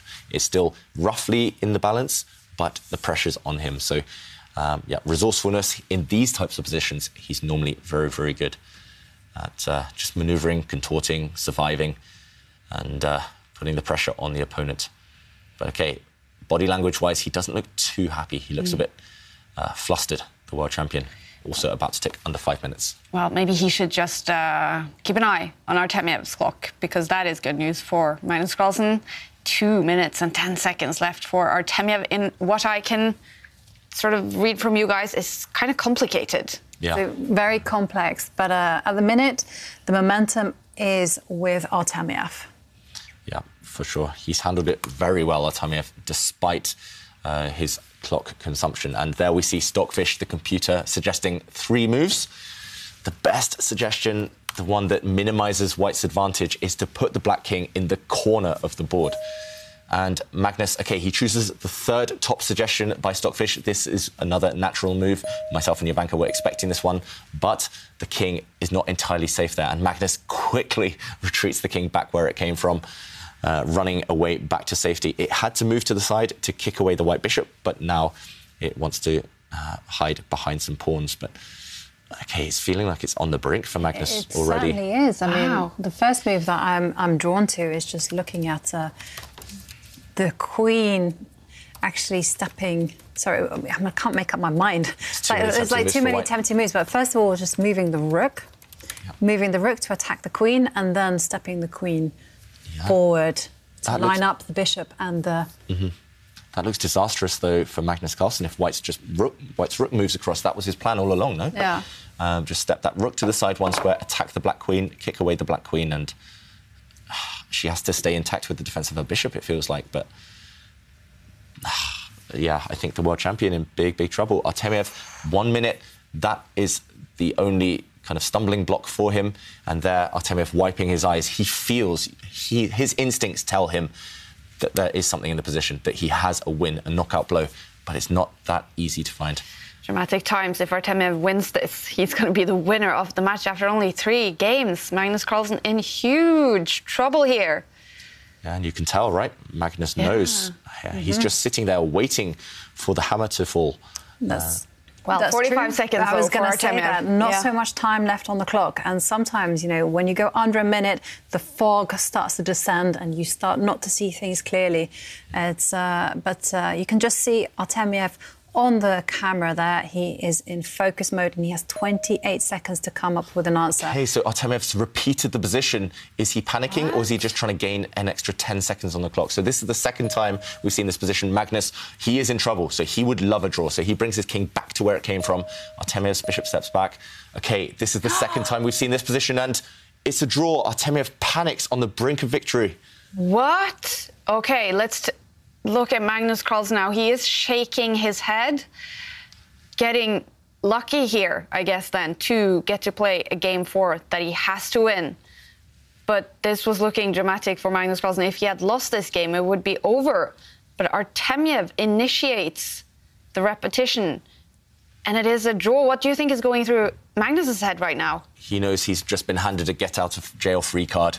Um, it's relief, um, maybe as well a bit of exasperation. He knew that he, Magnus was the one who took risks. Let's uh, clarify that first. His position was only bad because he did take those risks wanting to win, but it did backfire and he will feel relief because Artemiev, he knows, had a couple of very strong options on the final position. And uh, Magnus just heading back there into the arena, maybe forgotten something. okay, what is he going to do now? Maybe take a look at it again? Maybe it's just his jacket. Ah, There you it's his Does he have shoes on? No. No shoes. No shoes. No jacket, no shoes on Magnus Carlsen, and he does have one more chance now to get the win he needs to take it to tie breaks against Vladislav Artemiev. Jan-Krzysztof Duda is uh, fighting against uh, Teimour Radjabov here today, and uh, we're going to jump into that game. Um, the bar all the way over to his side. He is down by one point, so he needs to win this game or the next. Could this be it? This could well be it. It's not easy, despite what the evaluation bar says. Black is in charge because he has an extra pawn and because White's king is quite weak on the dark squares. But while opposite colour bishops remain, there are always hopes to save the game. So Radjabov is going to be dreaming of a queen trade, dreaming of a queen exchange. And uh, if that happens, it's going to be a draw. So Duda, he has to pounce. He has to go for victory while keeping the queens on. And uh, going for victory will involve either trying to pick off White's pawns on dark squares uh, with his bishop and co- in combination with his queen, or by going for the White King directly. Yeah. What do you think, Jovanka? Any chances of saving this game for Teimour Radjabov? I think, wow, tricky. Tricky. Trickier. I mean, I mean, at first I was going to say, yeah, yeah, just get the queens off, it'll be a draw. But even that's not that simple because take a look at those pawns on the on the left side. They're on dark squares, and of course, black has a has a dark squared bishop to attack them with. Um, Okay, so uh, and Duda now repeating the position once, but not copying Artemiev and repeating for a draw. This time he goes for a different continuation. He gives check to the White King. Now the White King is forced to run out into the open. It's running for its life. It has to do that. And uh, Duda is showing us why he's such a creative player, so skilled with initiative, because now he's just attacking the king from another angle. Um, different avenue of attack Yes. this time. But maybe White has a move now, or maybe a couple of moves to try and create a counter attack. White can give a check with his queen. Um, I don't think there's a direct kind of uh, checkmating idea here for Duda. The black queen and black bishop look like they team up well, but at the moment they both only control dark squares, and White's queen will stop any attacks on the light squares. Mhm. So, okay, what can Radjabov come up with? It's desperate times for Radjabov. It's really, really dangerous this position. But just judging by the evaluation bar, it's not over yet. Maybe there are ways to save the game Yeah. if he's accurate. I, I think uh, Duda's idea is also perhaps to use the bishop to start attacking those weak pawns on the left. Mm-hmm.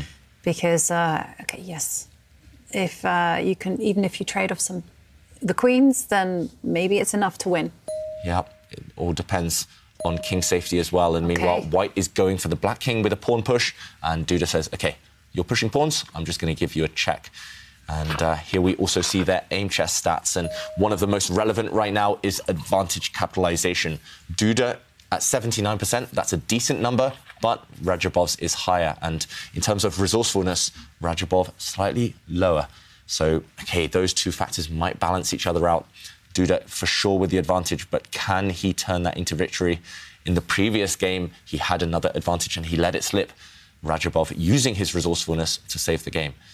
So this one is very tight. The two players roughly balanced in many of their stats there.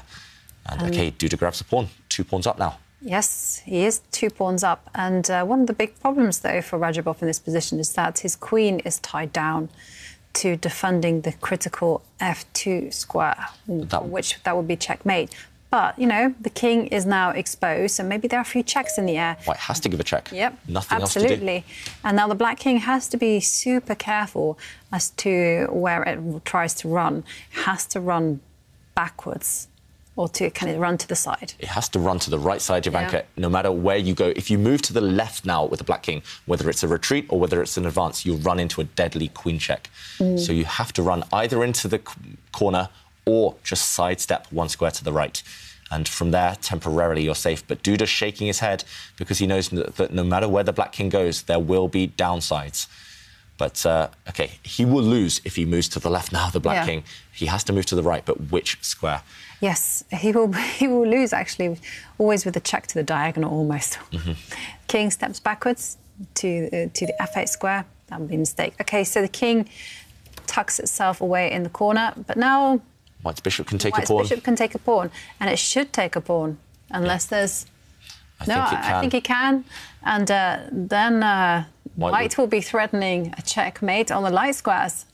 Yep. And uh, Yeah, I think he has to play this move, Radjabov. He just has to do a quick, quick calculation to see that there are no deadly checks from Black's point of view.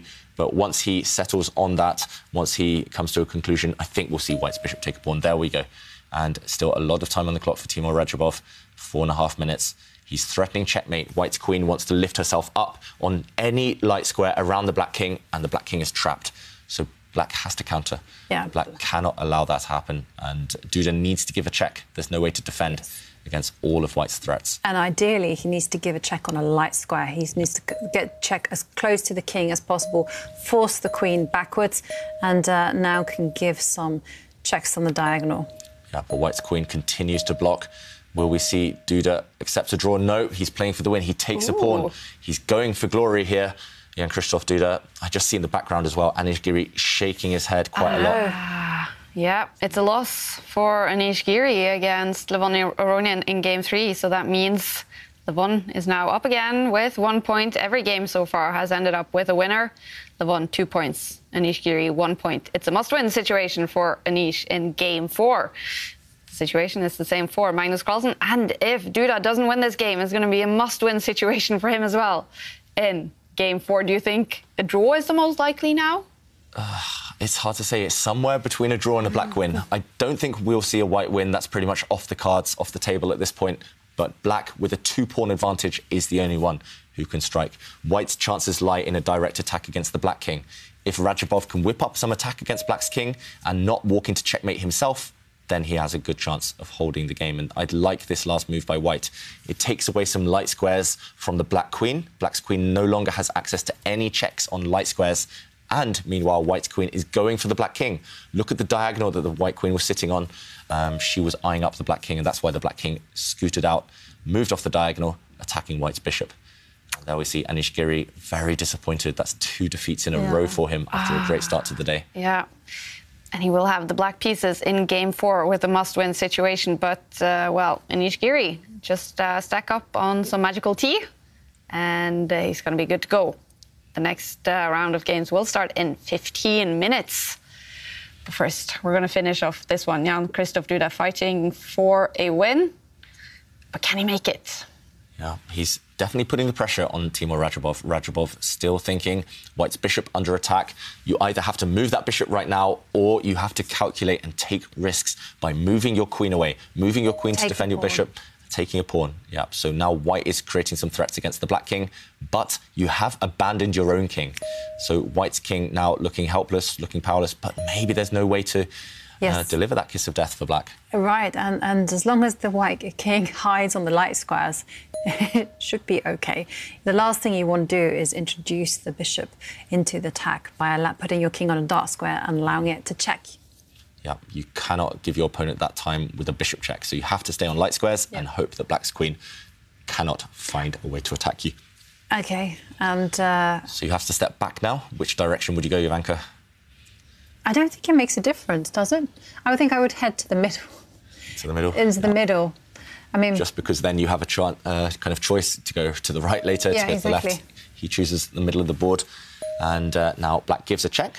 Duda is getting hungry, getting happy to snap off those pawns. And now, no matter where the white king goes, black is about to take a pawn with check. Black's queen is going to recapture a pawn, and that will be a two pawn advantage again, re established for black. Radjabov, he needs to choose what to do. Light squares. It's all about light squares. And now Black's queen is going to take a pawn, most likely. And, uh, okay, Radjabov, he's still got an uphill struggle to defend this. The evaluation bar thinks that it is defensible for White, this position, but it's not going to be easy. And Duda just gaining a bit of time on the clock by repeating the position. He's not going for the draw. He takes a pawn. Two pawns up now for Black. White's king is going to go up the board towards the Black bishop, I think.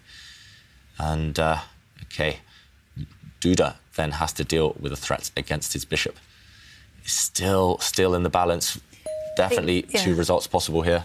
But it's a good news for White that the king is out there on the loose because the more it's in the middle of the board, the less likely it is to get checkmated. Yes, and Black's bishop has to move. Um, maybe you could defend it with your queen as well. And Krzysztof Duda has to decide how to keep his own king safe. Because once the black bishop does move, for example, white's bishop will also move. And we might then see white starting to create some annoying checks. Okay. Jan-Krzysztof, he knows this is an essential game for his tournament. He wants to strike back. If he strikes back with the black pieces, he'll have white in the final game. And uh, Radjabov, meanwhile, being tenacious, being resourceful, being tricky. He's survived this far. He'll be thinking and he'll be confident that he can survive the rest of the game as well. White's king is just hard to pin down. it's it's defending itself essentially. The king has its sword out, just blocking all the potential attacks against it. Yeah. Um, and uh, I mean, we have to give fair credit to the queen. The queen, the white queen, kind of covers some key squares. That's why they're a great team, the king and Yeah. queen. The queen always a great defender. Okay, and uh, Duda coming to just over one minute left on the clock to take a decision. It's not an easy decision, actually. You know, do you step back with the bishop, like you, and then there might be problems with Black's king. Okay, he defends his bishop with his queen. This also looks like a good move, and maybe eyeing up. Actually, there's a potential trick in the position if white, uh, if the black queen can bring herself across onto the D line, the same line as the white king. The white king is almost trapped. There might be some tricks there, uh, so white has to be really, really careful. Would you just step back I- with the bishop to protect the queen? Yeah, I would be terrified of my queen being undefended actually right now. So I would definitely defend the queen with the white bishop. Yeah, that's my instinct as well, just in case. I don't see any other choices actually here for Radjabov. Is there any one move, or does he have options? Teimour Radjabov thinking right now. Okay, he retreats his bishop, defending his queen. That is very sensible. In an endgame, when you only have a couple of minutes left, just defend your pieces. Uh, you'll ensure they don't drop off. Okay, the evaluation bar, though, doesn't approve of that move. Okay, Oh. Black's queen giving a check, and another check with the queen right now. The move we were advocating, was that a big blunder? Was that a big mistake? He played It- the most natural move, but White's king is forced onto oh a no, dark square. it's on a dark square, and now the bishop can in, be introduced into the attack with a check. Okay, mean- disaster for Radjabov. He's had to put his king on a dark color complex. Wow. You think he should check now with the bishop? I, I'm tended to agree. Yeah, I'm. I'm I think that the black bishop can give a check, and then the black queen will then start doing the work again. yes. Okay, Duda, can he force the white king onto an even worse square? This was the only square the white king could go to, actually, on the last turn to avoid checkmate. So he's almost trapped the white king. It was in the center a few moves ago. He's pinned it down on the edge of the board. But how did, do you deliver the killer blow? Okay, Jan-Krzysztof Duda, he knows there is something in the position. You can tell on his body language, tell on his face. He feels it. He's definitely looking at this bishop check. What, the black queen alone will not do the work. Well, well, for starters, you can actually pick up a second pawn with check. So once you introduce the bishop, give to give a check to the king. Okay, he doesn't do No, this. He, he gains a bit of time that. first, but Okay, then but he'll he check do with the it. bishop. So you want to check with the bishop along the third row. Mm-hmm. So that that way the pieces are working very nicely together. Put your bishop and queen next to each other. There, Exactly. they control all of the squares. The black queen will control the light squares. The black bishop will control the dark squares. So, Yes. Okay, he's repeated the position once just to gain a bit of a few seconds on the clock. He's down under 20 seconds again, though, Duda. The clock is his enemy right now. He needs to just continue checking, but this time with the bishop. He's tried the queen checks.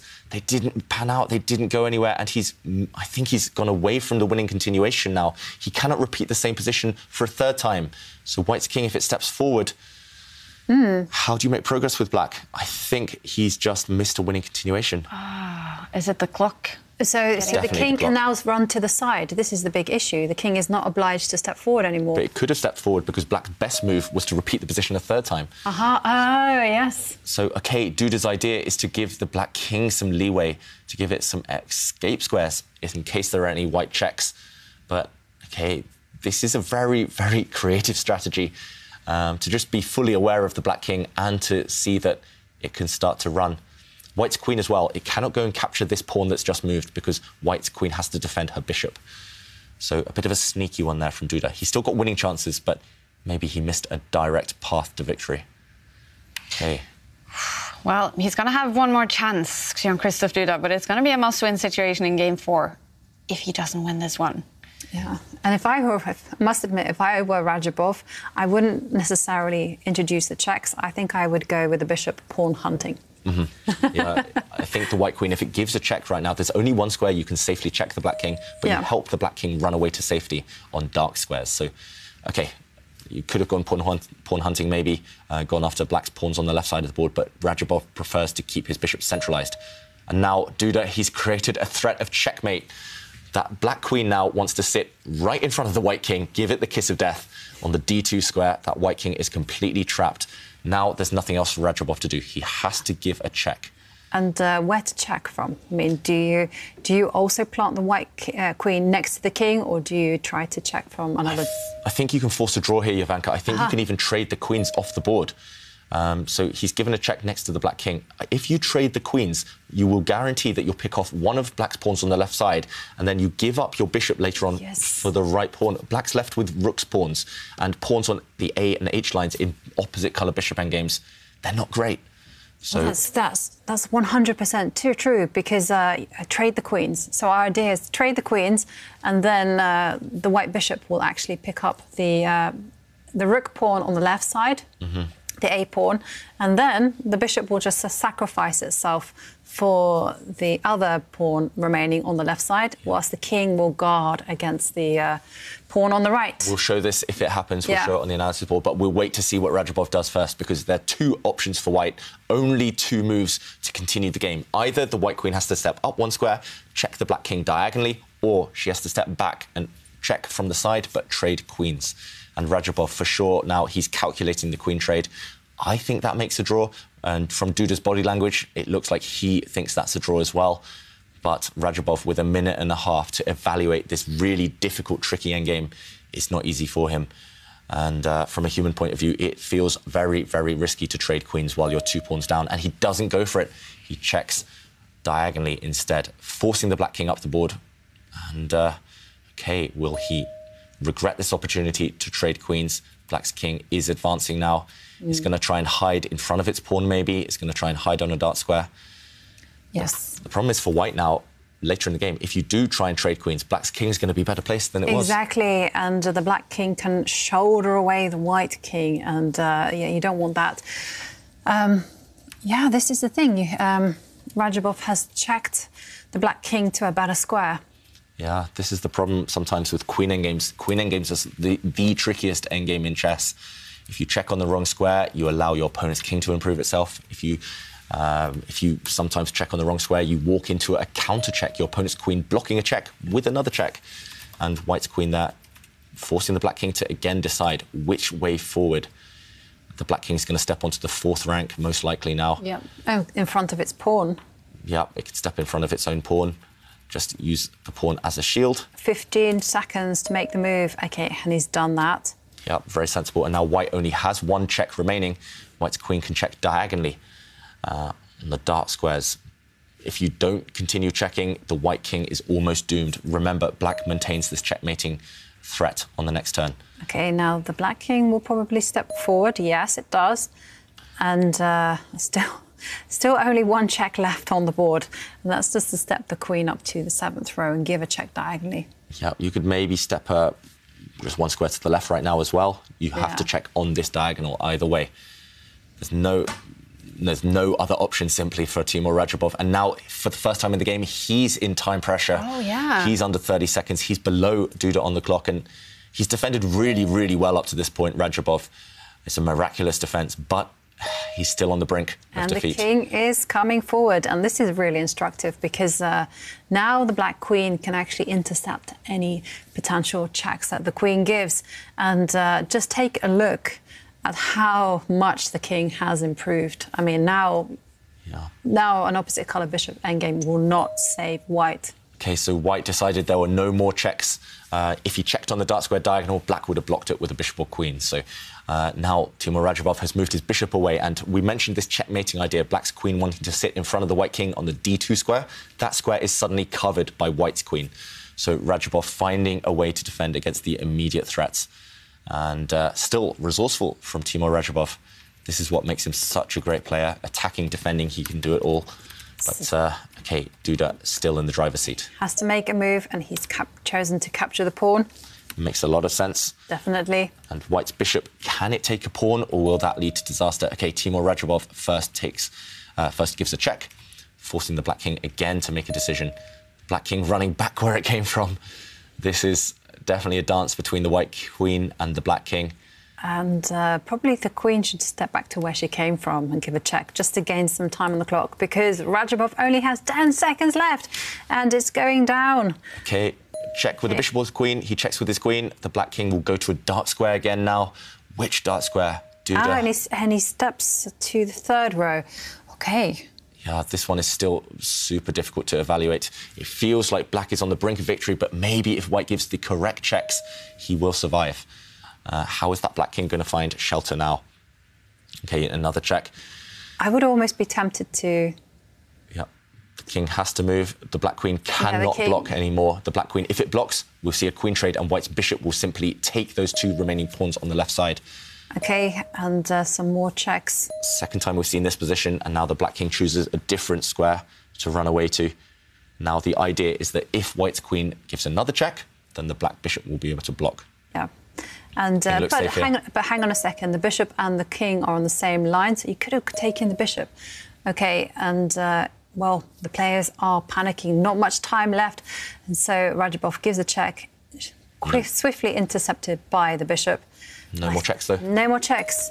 Okay, White's queen centralizes herself, so this is a very, very odd scenario. Black has three extra pawns, but the result is still in doubt because the Black king is so open. And that's why queen endgames are so difficult. Never, ever resign in a queen endgame. That's my advice, because there are always tricks, there are always checks. And uh, you can see the panic on Duda's face, the uncertainty. He knows he's three pawns up, he knows he shouldn't lose the game, but it's still scary when your king's on a journey like this one. Yep, and Duda is uh, using everything he can. He advances a pawn to the fourth row, and this is still really scary for Radjabov, despite absolutely everything, all the checks on the board. One wrong move, and it could be all over. Yep, one wrong move, and yeah, you can resign. So, okay, he gives a check with the white queen, the black king stepping forward. There's only a couple of ways now to check with the white queen. Again, I don't think you can take a timeout and move your white bishop. You can't take a timeout to take pawns because then black's turn uh, to Three check. seconds, two seconds. Okay, he does take a pawn. Okay, I said then it will be black's turn to start checking, but he's banking on the fact that the white king will again hide on light squares. It's as if white's had his turn checking for the last 20 moves. Now it's black's opportunity, but no, Duda chooses control instead of checks. He brings his bishop, teams it up with the black queen, mm-hmm. shutting the door of the white queen as well. And uh, black's pawns are coming. Yeah. They're advancing. What do you think, Jovanka? Is now Duda going to win this game? Yes. Wow. Black King actually suddenly it looks really safe. Mm-hmm. It's on dark squares, and look how much control Black has over those dark squares. I mean, there's hardly any checks left in the position, and uh, all Duda needs to do is advance his pawn as he's doing right now. I mean, the king is just always going to use its uh, pawn as a shield and hide in front of it. And Duda is looking up. Anish Giri is back at his board because game four is about to start for Anish Giri and Magnus Carlsen. These uh, two, Radjabov and Duda, have been playing for a very long time. But game fours are about to start. We will follow Magnus Carlsen's fight for a comeback against Artemiev when this game is finished. Yeah, and look at this. The Black King has zigzagged its way into the White camp. The Black King is now on the square that the White King started the game. So this is, you'll never see this normally in a chess game, but these two players are crazy, especially Duda. And he is so good at these kind of tricky imbalances, these queen end games. The Black King finding safety, finding refuge on White starting square. So, OK, the White Queen has to try and give some checks somehow, but now Duda bobbing his head. He thinks he's got this wrapped up. He can even just trade queens now because the white king is so far away. The queen trade will clinch this now for Duda. He's leaning back. He's sipping water with only 40 seconds on this clock. Hmm, sending a message. And Magnus Carlsen is back by the board to start game four against Artemiev. It's a must win situation for Magnus Carlsen to take it to tiebreaks. We will follow that game in a few, I don't know, seconds, minutes. Yep, that I, game is starting. I think we are looking at uh, this game finishing in less than two minutes. Okay. And look at this last move. A really nice touch from Duda, pushing his pawn. The two black pawns together will win the game, and Radjabov resigns. Duda takes this marathon victory home. Impressive stuff by the Polish 23-year-old. He has made a comeback. They are tied now, Radjabov and Duda. If we have a winner uh, in game four, that will start in 10 min minutes for these two. Then that will be the winner of the match. If it's a draw, then tie breaks, and uh, we are shifting focus to Magnus Carlsen in a must-win situation in Game Four to take it to tie breaks. Artemiev, he will only need a draw in this game to be the winner of the match, and uh, it's going to be the white pieces for Magnus Carlsen, and it has started. It has started, and this game started as the French, uh, as the Sicilian defense. Sorry, then it's transposed into a version of the French defense. And with this last move, Artemiev is trying to stop White from occupying the centre. And I must admit, I have really, really fond memories of this position from the White side. I think my first ever win against Ian Nepomniachtchi was from the white side ah. of this ah. position. It wasn't that move, however. it was developing the white bishop to that square. So, uh, okay, Magnus blocking things up. That's a slightly odd decision very, very rare as far as I know, Jovanka. Yeah, and, uh, it's uh, not the most common move. Uh, like you said, developing the light square bishop to that uh, square that uh, the pawn arrived to is the most natural move. Also capturing the pawn. Also giving a check is uh, slightly a little more popular. This is the sixth choice, according to the database. Okay, so a clear signal from Magnus Carlsen that he just wants to take this game into unexplored waters. He wants this, this to be kind of unknown territory for Artemiev as soon as possible. He's hoping that Artemiev will be confused and uh, maybe just trying to explore this new position will burn a lot of time on the clock. So Magnus, uh, yeah, the reason I don't like this pawn push too much is because it does block in White's light squared bishop, but for sure it's part of a longer strategy. It's part of his game plan, Magnus Carlsen, just to get out of the opening with a playable position and ideally more time on the clock. Mm -hmm. Artemiev, how will he react? He'll probably just bring some knights out, bring a bishop out, and uh, it's just a very standard type of position. Yeah, it is a very. yes, okay, so the knight now develops, and just check my database to see what happens next. And uh, main move is actually to develop the light square to the long diagonal. Yeah, so this pawn push does create a nice safe home for White's light squared bishop. And uh, Magnus, he's aiming to kind of guide this towards a French defence type of position with White's very far advanced pawn in the middle there. But he needs to provide backup for that pawn. And uh, there we go. A quick draw between Wesley So and Hikaru Nakamura. Very disappointing by these two Americans. They will head to tiebreaks, and there they will have to fight. Uh, one of them will be the winner of this match. But Wesley So would have a huge chance here to grab three points and really close the gap to Magnus Carlsen, who is in trouble against Artemiev. Now, uh, all Wesley So can hope for is two points. If he wins the tiebreaks, two points. But Hikaru Nakamura will be a big favorite. He is, you know, a blitz uh, demon. So, uh, yeah, uh, we are disappointed by Wesley So and Hikaru Nakamura. Yes, and uh, meanwhile, these two players won't disappoint us. Magnus Carlsen and Vladislav Artemiev, they very, very rarely take quick draws. And here we see Black's Knight coming out, developing itself. It will move again, most likely. It, this is the only path for it, however, towards the centre. So now White's bishop develops. White is ready to castle first. And uh, this must be Magnus Carlsen's strategy. Just get his king to safety. He's got a bit of a space advantage because of White's central pawn.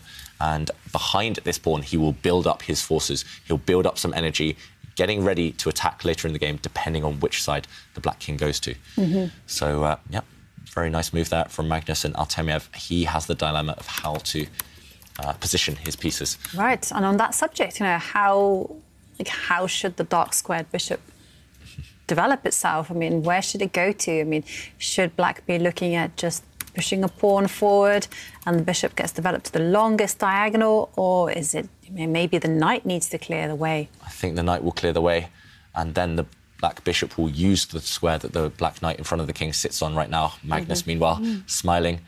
Um, another thing I've noticed, this pawn structure normally arises from the King's Indian attack, which can be played against the Caro-Kann, the French, the Sicilian. Um, so it's more, it's more of a system, which means less memory work. Uh, just you'd put your piece on the same squares every time. But I've noticed computers always misevaluate this or always underestimate White's chances. For example, there was a game in the World Cup with uh, Sergei Karyakin against Sam Shankland, and the whole game it said black has a big advantage, and then white gave checkmate. Oh. So, okay, your move, uh, Jovanka.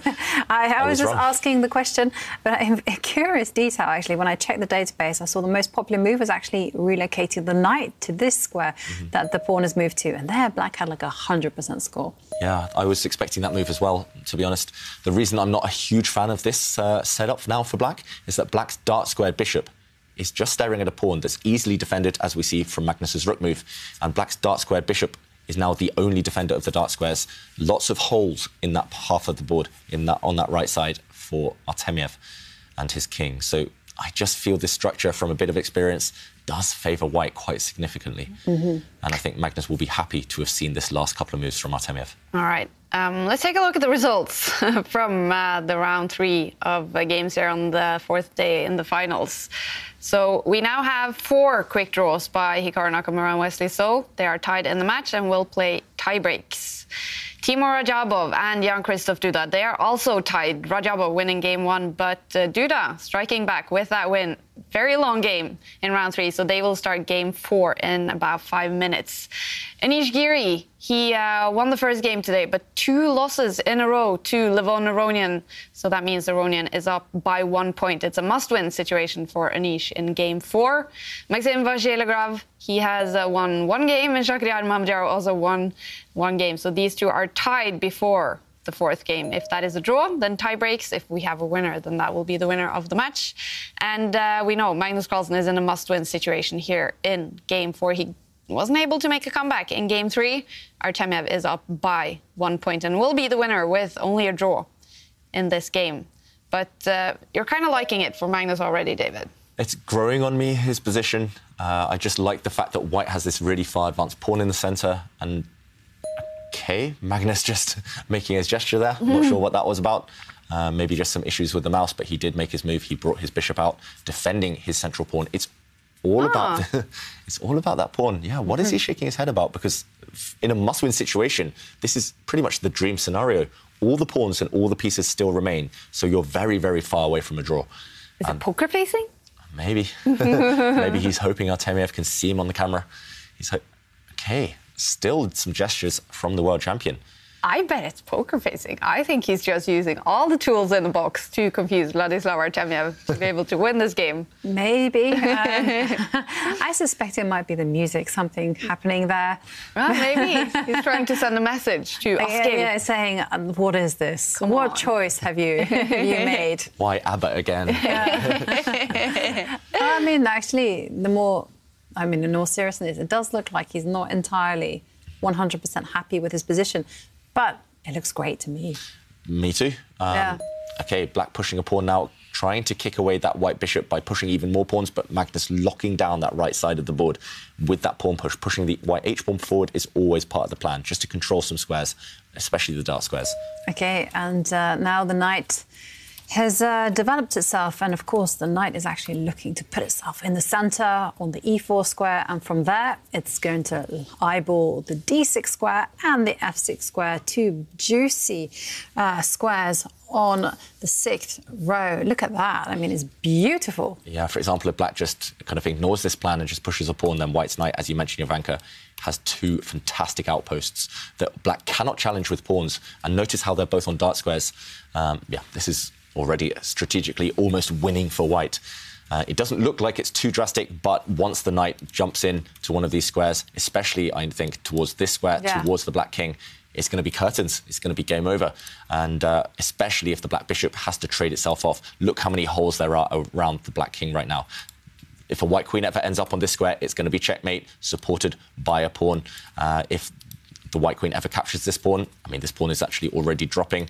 And there's just too many holes around the white, uh, around the black king. So this is a nightmare scenario for Artemiev. He needs to try and stop this plan of this very simple plan as well of white's knight jumping into the middle and then hopping in either to the center or to this square. And he doesn't stop this plan. He brings his knight to the side, and now white's knight for sure is going to hop in. And ah, I think this spells trouble for Artemiev already. There's a very simple plan for white as well. Of, Yeah, okay, Magnus does it. there. White's just going to step his queen up and put some pressure on this pawn, for example. Later on, he can try and kick away this black knight, which is a defender either with a pawn push or by just simply exchanging it off with his bishop. And wow, Artemiev has resorted to desperate measures already. He's brought his knight back to the square at start of the game. He only put his knight there, what was it, nine moves ago, eight moves ago, and now he's retreated his knight in order to open up his bishop.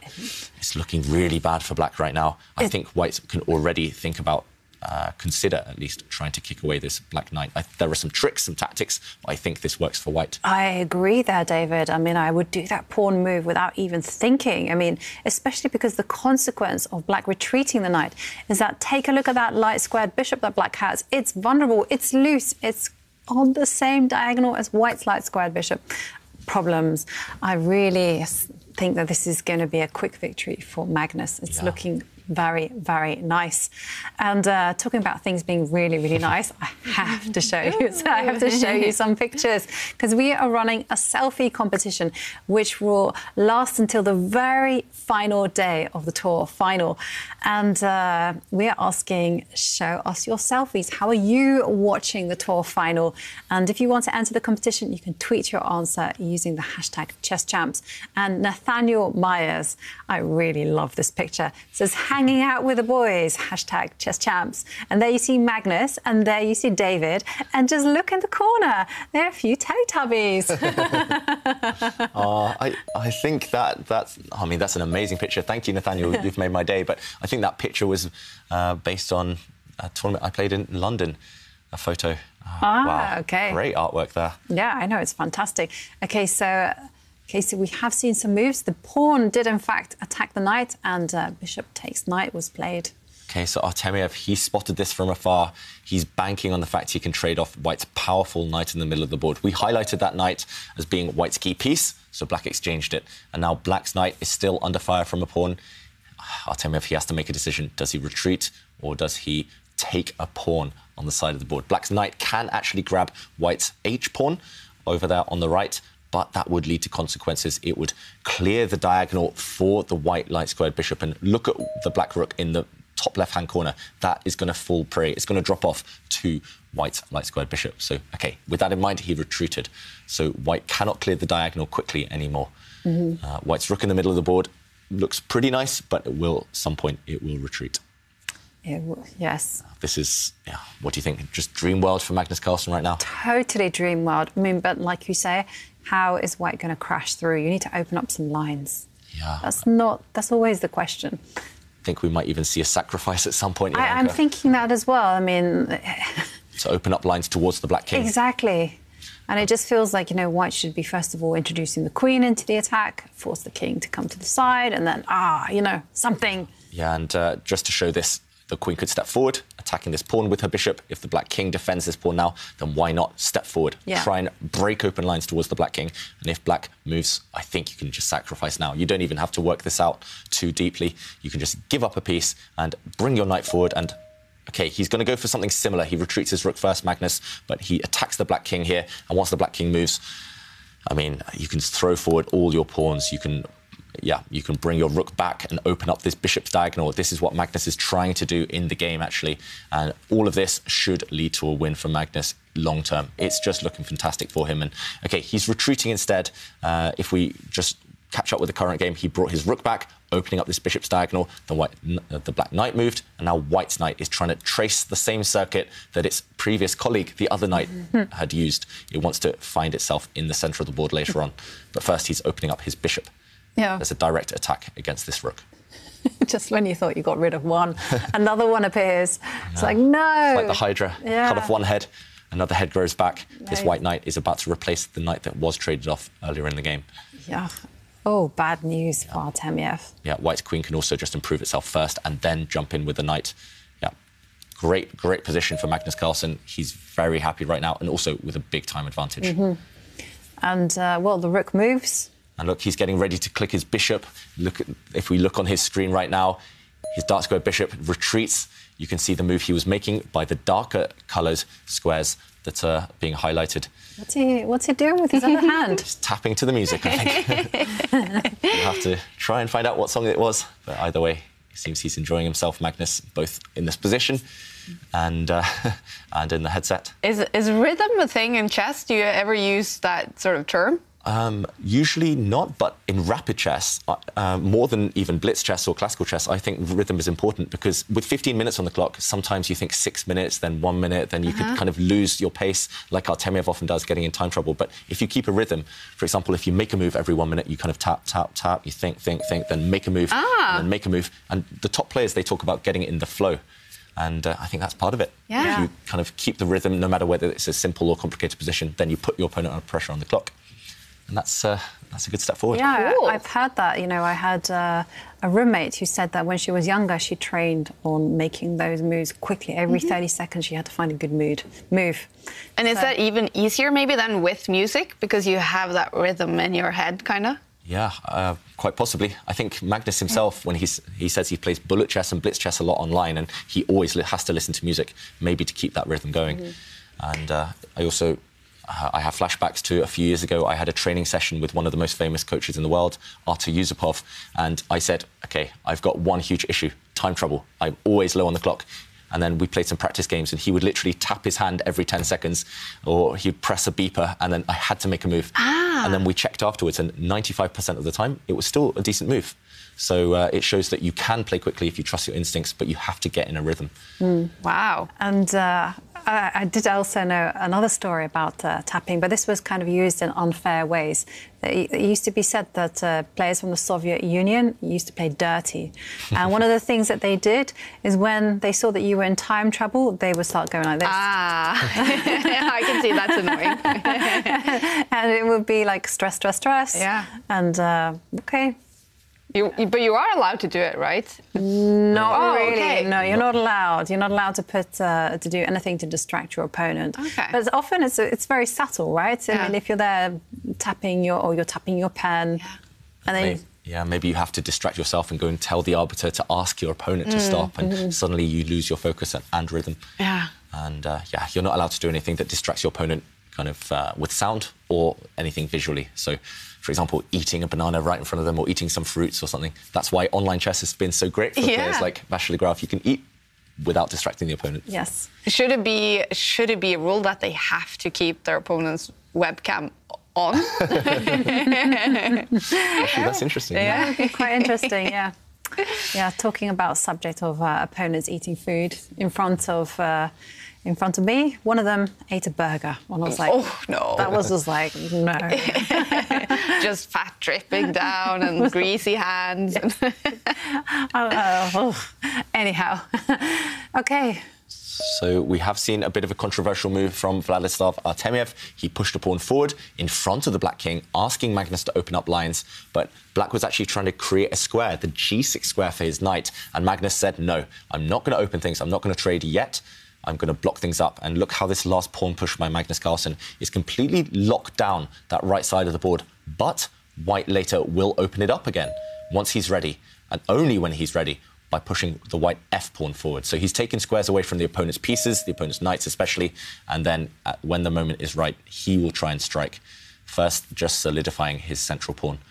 Slightly surprising because the white knight came from this square a few moves ago, but either way, Magnus is still in control. He is still in control, but it does feel like he's lost a little bit of his momentum. Yeah. I mean, the lines that He's we've kind of things down. highlighted, I mean, it just they just look fantastic Mm-hmm. for for White. And here it just kind of feels like the knight has maybe. Um, unless there's a sacrifice brewing, which there probably is. Yeah, so that white knight, you mean it's just in the way of his uh, light square? yeah, it's in the way of the light squared bishop. I mean, I mean, I, I'm really it's not my pieces, so I, I, can, I can sacrifice them with abandon. But I'm just thinking, you know, hey, unless it, it's just in the way, and black needs to, sorry, white needs to start opening lines. So I think it needs to start looking at radical ways of uh, opening up the position. Yeah, and Magnus will look for those radical ways later, but he's first stabilizing just everything. Uh, right now, it's all about White's central pawn, White's pawn on the e5 square, that very far advanced pawn. Look at how White's queen, White's rook, knight, bishop, they're all tied down defending it, but Black's pieces, they're all trying to tie down the White pieces uh, to that pawn. The Black knights both eyeing it up, the Black dark squared bishop as well, eyeing up White's Mhm. e5 pawn. And And Artemiev is just ignoring anything that's happening on the right, and he's like, yeah, well, we'll deal. I'll try to get as much possible on the left side of the board, which I think is a good strategy, actually. I mean, there seems to be some sound standoff there in the centre.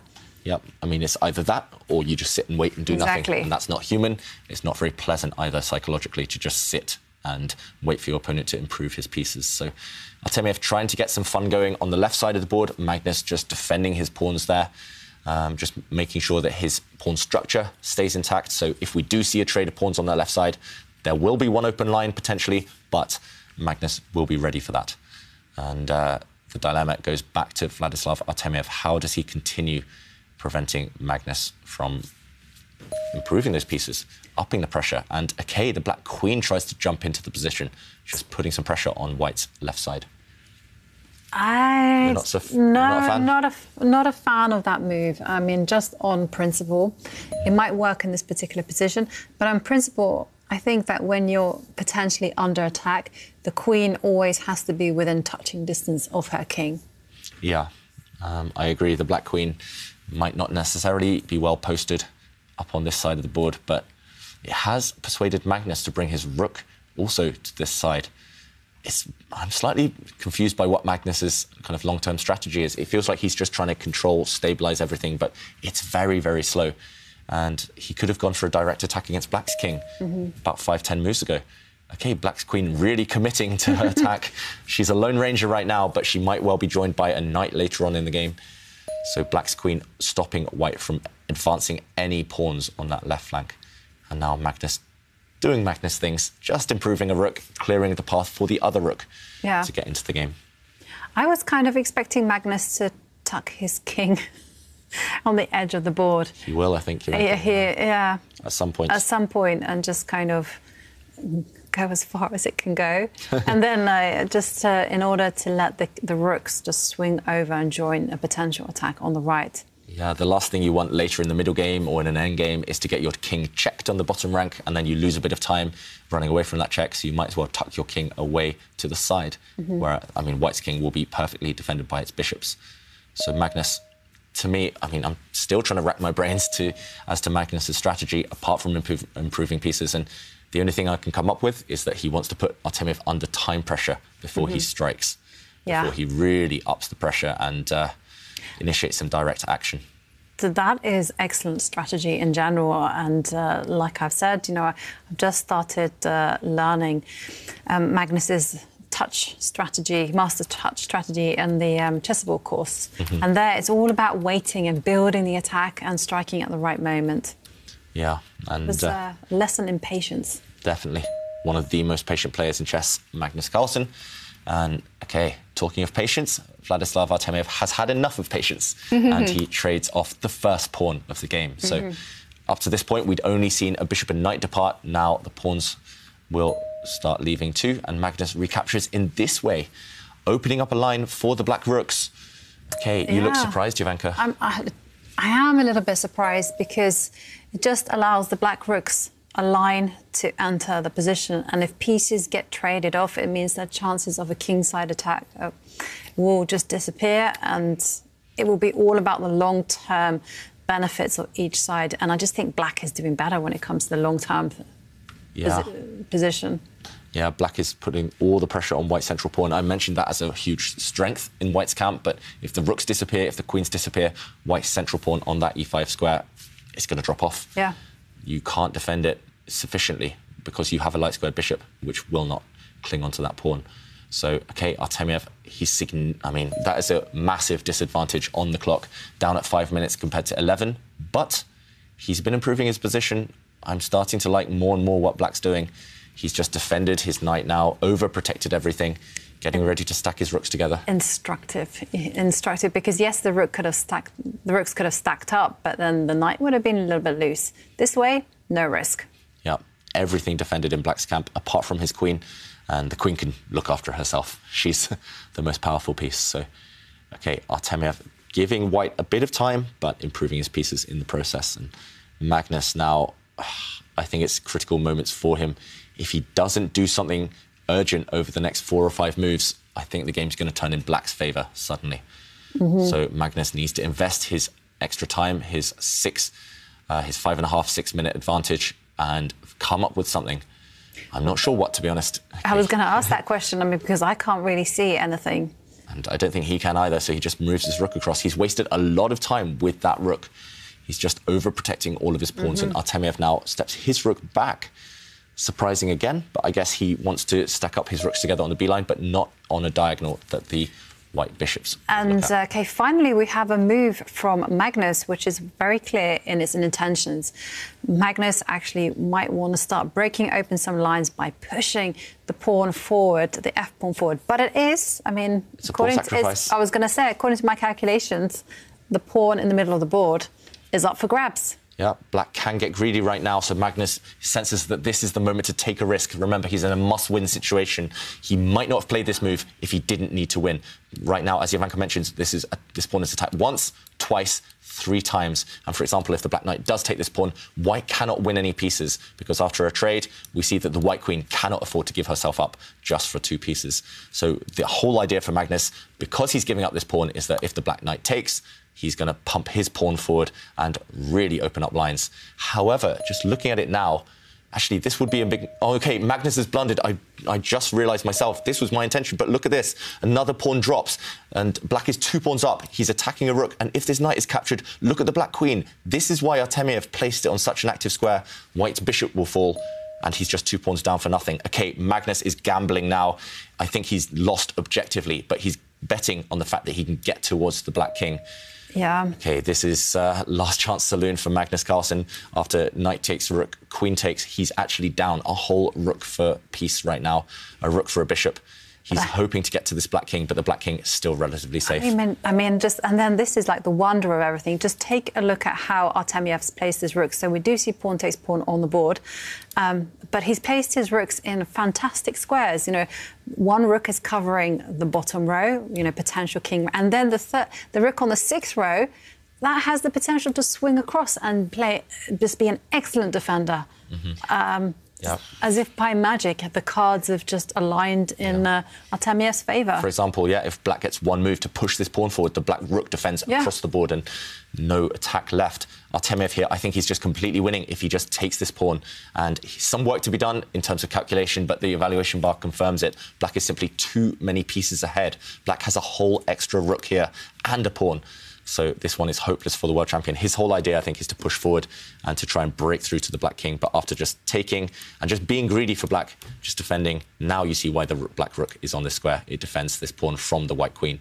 And it's game over. Magnus Carlsen gambled at the wrong moment. It was the right idea, but I just think the wrong execution. Okay. And let's go back to the players because we are seeing this on the board. Okay, and just, just like you called it, David, and uh, the pawn has moved forward to defend. And uh, what happens if there's like rook takes pawn? Yeah, he has to. He has to, right? Problem is the white king is not entirely safe either, and white, as soon as the white rook lifts itself up, okay, it does take Okay. a pawn. Suddenly there might be some checks against the white king on the bottom rank, on the first rank. Uh, black's rook can give a check, black's queen can give a check. The mood is definitely not good in the Oslo arena right now. Magnus Carlsen about to lose both the game and the match. And Anish Giri, he has lost the game against um, Levon Aronian, and that means Aronian is the winner of this match, winning three games in a row. Levon Aronian, a very bad day for Anish Giri. Winning game one, but that was not enough. Three wins for Levon Aronian. It's over. Aronian gaining all three points in that match. And uh, the only you know, good vibe in the Oslo arena right now must be Jan-Krzysztof Duda, who is fighting for a win uh, to win the match against Teimour Radjabov. If it's a draw, then that one will head to tie breaks. Yes, and uh, okay, Artemiev, the only thing that could stop him now is the clock. I've got to tip my hat to Artemiev. Over the last 15 moves or so, he's played perfectly, really actively, putting his pieces on great squares, coordinating everything, spotting those tactics, spotting those tricks ahead of time when they arrived. Uh, now it, he just needs to be cold-blooded. He just needs to defend against these traps from Magnus Carlsen, this kind of last chance, uh, forlorn hope. But okay, he trades rooks. That's That surprising. surprising because uh, I thought that he would give a check. Okay, now the king hides itself in the corner. But Yes. okay, there's some hope now for Magnus because he can play queen takes knight. Okay, White can restore some semblance of material parity by taking off the Black Knight. He's still down on material. I think Artemiev's plan, though, is to just zoom the Black Rook across to sit next to the Black King. And uh, that Black King will be extremely well guarded. I don't think there are enough attacking pieces for White. If you look at White's remaining minor pieces, the bishops and knights, White's bishops look great, but how are, gonna, how are they going to attack the Black King? White's knight definitely doesn't look great. Yeah. So uh, yeah, I just think not enough attacking ammunition for Magnus Carlsen. I, I can see I can see one potential route, but it requires a lot of assistance. and uh, it just involves basically the knight coming forward and sacrificing itself just to open up the dark squared uh, diagonal. Yeah, so Magnus, he'll be looking for those final, Mhm. yeah, those final kind of uh, concepts. But It's, it's just trappy stuff, but you know.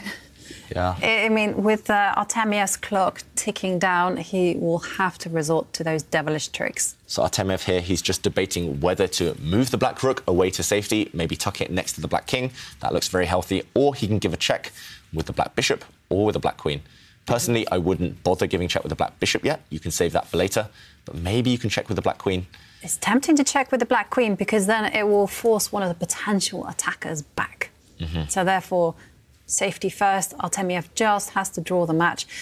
But the clock is ticking down.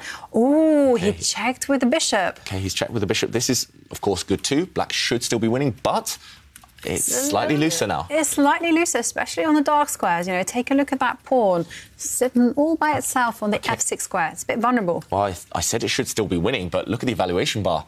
It's hating this last move from Artemiev.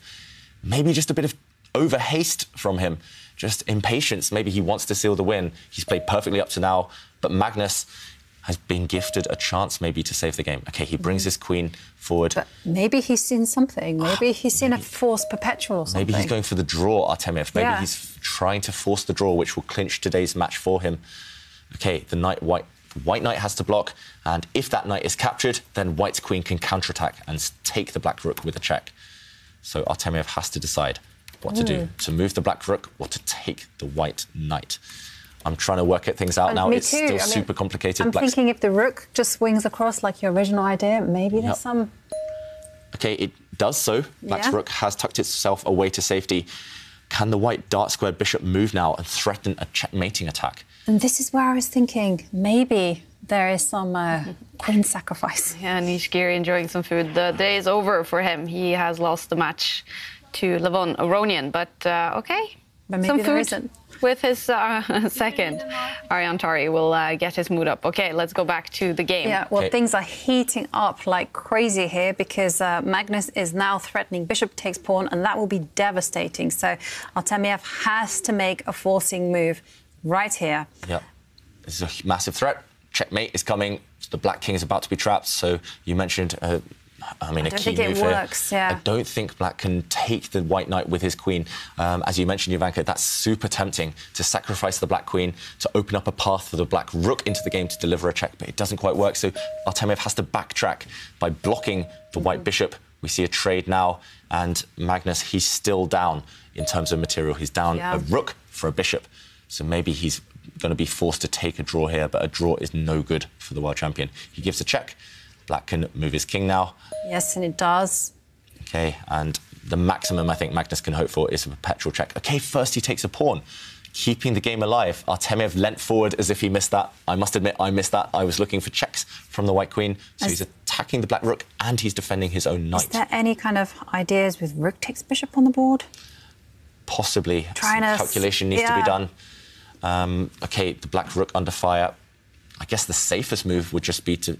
Okay, there is some danger. I was going to say to take white's knight with the black knight, but then the white bishop could join the action, maybe with some checks. Okay, still all three results possible. Magnus Carlsen fighting heroically, fighting Mm. for his life, but Artemiev, he's still got it under control. He only needs the draw.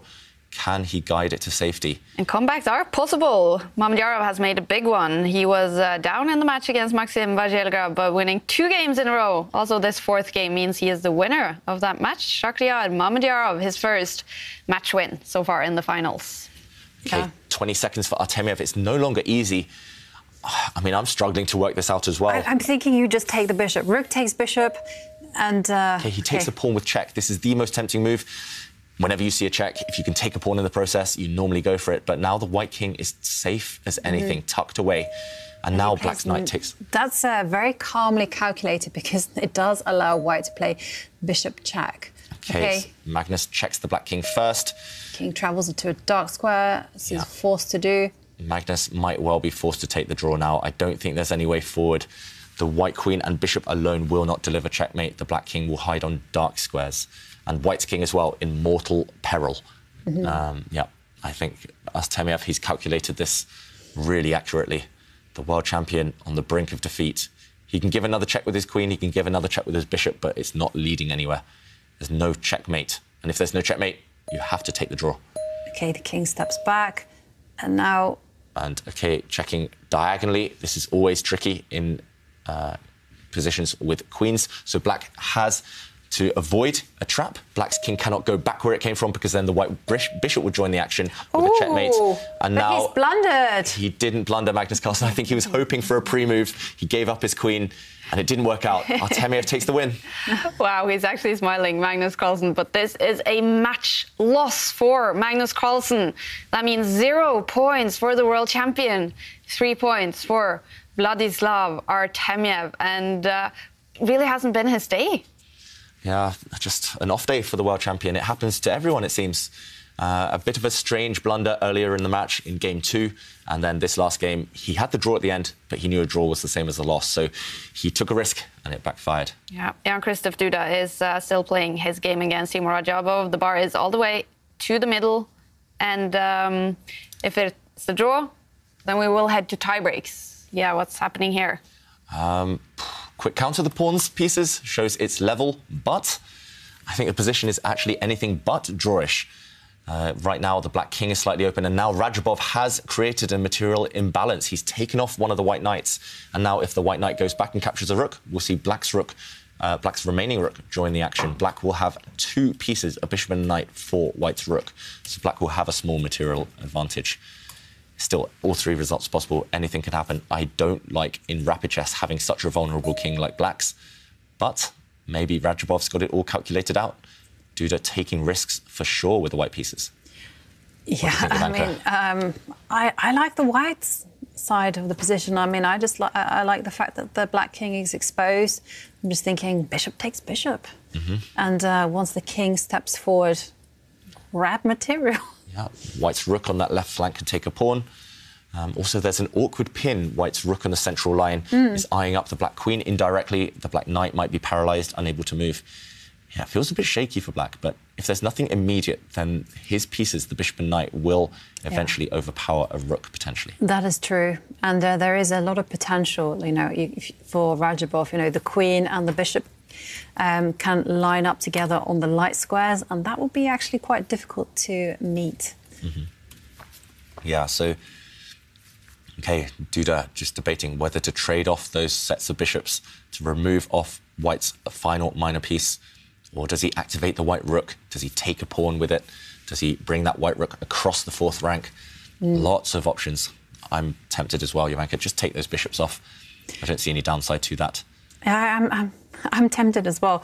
But at the same time, now that I've seen the possibility of the queen moving forward on the long light square diagonal, I'm just thinking that's actually quite an unpleasant threat to meet.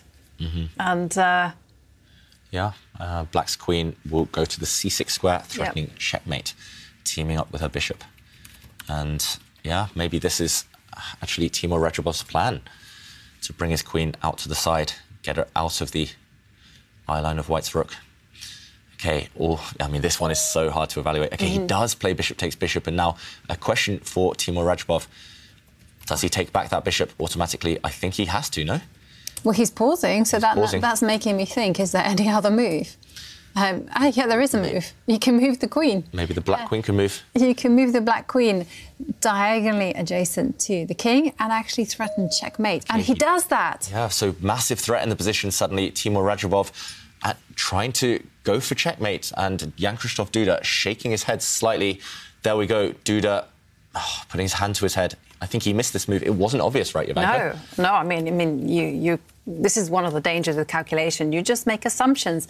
I capture, A capture, everyone captures, and you tend to miss these in between moves. Yeah, really nice idea. Maybe we should show this, what Black's intention is uh, on the board right now, because, okay, White's rook has had to go passive. If Black had taken this bishop back directly, this would have been a bit scary for Black. The king out in the open, vulnerable to checks on this long diagonal, and uh, also vulnerable from potentially if white's rook takes a pawn from checks later on on the seventh rank. Instead, Duda uh, no, sorry, Radjabov brought his queen to the side, and now there's no time to move this bishop. If you move it, then the black queen would pounce. And it's not about the seventh rank this time, it's about the second rank. And the queen and rook would deliver checkmate together. White's king trapped. And that has forced Jan-Krzysztof Duda to play a move he's really unhappy about, as we could see on the camera. He's had to put his rook on its worst possible square, just doing a passive defensive job guarding this pawn. And now, big moment for Teimour Radjabov. Does he have anything better, or does, can he just take this bishop off? He's actually just worsened his opponent's rook. He's essentially playing mm -hmm. with more pieces. The bishop and knight together will combine towards an attack yeah. to White's king later in the game. And uh, also, I mean, there's bad news for Duda because he cannot capture the pawn because the bishop would uh, step to the side and, uh, well, pin. Skewer. Yeah, or skewer. Yeah. I always get confused. Pin or skewer. Pin, pin sure. or skewer. I don't know. It's when you attack a piece and uh, the piece behind it is also vulnerable once the front piece moves. And yeah, this would win a rook for bishop, and white would uh, black, sorry, would end up with an extra knight. So yeah, big big danger now for Jan-Krzysztof Duda in this game. He needs to hold it to take it to tie breaks, and right now it's looking very difficult to hold this game. Radjabov playing really really nice chess so far, coordinating his pieces nicely. So right now you think it's going to be a loss for Duda? I mean, the bar is it's very. Not... Anything can happen. Okay. I mean, all three results possible. Um, He's mean... the one fighting right now for his life. I think mm. he has to be the more accurate. His position's more difficult to play over the next three or four moves at least. Definitely. Well, remember, if it's uh, a draw this game, then we, they will head to tie breaks, and uh, all tie breaks will uh, start 15 minutes after this game finishes. Actually, right now, only uh, Wesley So and Hikaru Nakamura are the only ones. Whoa! in tie breaks. Uh, and Duda, that shows the difficulty of his position. We can't blame him here. It is so complex. Um, it is so double-edged.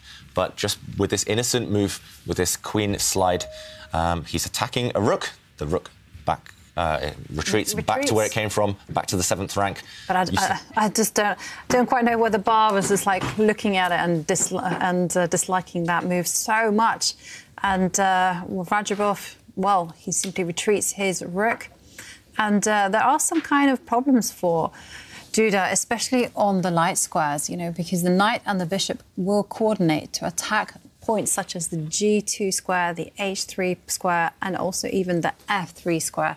And uh, there's just no way that the queen and the rook can coordinate to challenge black on the supremacy that squares. Yeah, it's all about the light squares around White's king. White's king is actually defenseless on diagonals. It's defenseless from knight jumps. And uh, yeah, this is why we talk about two minor pieces usually beating a rook, especially if there are lots of pieces still on the board.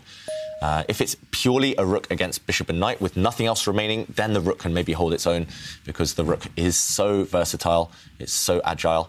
But uh, yeah, if it comes down to a direct attack, the bishop and knight usually win. And that's why I guess Duda is trying to trade off the rooks from the position. He's just hoping that he can get the rooks off and the queens off. Okay, the rooks have departed.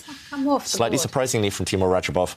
And uh, now if the queens leave the board too, then maybe white has a tiny chance, but only if he wins one of the black pawns, I think, on the left, on the left yeah. as well taking his headset off. It's uh, not a sign he's about to resign, is it? no, uh, I think he's just not happy with the game, how the game's been going, and he wants to try something different. Yeah. You've got to mix things up in chess if things aren't going in your favour. And, and, and Radjabov just protects his uh, pawn there on the left, which is a good strategy, actually, mm -hmm.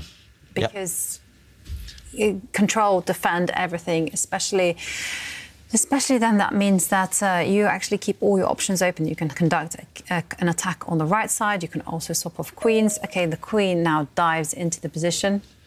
And yeah, this is the type of scary move that's really satisfying to play in chess. You attack your opponent's pieces. It's also a long move deep into their opponent, into your opponent's camp. But I think Black will now ex actually exchange or try to exchange the queens. There yep. we go. I mentioned a queen exchange usually favouring white, but not while Black has a pawn majority on the left side. So you need to win a pawn and trade queens if you're Jan mm -hmm. Krzysztof Duda. And now white gives a check. He definitely couldn't afford to trade queens because the white rook would have struggled to contain those black pawns on the left. So, okay, the black king will move now. And uh, how does white follow up? That's the question. White's rook looks nice and pretty, but he doesn't really have many active squares to go to next. He's got no squares along the fourth row. Um, that's a problem. Yeah, big problem for Duda.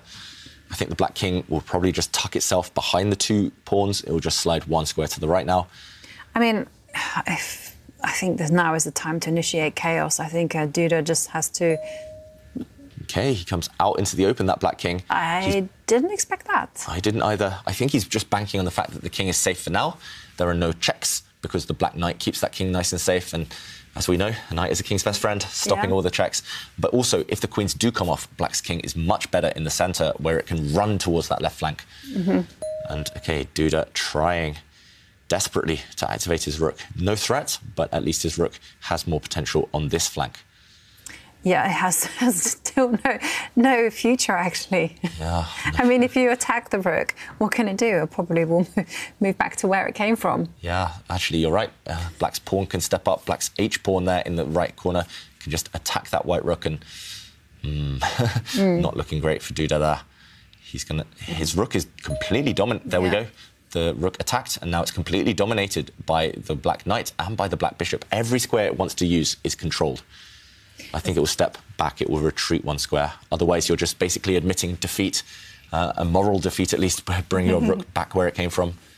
Really is something about that air in the in the Oslo arena yesterday. All the players in there winning in blitz, and today potentially all of them losing already in the rapid. Yeah, they're so in sync with each other Yeah. at this point. Wow. That's so rare. I've never ever seen anything like that before. Okay, yeah. The odds must have been tiny on that type of thing happening Yeah, as well. Today, all of them, maybe not Giri, but all of them would have argued that they were favorites Mhm. And uh, okay, White's rook retreating, and it still can't sidestep and check the black king because the dark, uh, the black bishop controls any checking squares. Okay, Radjabov, he'll desperately be looking to try and get rid of the queens. He'll be looking to trade off somehow. It's not easy. White's king does have a safe square to hide on, and White's queen will always run away from trades, but okay, Radjabov will think that he can achieve this somehow. Duda, meanwhile, not looking happy at all. He looks heartbroken, but his position, he's still alive. It's bad, but he's not dead yet. So I, wonder he needs to be looking on the bright side. I do wonder whether um, Radjabov can force the issue Mhm. and try to try to swap off queens immediately. How, Jovanka? Okay, so it's a bit risky. Go for it. Let's. It's a bit Let's show this. I trust It, you. it is a bit risky and, and it requires some calculation. Okay, let's try at least. But yeah, let's try it. We're not players, we can no, take the risks. exactly. So I was just thinking stepping the queen up two squares, Okay, so offering a queen trade. offering a queen trade, If I and allowing the check. Oh, okay, a rook check. Yeah. I was thinking maybe the queen can go to the corner, just try and get in from a different angle. Ah, but okay, if yeah, the white rook yeah. steps to the side with a check, Okay, black well, king will hide. And okay. okay. black gives a check first, and now the white king is super safe. But I think Radjabov's plan is to try and force the queen trade in this manner, to bring his queen back, defended by its knight. And if the white queen runs away now, it doesn't actually have many places to run to. If it tries to get active, then maybe black can just take this pawn. I don't see any checks here for white. And black has won a pawn in this process. Look how strong this bishop yeah, is. this is this is the way forward. Yeah, the bishop is supremely strong, and White is trying this. He's trying to keep the queens on the board.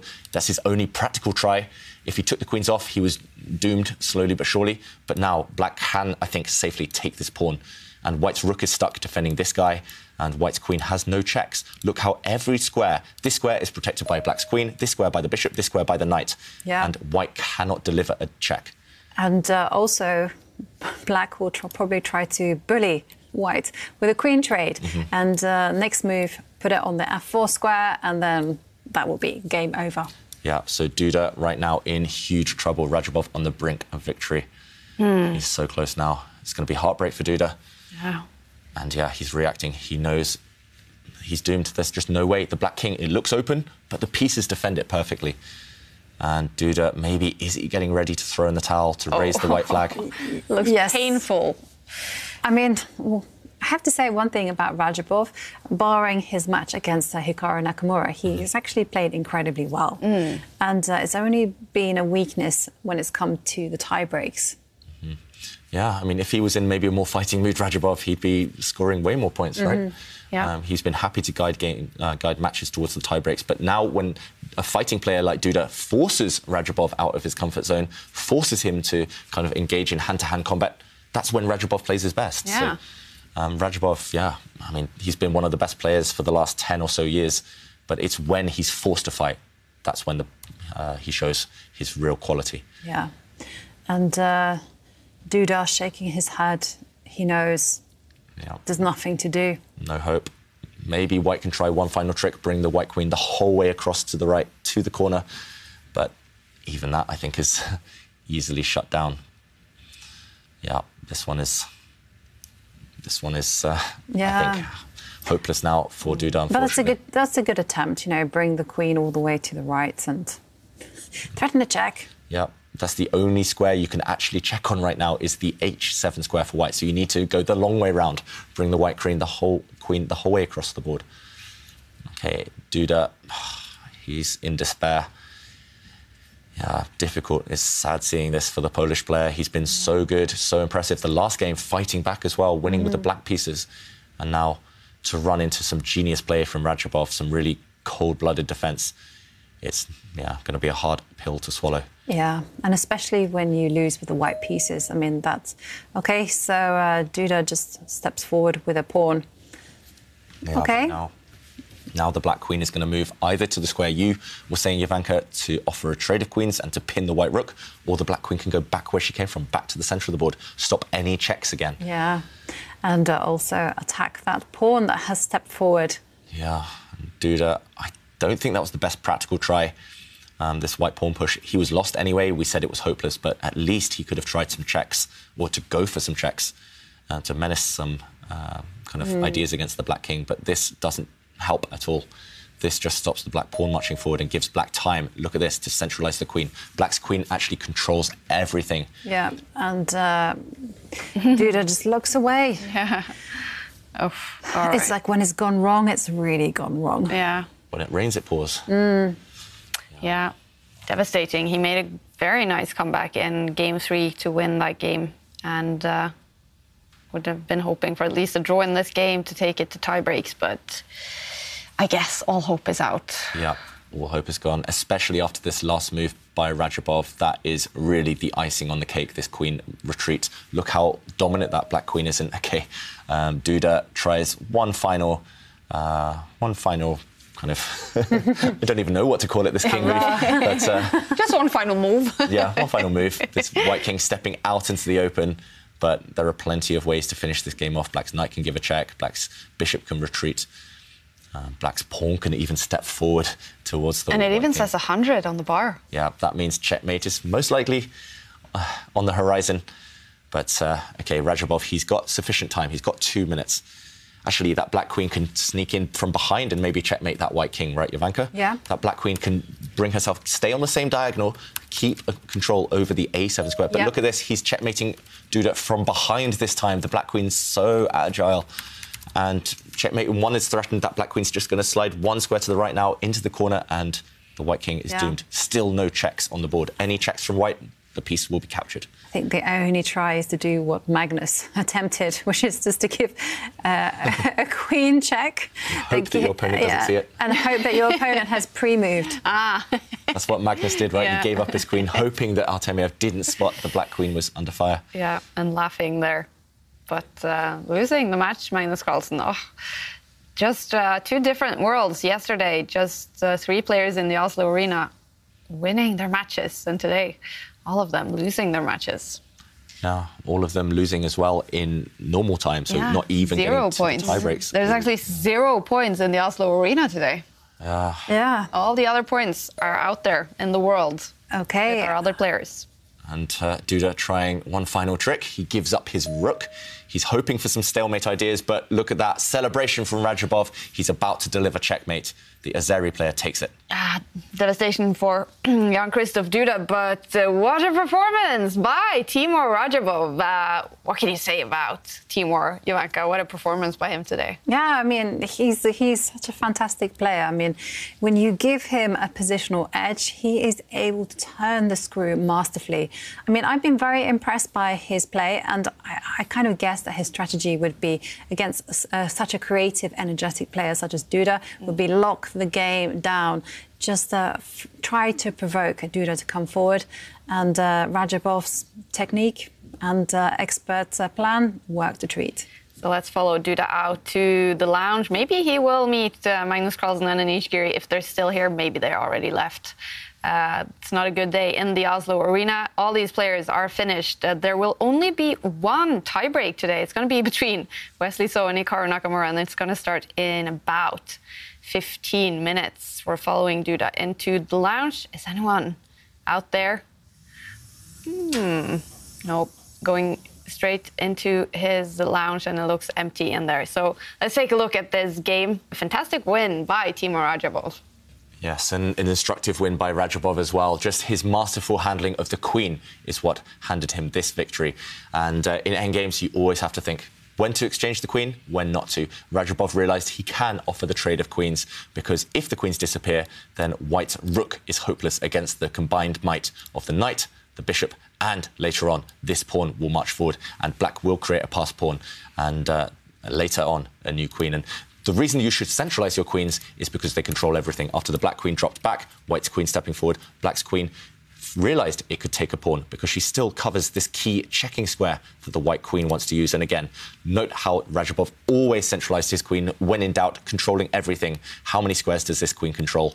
I mean, it's just the best piece I've ever seen, I think, um, this queen. And after this king advance, the queen also killed the white king. It delivered the final blow by coming from behind and after this, delivering a check. Next move, it would have simply been checkmate. The white king would have been trapped by this fantastic queen.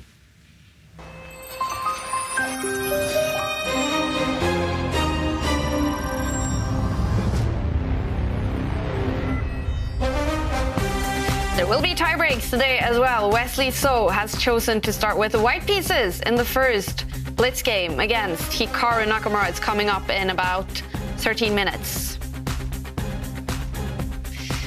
These are the results. Uh, all rapid games have finished. Teimour Radjabov, the winner of the match against Jan Krzysztof Duda, winning two games, gaining three points in total. Levon Aronian winning three games in a row. Fantastic performance by Levon to win the match against Anish Giri and gain all three points. And Shakhriyar Mamedyarov making a comeback as well, winning two games in a row to beat Maxime Vachier-Lagrave in the match and gain all three points. Vladislav Artemiev, what a performance by the 23-year-old, winning two games against the world champion today to win that match and take all three points.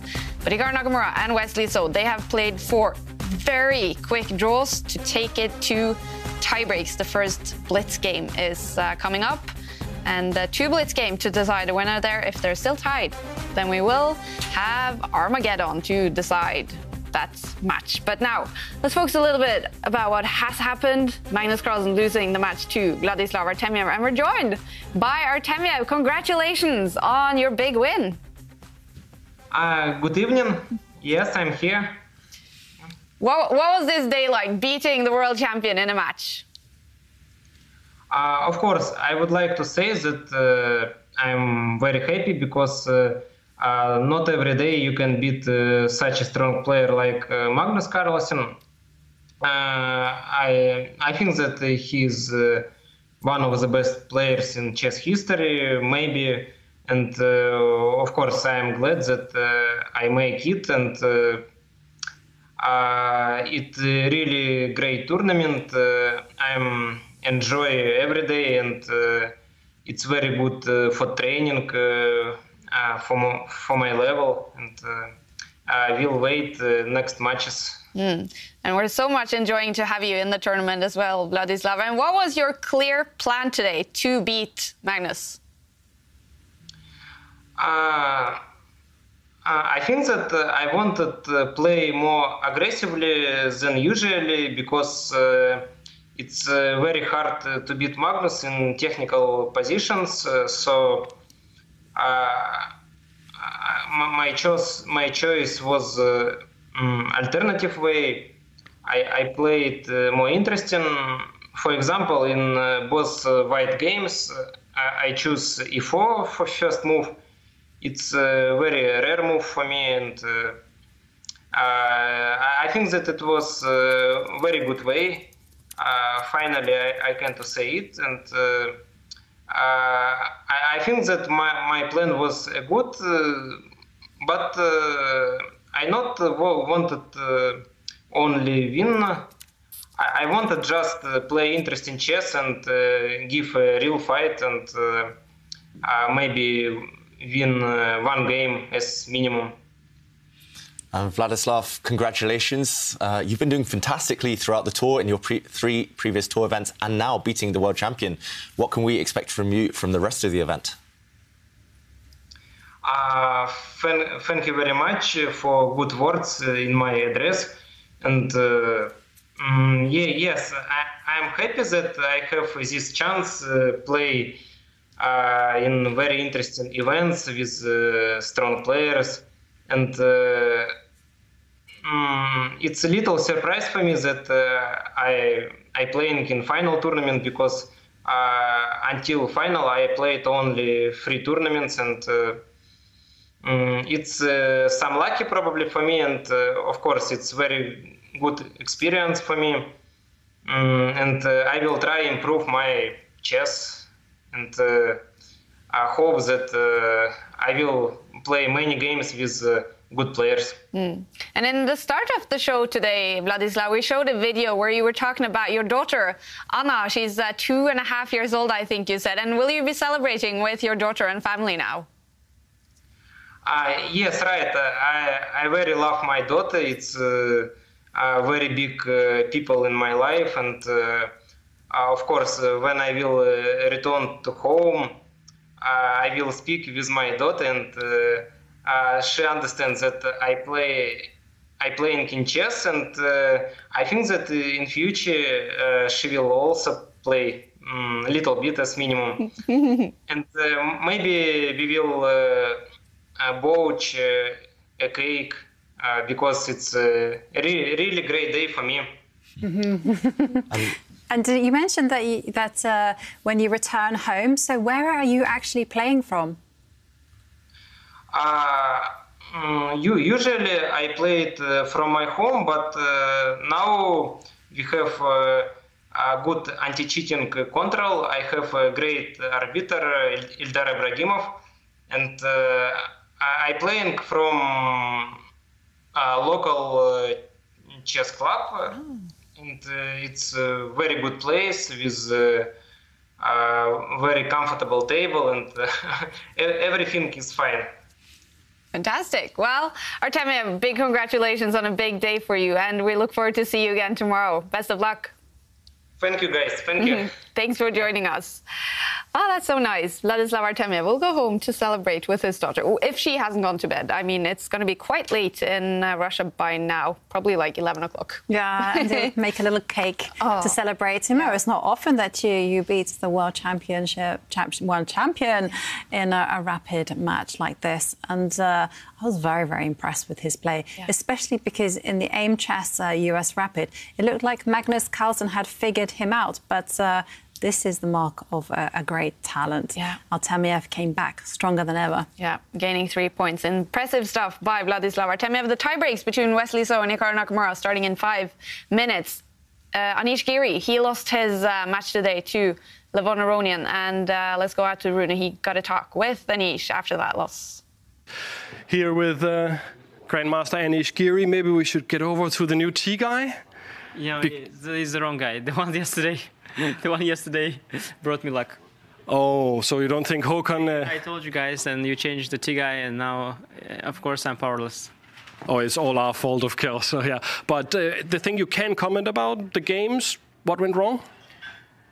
Uh, yeah, the th okay first two games were of very high quality. I think I got uh, advantage from the opening. The first one, he got in the second one, but uh, the third game, I, I, don't know what I.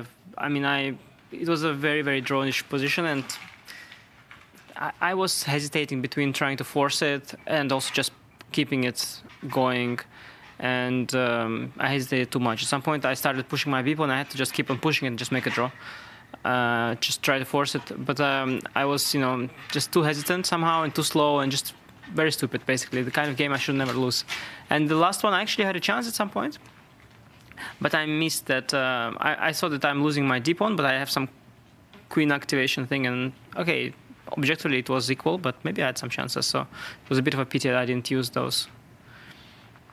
And uh, the first game was that all preparation because you played so fast, and uh, then Aronian played uh, c5. And how did you feel there? Um, I think knight takes c3 was a bad move. I didn't. I knew it was not supposed to be the one. Um, so, but after that, uh, my play was very natural. So, okay, I had to calculate. I mean, I had actually many wins as well. So, it was just a very, very winning position from the opening, to be honest. Um, yeah, he, he just uh, walked uh, into one of the very bad options. Uh, the rest of the games unfortunately didn't go as well. I will leave you. Uh, I should. I will. I will recommend Håkon. Like his tea is really good actually. And uh, best of luck for tomorrow. Yeah, thanks. I'll do my best tomorrow. Thank you. All right. Well, luckily Anish Giri is not in too bad of a move, but uh, but a bad day for Anish Giri. So let's cheer up a little bit with uh, some of your selfies.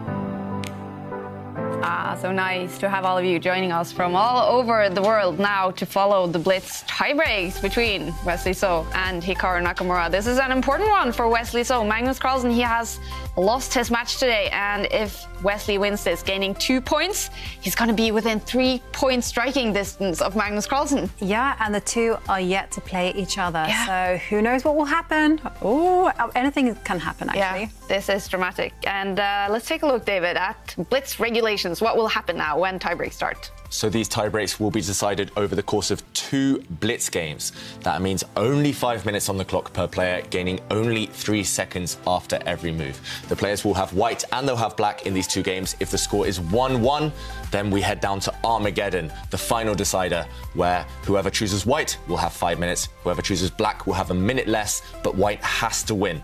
A win, a draw would count as a win for black. Mm. And I have a feeling you guys will call out Hikaru Nakamura as the big favorite being Blitz tiebreaks. And what are we seeing on their head-to-head scores? Nakamura has to be the Blitz uh, favourite, yeah. but Wesley So, he's capable. He's mm. world number five. That is mighty. And he's even defeated players such as Magnus Carlsen in the Blitz tiebreaks earlier in the tour. He, anything could happen in this matchup. It's almost 50 50. Yeah. 20 seconds to go before the first Blitz game. Wesley So has chosen, I think, the white pieces. He is the highest ranked player and can choose. He has chosen to start with Oh, sorry, the black pieces. All right, I was mistaken. He has chosen to start with the black pieces to finish off with the, the white pieces, Wesley. So, and four very quick, disappointing draws between these two in the rapid. That's not going to happen in Blitz. You would think not, but we've been surprised before between yeah, these two. I, uh, Okay. I would hope that they would be no in the mood for a fight. Okay. Uh, yeah, this is the English opening. So if he'd pushed his king's pawn forward there, Nakamura, I think we would have been headed straight in one direction. But no, the English opening normally keeps a lot of pieces on, a lot of tension left. So Wesley, now he's at the board. He's ready to get going. How will he react? He'll push a pawn most likely. I but suspect, which one? I suspect he'll push his king's pawn forward one square, two Okay. squares. Quite possibly. And Nakamura, head in his hands, just trying to pick an opening, trying to uh, choose what he'll do next against Wesley. Okay, there we go. Symmetry. Symmetry. Copycat opening, the symmetrical English, as we call it. White's knight jumping out. One of the black knights will also develop itself, and then white will either move a knight or pick up a pawn. Mhm. Okay, he pushes in the center. We see a quick trade where we see the four knights variation of the symmetrical English. It, that means if white brings his remaining knight out, there we go. All of the knights on decent squares. This is a very popular, very well known position that's featured many times in the games of both these greats. And uh, now white has a selection of moves. Most of them involve pushing pawns. You could also develop white's bishop. You can also move white's knight. Okay, he does push a pawn. And black's queen comes out attacking the knight in the center, putting some pressure on. Yep. And uh, the knight can move in any direction possible. I mean, everything has been tried. The knight can uh, step to the right, can step forward to the right, left. Sorry, I'm getting it's late in the day. I'm getting my right and my left confused. to the step to the left, um, forward. Can also step backwards to the C2 square and can be supported as well. Everything's been played. Yeah, the, we did see Nakamura slightly shaking his head, spending a lot of time actually for a blitz game, spending almost 30 seconds there. And uh, in the end, choosing maybe not the most popular move. The reason I'm surprised is because I've not seen Hikaru play this exact branch of the English opening too often. And uh, there we go. Wesley, perhaps more well versed in these lines, offers a trade of pawns in the centre. And Hikaru happily takes that pawn off. And we see the knight recapture. Okay, will we see a series of mass trades? Everything getting hoovered off the board. It's a bit of symmetry again in terms of the pawn structure and with all those knights. Hikaru has the option of taking some knights off, but no, he moves his bishop instead and uh, putting pressure on white on the Yeah. black knight in the centre from afar. And it'll probably be black who captures the knight. Okay, which one, Jovanka? There's two knights up for grabs oh, here. yes, there is. Okay, oh, this is the one. The one attacks the queen. And, uh, okay, and then, well, this is a new move. hmm But a very natural move from Wesley. Certainly, and it has been studied before. So let me just have a look at what they've been looking at. And uh, rook moving to the open line, all very natural. And here, white's considered two moves, um, going two squares along the diagonal with the queen, or just uh, moving the bishop on the light squares, uh, two squares forward to the e4 square. Okay, I think Hikaru, most likely he'll move the white queen right now. That's just his style. Hikaru Nakamura, I've watched him countless times playing blitz. He wants to get the queens off. He wants to get a small nibble in the endgame where he can outmaneuver his opponents. He doesn't like to take too many risks in the opening these days. And uh, I, I do think that White's position, okay, he does move his bishop, or one of his bishops. He'll maybe move his queen across next, or maybe bring his rook across one square to attack Black's queen. But either way, this position, long term, is a bit smelly for White. If you look at the pawn structure on the left Mhm. side, White has two broken pawns uh, on the A and the C lines. So those are huge targets for Black's pieces. The compensation White has right now for those weaknesses uh, lie in the fact that he's ahead in development. Black is yet to castle the king. That's why Wesley so moves his bishop, getting ready to shuffle that black king to So safety. Hikaru will, of course, attack the queen. Queen moves. Okay, the queen is a little bit not the, not the most comfortable spot for her. Yeah, and uh, Black's queen is getting ready to be harassed because White's rook move has created a square for the white light squared bishop to drop back and hit that Black queen. One thing I love about Wesley So's play as well, as, as well as the moves, is look at the clock situation. He's a minute up on the clock, and Black's knight now is getting ready to jump into an outpost. Black's knight is getting ready to jump into the c4 square in front of that white isolated pawn, And and Hikaru Nakamura pushes. He was trying to bait that black knight into taking a pawn, trying to distract it away from one of the black pawns, but Wesley just defends everything. He pushes a pawn forward. Everything holding together for Wesley for now. Mhm. Nakamura still needs to play with a lot of energy, a lot of impetus, otherwise his position is going to crumble. Yeah, and I was going to say, how is he going to maintain this weak pawn that's under attack? And Hikaru just simply retreats the bishop. But uh, okay, Wesley now snapping up a pawn. So Hikaru a pawn down, but he has this great lead in development. Okay, Now bishop takes bishop. yeah, you're expecting a trade of bishops right now. Yeah. Uh, if black doesn't, then how are you going to castle the black king? You might not castle the black king unless you trade bishops, but Wesley So breaks the pin that the white light square bishop was creating towards the black knight and towards the black queen by pushing a pawn. But now, okay, Hikaru, he can just trade these dark square bishops off the board, and black will have to relinquish the right to castle. Black's king will have to recapture, and it's mm -hmm. going to be stuck in the center forever. And it is. And uh, the queen now dives out to the right side. Okay, so there are some threats on the board. The first one is just to give a check with the queen along to, the diagonal. Yep, to slide one square to the left and deliver a nasty, nasty check. So Wesley has to prevent that. Mm -hmm. I think mm-hmm. that's the primary threat in the position. There's also knight takes pawn.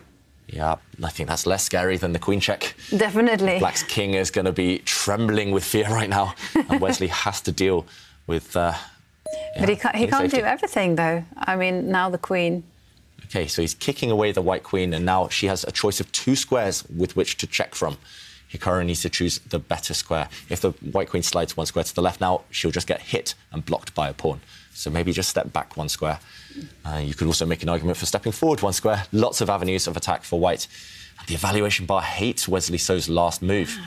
Wow, it must be to do with the king safety. Black's king now a huge target. In blitz chess, especially, you can't afford to be on the defensive with a king stuck in the middle with loads of pieces around it. Yeah. Uh, with while your opponent's queen still remains as well.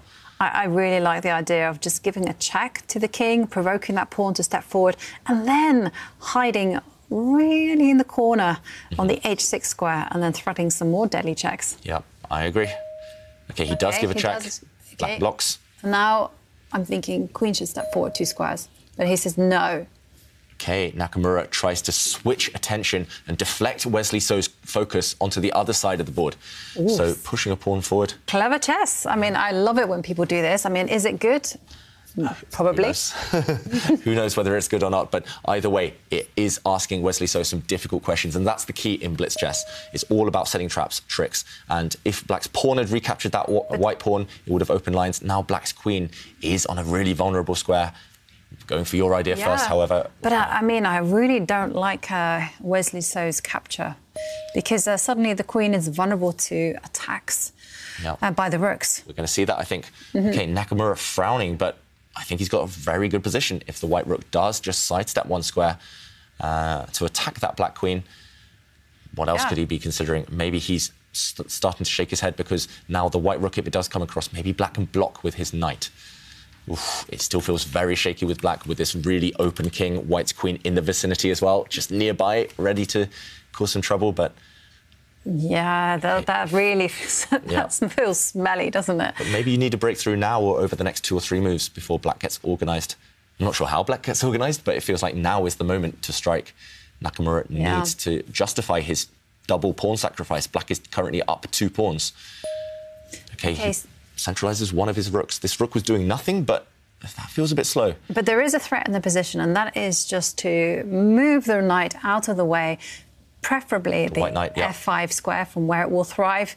And uh, okay, this is why Wesley defends his bishop. That was a little bit uh, loose on d7. Okay, but this this is a really nice move because it also it's a necessary move. Exactly. I mean, also protects the the pawn that was potentially under attack there on the right. Yeah, on yeah, A7. On the left. Yeah, yeah. Okay, so left, yeah. Um, Nakamura now needs to come up with something because he's under one minute on the clock against Wesley So's three minutes. Wow. The time situation is dire for Nakamura. And Wesley looks so calm. Yeah, so focused. Um, okay, White's bishop has come across. He's creating a threat. That white bishop actually wants to go and capture a pawn near the black king to explode open that side, that right side of the board, and then the white queen will be able to come up and capture black's rook in the corner. So deadly threat. White's bishop threatening a pawn. Yes. But okay, this can be met by the black knight retreating to the middle of the board, to the e5 square, from where it will attack the bishop and also defend the pawn that's under fire. But then white's bishop will change tack, it will change strategy, and it will go off to the other side and take a pawn. If the black yeah. knight moves, as it does, Hikaru's got one pawn back, and okay, no trade of bishops. That would only have helped white's knight activate itself. Wesley brings his queen to, I was going to say a better square, but I'm not so sure. It's uh, also a vulnerable square. And Nakamura, look at his facial reactions. He didn't realize he's down so low on the clock. 30 seconds for Nakamura in such a complicated position, still one pawn down as well. Shaking mm-hmm. his head. Yes, and uh, you can actually see he, the panic is starting to set yeah. in. I mean, I must admit, if you'd given me the clock times and uh, told me it was Hikaru versus Wesley, I would not have believed it. I would have thought that, no, Wesley would have been the one under time pressure. And a really nice move there from Wesley. So the Black Queen is getting ready to zoom the whole way back and challenge White's Queen to evict White's Queen from this really dangerous square. And he's kicked the White Queen back. Mm-hmm. Nakamura shaking his head because he knows as soon as he starts retreating, the fact that he's down a, uh, down a pawn might become very relevant. So, okay, Wesley So, he's been defending great so far. He's clung on in a difficult position. Now he needs to continue consolidating and defending the Black King. Okay, what to do next? The Black Rook is on this diagonal of the White Queen, undefended. Ideally, I think he wants to protect that piece. Maybe with the Black Queen. Okay, he pushes okay. Pawn forward, attacking the Queen, okay, and uh, offers another trade for queens again, it's this bullying idea. Once you're a pawn up, you can bully your opponent with thoughts of trades. And that's why White's queen has been forced to pu- perch mm-hmm. on this really bad and, square. Oh, wow, I mean, is is Wesley now on the counter attack because he's just going forward with his pawns? Okay, well, Hikaru is up to the challenge and he also counters by attacking the knight. So he's trying to break open the path towards the Black King, also trying to kick away that knight, as you mentioned, Jovanka, from its dream square. Black's knight was fantastic in the middle of the board, holding everything together. So now it's moved, and now the Black Queen has been hit in the corner by the White Bishop. We see a queen trade, and White is about to regain his sacrificed pawn because he's now hitting the Black Knight, and once it steps back, White's Bishop can snack on a pawn in mm-hmm. the corner there. Black's each pawn is doomed.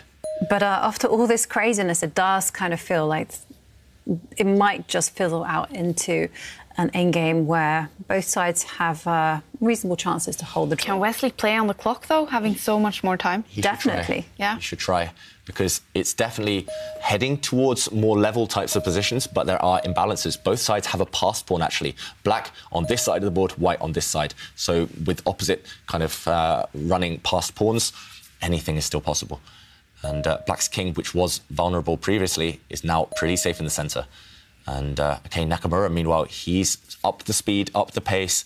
He's, you, we really see his blitz skills coming to mm-hmm. the fore now because look at this. He's lining up with the Black King. No immediate threats, but scary for Wesley So. And the threats continue because suddenly he has uh, pinned the knight. Mm-hmm. Okay, might not do might not do anything right now, but it surely is something to consider in the future especially if White were to double the rooks. Yeah, that Black Knight is in big trouble, Jovanka, I think, um, because White can add pressure. As you mentioned, double up the rooks. White's bishop can retreat to attack that Black Knight. And if it can't move, because the Black Rook would fall behind it, then big trouble for Wesley. So he has to be super accurate right now to hold the balance. I don't even see a way to kind of comfortably remove this pressure, remove this pin. It's not easy to even protect your Black Rook. I mean, maybe you could step backwards with the rook. Step back ooh, one ooh. square yeah. to the eighth rank. Uh, so the black rook on the c line, just step it back and hope that everything holds together. Okay. But Wesley ignores any potential threats. He's just banking everything on that pawn. But uh, the player's under a minute on the clock. Okay. And uh, now there's a, there's an attack on the board because the bishop attacked the knight, and Wesley defends, and uh, here it comes. This is crazy. I mean, yeah okay, Nakamura just gesturing. He, he thinks there's something, but he's only got 35 seconds. He needs to work stuff out now because he can take that black knight off the board. He can win the black knight, but he has to keep a firm eye on that black pawn, two squares away from promoting. Ah. He's got to be careful. If he takes the black knight in the wrong way, that pawn is going to run through and become a queen. OK, so he goes for the safety first approach, which is simply to retreat the knight, attack the rook and the pawn, and uh, OK. OK, so he's actually won that black knight, but look at this, the black pawn one square away from promoting. Is everything holding together for white? It's all a bit clumsy, it's all a bit tied up, but he's up a whole knight. And that black pawn is covered right now. Its promotion square is protected by the white rook. Okay. Yeah. We said this one was headed in towards a level position. This one, despite the evaluation bar, is anything but level.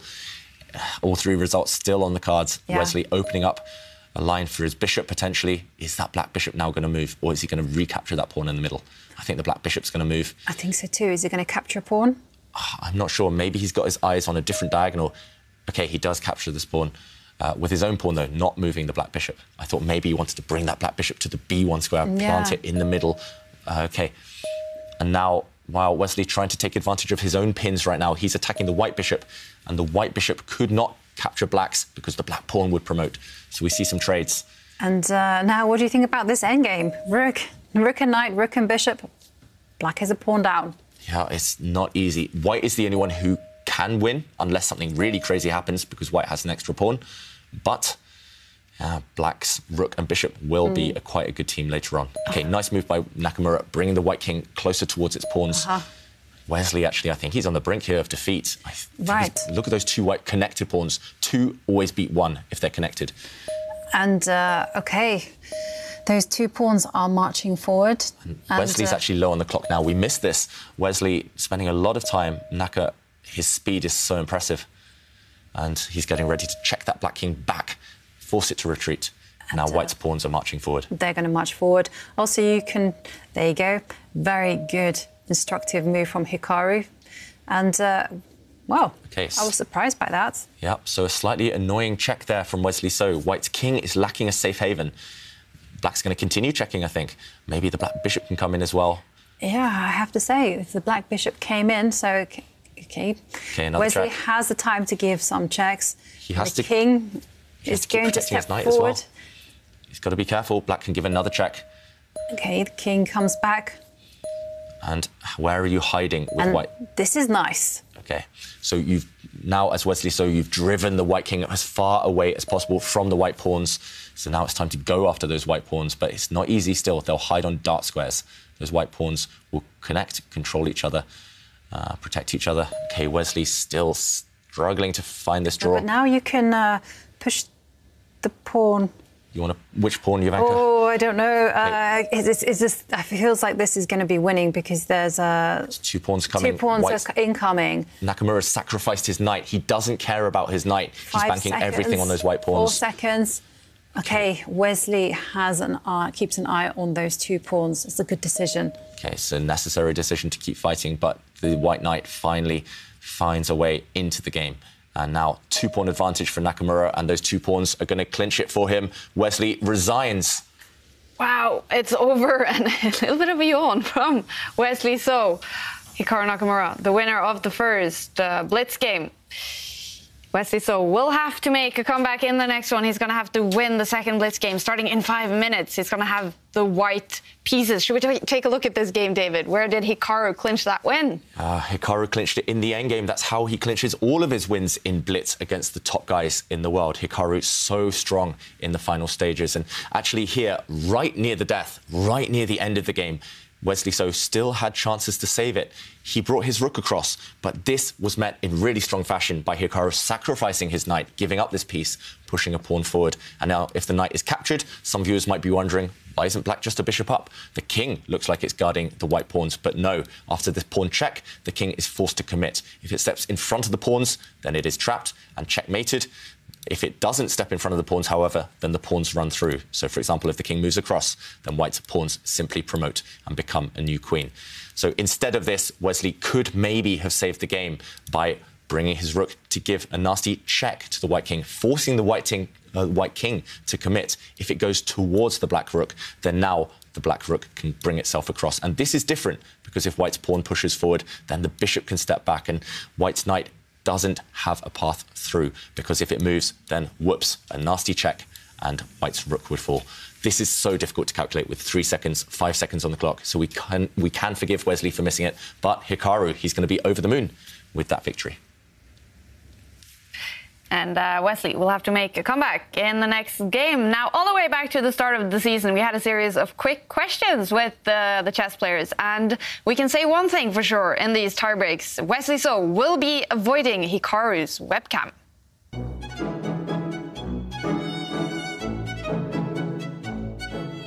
I make a point of just not looking at my opponent, so I only have my own webcam when I play, and I can only look at myself just to make sure I'm in frame and I'm look, looking as beautiful as always. If you play Hikaru or Magnus, it's good from time to time to look at their faces. These guys, they have a PhD in acting. For me, it's nothing unusual. It's Nakamura is shaking his head after move one is normal. after move 50 is normal. He tries to give away so many fake tells. I just decide that I will not try to get anything from that. Uh, this like Hikaru does, or like this, you know, and all these things that they do with uh, with Magnus and all these theatrical performances that they have uh, become incredibly good at. Personally, I think I'm a bit of an open book, but I don't really care. Like, I'm usually not satisfied with my play anyway. They start shaking head when they blunder only when. Um, they're sure the opponent also sees it. They will never do that when they blunder something tricky. So you shouldn't be fooled. I rarely show emotions anyway when I'm playing, even even on the webcam. I usually turn it off. I only turn it on when I'm 100% sure I'm winning and I just want to see, you know, how he's suffering. oh, we do miss Alexander Grischuk. What a great player and an entertainer. And uh, Wesley So will be keeping his webcam off too. He does not want to see Hikaru Nakamura shaking his head or reacting or, or you know, poker facing him. Did we see anything from Hikaru in this first game? Definitely. We saw a whole range of emotions from yeah. him. He was shaking his head. He was jumping with surprise. He was pointing. He was like, yes, I got this. um, yeah, for Nakamura, I think for opponents, it's slightly distracting, so it's best to have the webcam off. Yes, and uh, Wesley, so he didn't give away too much, but he did lose that first Blitz game. The second one coming up in about a minute, and he's going to have to win it with the white pieces. So, Jovanka, what do you expect from Wesley's opening choice here? Well, he has to play aggressively. There's no doubt about that. And uh, especially Hikaru these days is a very solid repertoire. So I'm going to predict that he's going to push forward with his queen's pawn, uh-huh. and we're going to see the game develop down that route. Yeah. What do you expect from this second blitz game, David? I'm not sure what to expect from Wesley. It feels like he's lost a bit of momentum taking all these draws. He was in such nice, I mean, such strong form yesterday. Mm. Um, I think it's not his style to go all out attack. If he can keep maximum tension, keep all the pieces on the board, that will suit him. Yeah. Either way, it's just nice seeing these guys play some proper chess. Yeah, I know. Finally, after a day of just quick draws, they are fighting on the board. Wesley So with the white pieces in the second blitz game. If he wins it, we will go to Armageddon. If it's a draw or a win for Hikaru, then he will be the winner of this match, gaining two points, one point for Wesley So. And uh, we are waiting probably for Wesley to take his headset. He usually does that, right? He doesn't seem like he likes to listen to music while playing his games. No, I think uh, it's more the Magnus, the Anish types who prefer the music. Um, normally we see Wesley prepare right up to the start of the game, sometimes shaving, sometimes listening to music, but then once the game starts, once the clock starts, everything off, full focus. Yeah. And, uh, okay, you think Queen's Pawn, Jovanka? Mm -hmm. I'll say King's Pawn just for the sake of it. but we will find out. The English opening worked quite well for Nakamura in the last one, we must say. So any pawn could be pushed here. Wesley is quite creative. He can serve with all hands. He can push his queen's pawn, push his king's pawn, bring his knight out. He's played everything under the sun. Yeah. And uh, Wesley, he did win yesterday's match against Artemiev. Artemiev, who won his match against Magnus Carlsen today.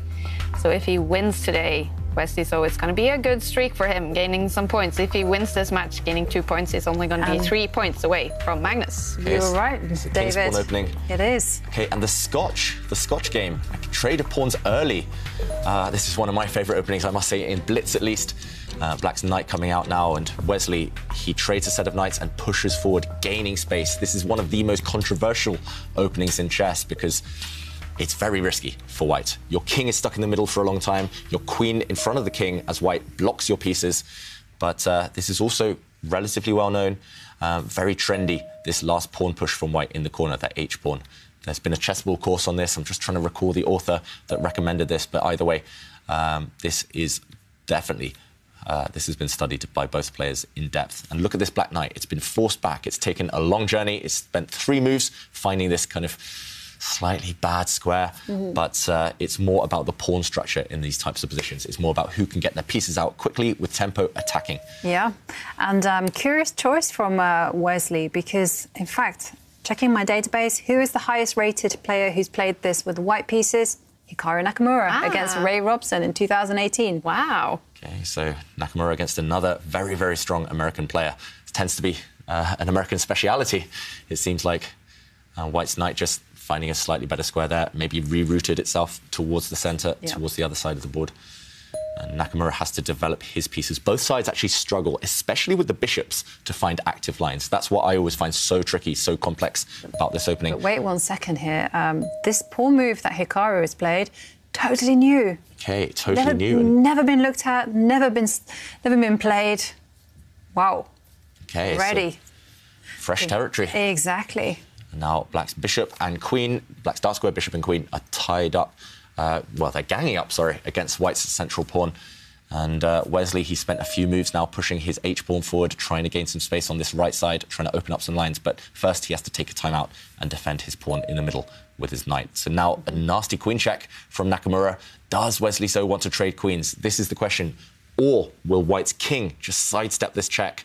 Big moment for Wesley So, a committal moment for him. He has to either block this check with his queen or sidestep with his king. He moves his king. No more castling for Wesley So. No. That king is going to be out in the open forever now. And uh, such a complex, crazy position. I mean, king in the center, black's piece is all locked out there on the left. And, uh, okay, white reinforces the pawn that was under attack. And uh, Hikaru Nakamura, now that he's seen Wesley So's king commit itself in the center of the board, now he has a pleasant choice, but also quite a difficult choice. Which side is the black king going? It goes to the left. Look at how black's centralized rook now. It's on the same line as white's king. So he's going to try and break open the center. If he does, black is simply winning. Yeah. White's king will be too vulnerable. Wesley has two or three moves before that happens to safeguard his king. But uh, there we see the big idea of White's uh, opening play, and that is to drive the black bishop one square to its starting square, and then the white knight has come forward to attack the pawn. But uh, wait one second. What's Wesley doing with the rest of his pieces? I mean, He's only playing with his knight right now. The white bishop's fast asleep, snoring at home. White's Right. rooks, even worse. They're comatose right now. Uh, it's all about the white knight. It is threatening a pawn. So look at the black pawn on the f7 square. The white knight is threatening to take this pawn and fork, double attack the two black rooks at the same time. Nakamura either has to defend that pawn or he has to sacrifice, burn his bridges, and go on an attack against the white king. I feel that this is something that you just go for it. But it's, just- it's not Nakamura's style these days. It was when he was younger to go go for it, go for the attack. But I've watched his streams plenty of times. I've played him hundreds of times online, and these days he doesn't want to take too much risk. He wants to play the safest possible moves. So, okay, shaking his head. Yeah, but it just feels so risky for. And I'm just thinking, you know, first of all, I would try to. It's not my pieces. This Mhm. is the thing. I would uh, just try to explode open the center. Okay, so you, would push the pawn in front of the black rook in the middle. Two squares. Two squares Two forward. squares forward, just to liven th- things up. And once the knight takes the pawn, fine, not a problem. I'm actually just going to develop my dark square bishop, Mm-hmm. and then. Ooh. The thing, okay, I called it. He's never going to push that move, Jovanka. It's just not his style these days, Nakamura, especially in blitz chess, especially when he's one point up and only wants to draw. But not going to take big risks. Here, suddenly, it just feels like it was a bit accommodating to a black. Okay, and now finally he does make the pawn push that I wanted to do. He plays your idea just one move slower, so allowing white this one Mhm. move to bring the rook across and act as a defensive piece. And Nakamura not even recapturing this pawn. He's just sidestepped from a queen trade and pinned this white pawn against the white king. So look at the evaluation bar. Loving this suddenly for Wesley. So it's still a crazy position, though, especially while white's king remains in the middle. Right. But uh, now all the pieces are going to get start to motor away. I mean, the dark square bishop can develop, attack the rook. Yeah. I mean, just making sure that all the bases are covered. The king is relatively safe now that this beautiful move uh, by by Wesley, you know, moving his rook to the third row just so it can defend horizontally. Uh, I mean, what's the problem? Okay, the king problem. comes forward, tucks itself away. Okay, this is good. Love out of, it. Out of the same file as the black queen and rook. That's a very safe square for the white king, for now at least. Protected along diagonals by its pieces later on. And look at this, the white rook swinging across. This is the whole reason, the whole point actually of white's opening, pushing that h pawn forward because this is how the rook always develops, Mm. up and across. And uh, still, the problem remains with uh, those two pieces there on the left that black has locked out. Yeah, locked out by two simple pawns. Yeah. And uh, Nakamura has to decide what to do with that black knight and with that black light squared bishop. If they stay locked out, then any endgame is going to be great for white. Any middle game is Yeah. going to be difficult to fight against the might of white's pieces. And now pushing a pawn from Nakamura, that pawn was under fire. Now I expect Wesley to quickly try and develop his rook in the corner. That is the last piece that's asleep. So he has to move his bishop out first and then slide the other remaining rook into the game. Yeah. And uh, I think Hikaru should even start thinking about uh, maybe making some sacrifices at the right time to break his pieces out. Okay, but he pushes his pawn forward. It's a nice move. It is a very nice move. Now the bishop can actually take a step backwards and start attacking the white queen on f3. Yeah, black's light squared bishop was a problem piece, so he needs to get it back into the fight. Mhm. And now, can Wesley bring his rook across? Does he have to? Does he have to take a timeout? Maybe remove the white queen from the firing line? Does he push a pawn? Lots of choices for Wesley. So this type of position is so unorthodox, so hard to handle. Yeah. You can't rely on pattern recognition here because it is that wild. And he improves the bishop. Now black's queen trying to find her way in. Ooh. But I oh. have to say, I was thinking that the bishop would retreat and attack the queen. But okay, the Yep. queen moved. yeah, Black had choices, and Nakamura. I mean, we let's forget about the evaluation bar temporarily because it is so wild. But Nakamura first chooses to put his queen on a better line. There is some threat as well with the queen, the Black Queen, and the Black Rook towards these white bishops. Mm. Black's king now finding safety. Yeah, but uh, I mean, when we compare the position from a few moves ago, what a White's piece is doing? There's no coordination. You know, the Especially queen, the queen. the queen is, is trapped by its own pieces there on the right, um, and uh, Hikaru's pieces have beautiful fluidity working together in the center, and uh, Okay, I think it's uh, it's going to be real problems for Wesley here. yeah, he needs to strike though Nakamura quickly, and he does that uh, by pushing a pawn forward, sacrificing a pawn, but clearing the path for his light squared bishop. Black's light squared bishop is actually about to win material by creating a deadly pin. It can come out and line itself up towards the white king. I was a bit tempted by this move actually. Bishop Wow. takes pawn. Maybe even stronger. Yeah, you know, because after bishop takes bishop, the queen will come and recapture the bishop. Yeah, so just putting extra pressure on White's pieces. White just lacked that one move to bring that rook in the corner into the game. And because he lacked that one move, White's king is going to be doomed. Yeah, Nakamura really upping the pressure. Just the last six moves alone have turned the tables in his favour. And Nakamura leaning back, that made me think, has Wesley resigned? But no, not yet. No, but and there's some threats in the air. You know, of course, there's bishop takes knight. That's the immediate pressing problem. You also have moves like rook takes rook, and the bishop coming out and pinning the rook and the king. Yeah, Lots of problems. There we go. It is actually a result. Wesley So resigns. It was hopeless, but feels like an early resignation. Nakamura super happy on the camera there. A 2 0 victory in the Blitz games. All right. Well, it's over after a long day for these two. Wesley So loses in tiebreaks to Hikaru Nakamura. Nakamura, the winner, gaining two points in this match. Wesley So, one point for him. It was a big chance for Wesley So to really get closer to Magnus Carlsen. He's still getting closer.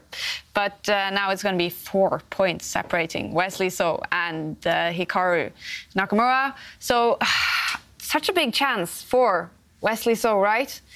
Do you think he's going to be a little bit unhappy with the day? For sure, he's going to be looking back on those four rapid games and thinking, why did I agree to those quick draws? Why didn't I push? Magnus had a day off. This was his moment. And if he doesn't catch up with Magnus now throughout the rest of the tour finals, he'll look back on this day as the turning point. Yeah. What do you think about Wesley So's day, Jovanka? I know you guys are disappointed with these two players and their very quick draws. Understatement. Yeah.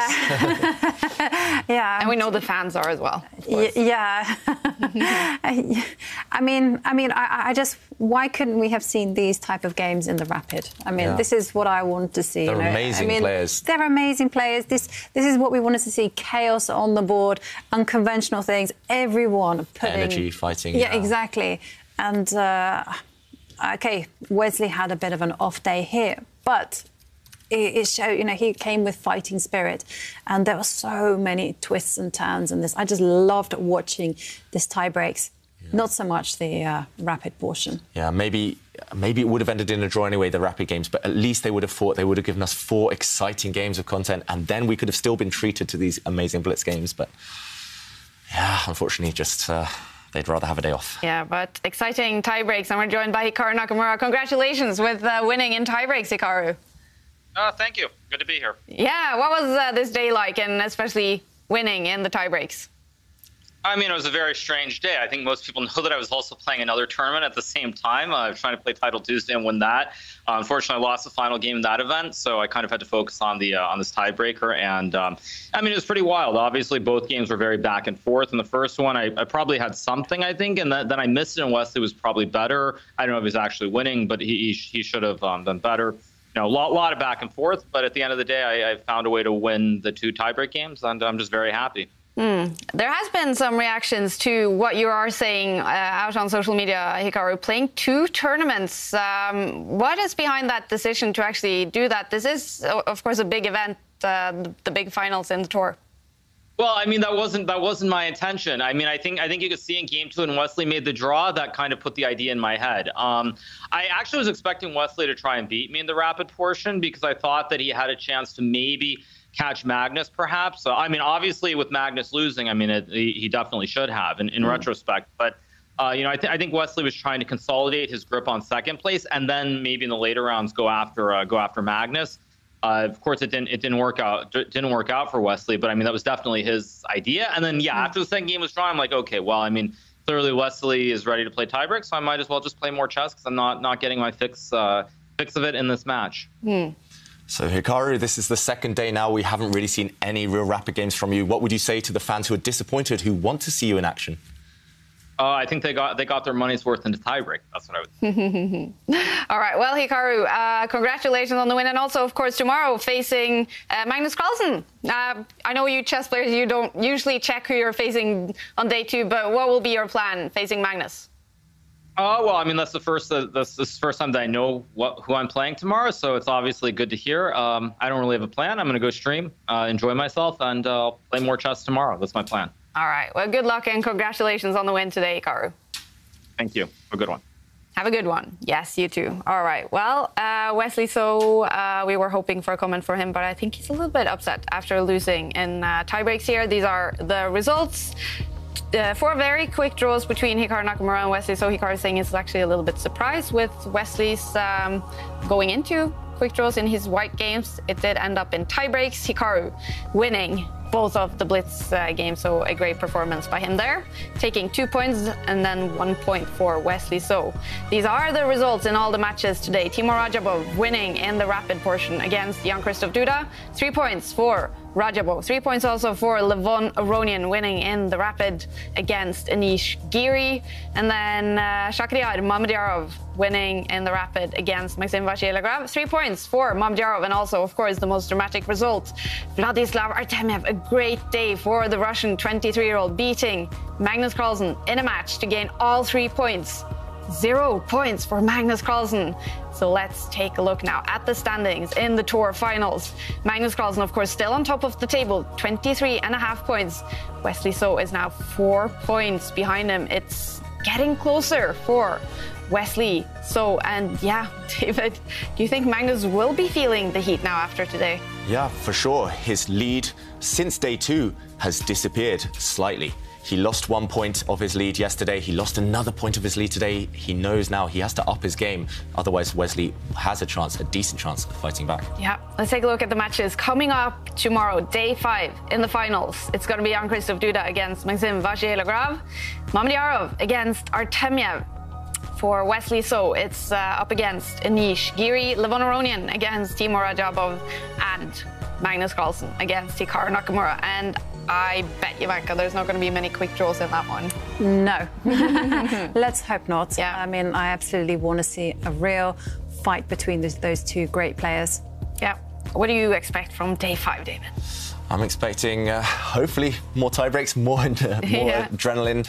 I definitely think the players, they've been fighting so well so far, most of them. Yeah. And uh, yeah, it's been incredibly exciting. I'm just hoping for more of the same. Yeah, definitely. And uh, before we finish off for today, Let's uh, take a look at a few more of those selfies.